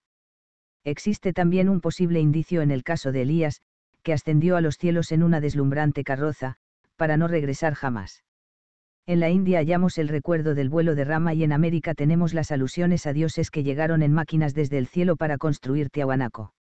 Luego, numerosos testimonios provenientes de Grecia, Roma, la Europa del Renacimiento y, ya en nuestra época, de un número creciente de lugares en el mundo entero y en especial en el Triángulo de las Bermudas, dejan planteada la posibilidad de que los observadores estén interesados en el avance de la civilización tecnológica sobre la Tierra. Estarían preocupados particularmente de los viajes aéreos, la penetración del espacio y la guerra moderna. Durante la Segunda Guerra Mundial y en la de Corea, llegaron a ser comunes los casos de cazas fantasmas, luces u objetos no identificados que acompañaban a los bombarderos o los aviones de caza durante el vuelo. En la actualidad hay informes acerca de la concentración de ovni en las cercanías de las zonas donde se realizan los viajes espaciales, tal vez porque ellos representan un adelanto de grandes posibilidades tecnológicas o porque significan una amenaza al sistema solar o a una parte del universo. No obstante, las teorías de Ivan Sanderson sugieren que la amenaza cada vez mayor al medio ambiente oceánico podría haber causado preocupación en algunos modos de vida altamente desarrolladas que existirían dentro de los mares. Según parece, existen varias confirmaciones sorprendentes, aparte de las enumeradas en el capítulo 6, sobre la actividad submarina de los ovni, que habrían sido observadas y detectadas por algunas unidades navales de los Estados Unidos. Como ya es usual, estos incidentes han sido en lo posible, retirados de la publicidad, con excepción de los informes iniciales. Uno de los más llamativos es el de la persecución de un objeto submarino que se desplazaba a más de 150 nudos, 120 km primero por un destructor y luego por un sumergible, durante un ejercicio de la Marina de Estados Unidos. El hecho ocurrió en 1963, al sudeste de Puerto Rico, en el extremo sur del Triángulo de las Bermudas puesto que la maniobra consistía precisamente en practicar persecuciones, se supuso que el objeto formaba parte de la práctica. Otros trece barcos de la Marina advirtieron el rápido movimiento del objeto y registraron el hecho en sus bitácoras. La persecución duró cuatro días, y en ocasiones el objeto descendió a profundidades de 7.000 metros, manteniendo su increíble velocidad. Nunca se supo lo que era, aunque la mayor parte de los informes coincidieron en que parecía estar movido por un solo motor. En el pasado fueron muy frecuentes los testimonios acerca de ovni que salían del mar, se hundían en él u operaban dentro de las aguas, pero nunca se les detectó y siguió tan de cerca como durante las maniobras de 1963 que acabamos de describir. Suponiendo que existe bajo el mar alguna antigua rama de la humanidad u otra forma de vida, civilizada, tales seres, que disponen de un espacio vital muchísimo mayor que el que tienen los modos de vida civilizada como la nuestra en la superficie terrestre, no se preocuparon de nuestros actos durante los milenios pasados. Sin embargo, al advertir que nuestras posibilidades tecnológicas han llegado a representar un peligro para ellos y para su medio ambiente, su política del laissez-faire habría cambiado y los fenómenos del Triángulo de las Bermudas podrían constituir un examen tentativo, o una acción exploratoria anterior a algo más definitivo. Ivan Sanderson ha estudiado algunos informes sobre los cuales no suelen darse explicaciones ni mucha información, relacionados con unas gigantescas cúpulas submarinas transparentes que han sido vistas frente a la costa de España por buceadores en busca de esponjas, y también desde la superficie, cuando la transparencia de las aguas era favorable, en la plataforma continental norteamericana. Piensa que, si no son instalaciones secretas de defensa, podrían formar parte de una red submarina construida por entes que viven bajo el mar, para fines posiblemente relacionados con sus afanes de neutralizar la creciente polución y envenenamiento de las aguas del océano. Llevando todavía más lejos este razonamiento, sería posible, dado que la Tierra es básicamente un enorme dínamo, conectarla, por medio de redes electromagnéticas instaladas dentro de los mares y, llegado el caso, activar los impulsos adecuados para cambiar su rotación. Esta conexión, de la Tierra hace recordar tanto las antiguas tradiciones como las teorías comparativamente recientes que aluden a grandes fuentes de energía en la Atlántida, esos grandes complejos de láser cristalinos que yacerían en el fondo del mar de los Sargazos y que aún estarían funcionando intermitentemente, causando perturbaciones electromagnéticas que son a su vez responsables de las averías o desintegración de naves aéreas y marítimas. Es natural que especulemos acerca de las razones de las visitas de seres extraterrestres y que tratemos de explicar sus propósitos dentro de nuestro propio marco de referencia. Siguiendo este razonamiento, resulta normal suponer que los visitantes han venido a protegernos de nosotros mismos, aunque otros observadores menos confiados presumen que los visitantes no están interesados en protegernos sino en llevarse muestras. Esta suposición parece más lógica si se tiene en cuenta el gran número de aviones, lanchas y barcos que han desaparecido con sus tripulaciones dentro del Triángulo de las Bermudas. John Hardar, investigador de OVNI y profesor de ingeniería de Berkeley, expuso recientemente, octubre de 1973, la teoría desusada y muy poco halagadora de que la Tierra podría ser una especie de zoo cósmico, aislado del resto del universo, y cuyos guardianes suelen hacer de vez en cuando una revisión, llevándose un ejemplar de sus habitantes. Sin embargo, otra teoría sostiene que los visitantes no están interesados en la humanidad y solo tienen en mente sus propios fines, que todavía no podemos imaginar, y que las aparentes víctimas, ya que aún no sabemos si alguien ha muerto en las desapariciones, han sido causadas inadvertidamente al ser proyectadas dentro del campo de ionización. Esta teoría ha dado lugar a que, durante mucho tiempo, los periodistas de diarios y revistas publiquen titulares como este, La perdida Atlántida goza de buena salud y secuestra barcos y aviones.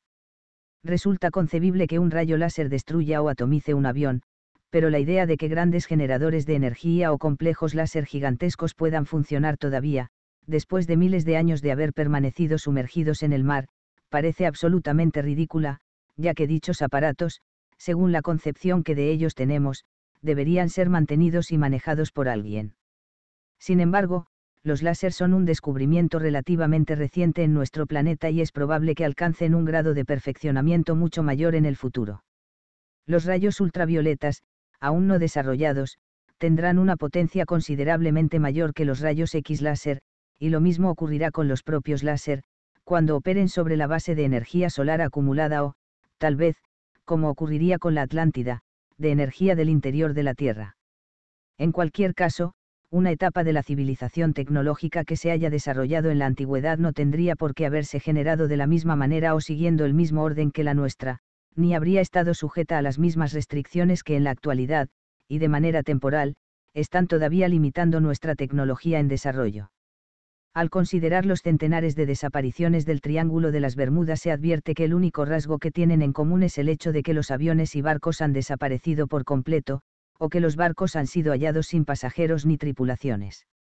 Algunos de estos casos misteriosos se han producido aisladamente y podrían explicarse por las circunstancias extraordinarias en que han ocurrido, o por la coincidencia de fallas humanas y trastornos meteorológicos, pero en cambio, tantos otros incidentes del Triángulo de las Bermudas se han producido en medio de aguas transparentes, cerca de puertos, playas o bases de aterrizaje, que resultan incomprensibles, de acuerdo con nuestros conocimientos actuales. La historia del Triángulo de las Bermudas abarca acontecimientos que ya están sumidos en la bruma de las leyendas antiguas y modernas, inexplicables aberraciones causadas por fuerzas naturales intermitentes, en apariencia, y teorías del campo de la física que podrían revolucionar nuestras concepciones anteriores. El Triángulo de las Bermudas nos hace pensar en tierras perdidas o sumergidas, en civilizaciones olvidadas y en seres que han visitado la Tierra durante siglos, viniendo del espacio interior o exterior, y cuyo origen y propósito son desconocidos. En lugar de elaborar teorías para explicar lo que actualmente no tiene explicación, resulta quizá más sencillo decir que el Triángulo de las Bermudas existe solo en la imaginación de los místicos, fanáticos, supersticiosos y sensacionalistas. Uno de los muchos comentaristas que piensan que esta zona no es más que el resultado de la coincidencia de una serie de desapariciones explicables si se las toma caso por caso, ha escrito, los que creen en el Triángulo de las Bermudas creen también en las serpientes marinas. Esto no quiere decir que el triángulo no existe porque las serpientes marinas tampoco existen, ni significa que si alguna vez se llegara a identificar uno de esos monstruos de manera definitiva, las demás leyendas oceánicas se harían automáticamente más verosímiles. En general, la gente suele ser reacia a enfrentarse a misterios que no pueden ser explicados de manera satisfactoria o que no encuentran una justificación teórica en términos que le resulten comprensibles. Resulta mucho más reconfortante sentirse capaces de reconocer lo que tenemos frente a nosotros, dentro del radio del mundo físico, que enfrentar una amenaza desconocida. Si el fenómeno no puede ser explicado, la mejor respuesta consiste en ignorarlo, lo cual es una actitud mucho más tranquilizadora y, en cierto modo, más inocente también. Sin embargo, la época de la inocencia científica ya pasó, lo mismo que la sensación de seguridad que nos proporcionaba. Se acabaron definitivamente el 16 de julio de 1945, en Alamogordo, Nuevo México, cuando la teoría atómica demostró en forma concluyente que ya no era una teoría vivimos en un mundo en que las líneas de la ciencia y la paraciencia comienzan a converger, un mundo que alguna vez fue mágico y en que los sueños de los magos han sido aceptados por la ciencia y han pasado a ser aceptables para la nomenclatura científica.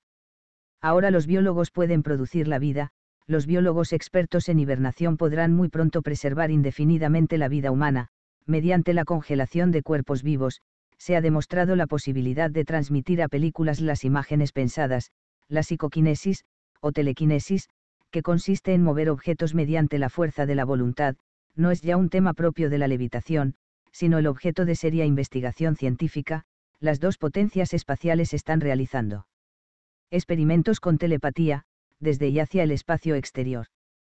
La transmutación de la materia, sueño de los alquimistas, ya no es algo imposible, y los únicos impedimentos para transformar cantidades de plomo en oro consisten en que resultaría demasiado costoso. Hablando ya en términos cósmicos, el firmamento de las verdades científicas ha sufrido tales grietas, que muchos de los que prefieren apoyarse sobre tierra firme y familiar se sienten aturdidos y desorientados.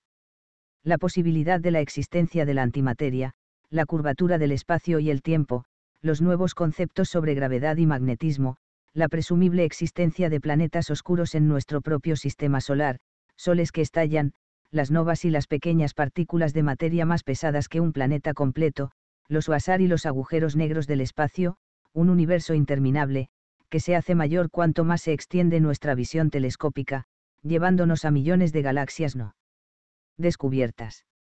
Estos son los misterios del conocimiento que nos guardan, mientras avanzamos a un paso tan acelerado que ningún misterio, debería sorprendernos por el solo hecho de que no nos parece lógico. El Triángulo de las Bermudas, una zona situada dentro del territorio familiar de nuestro planeta, aunque relacionado quizá con fuerzas que aún, y tal vez no por mucho tiempo, desconocemos, podría ser uno de esos misterios. Como especie, nos estamos acercando a la madurez. No podemos abandonar la búsqueda de nuevos conocimientos o explicaciones, estén en este mundo o más allá de él. Fin.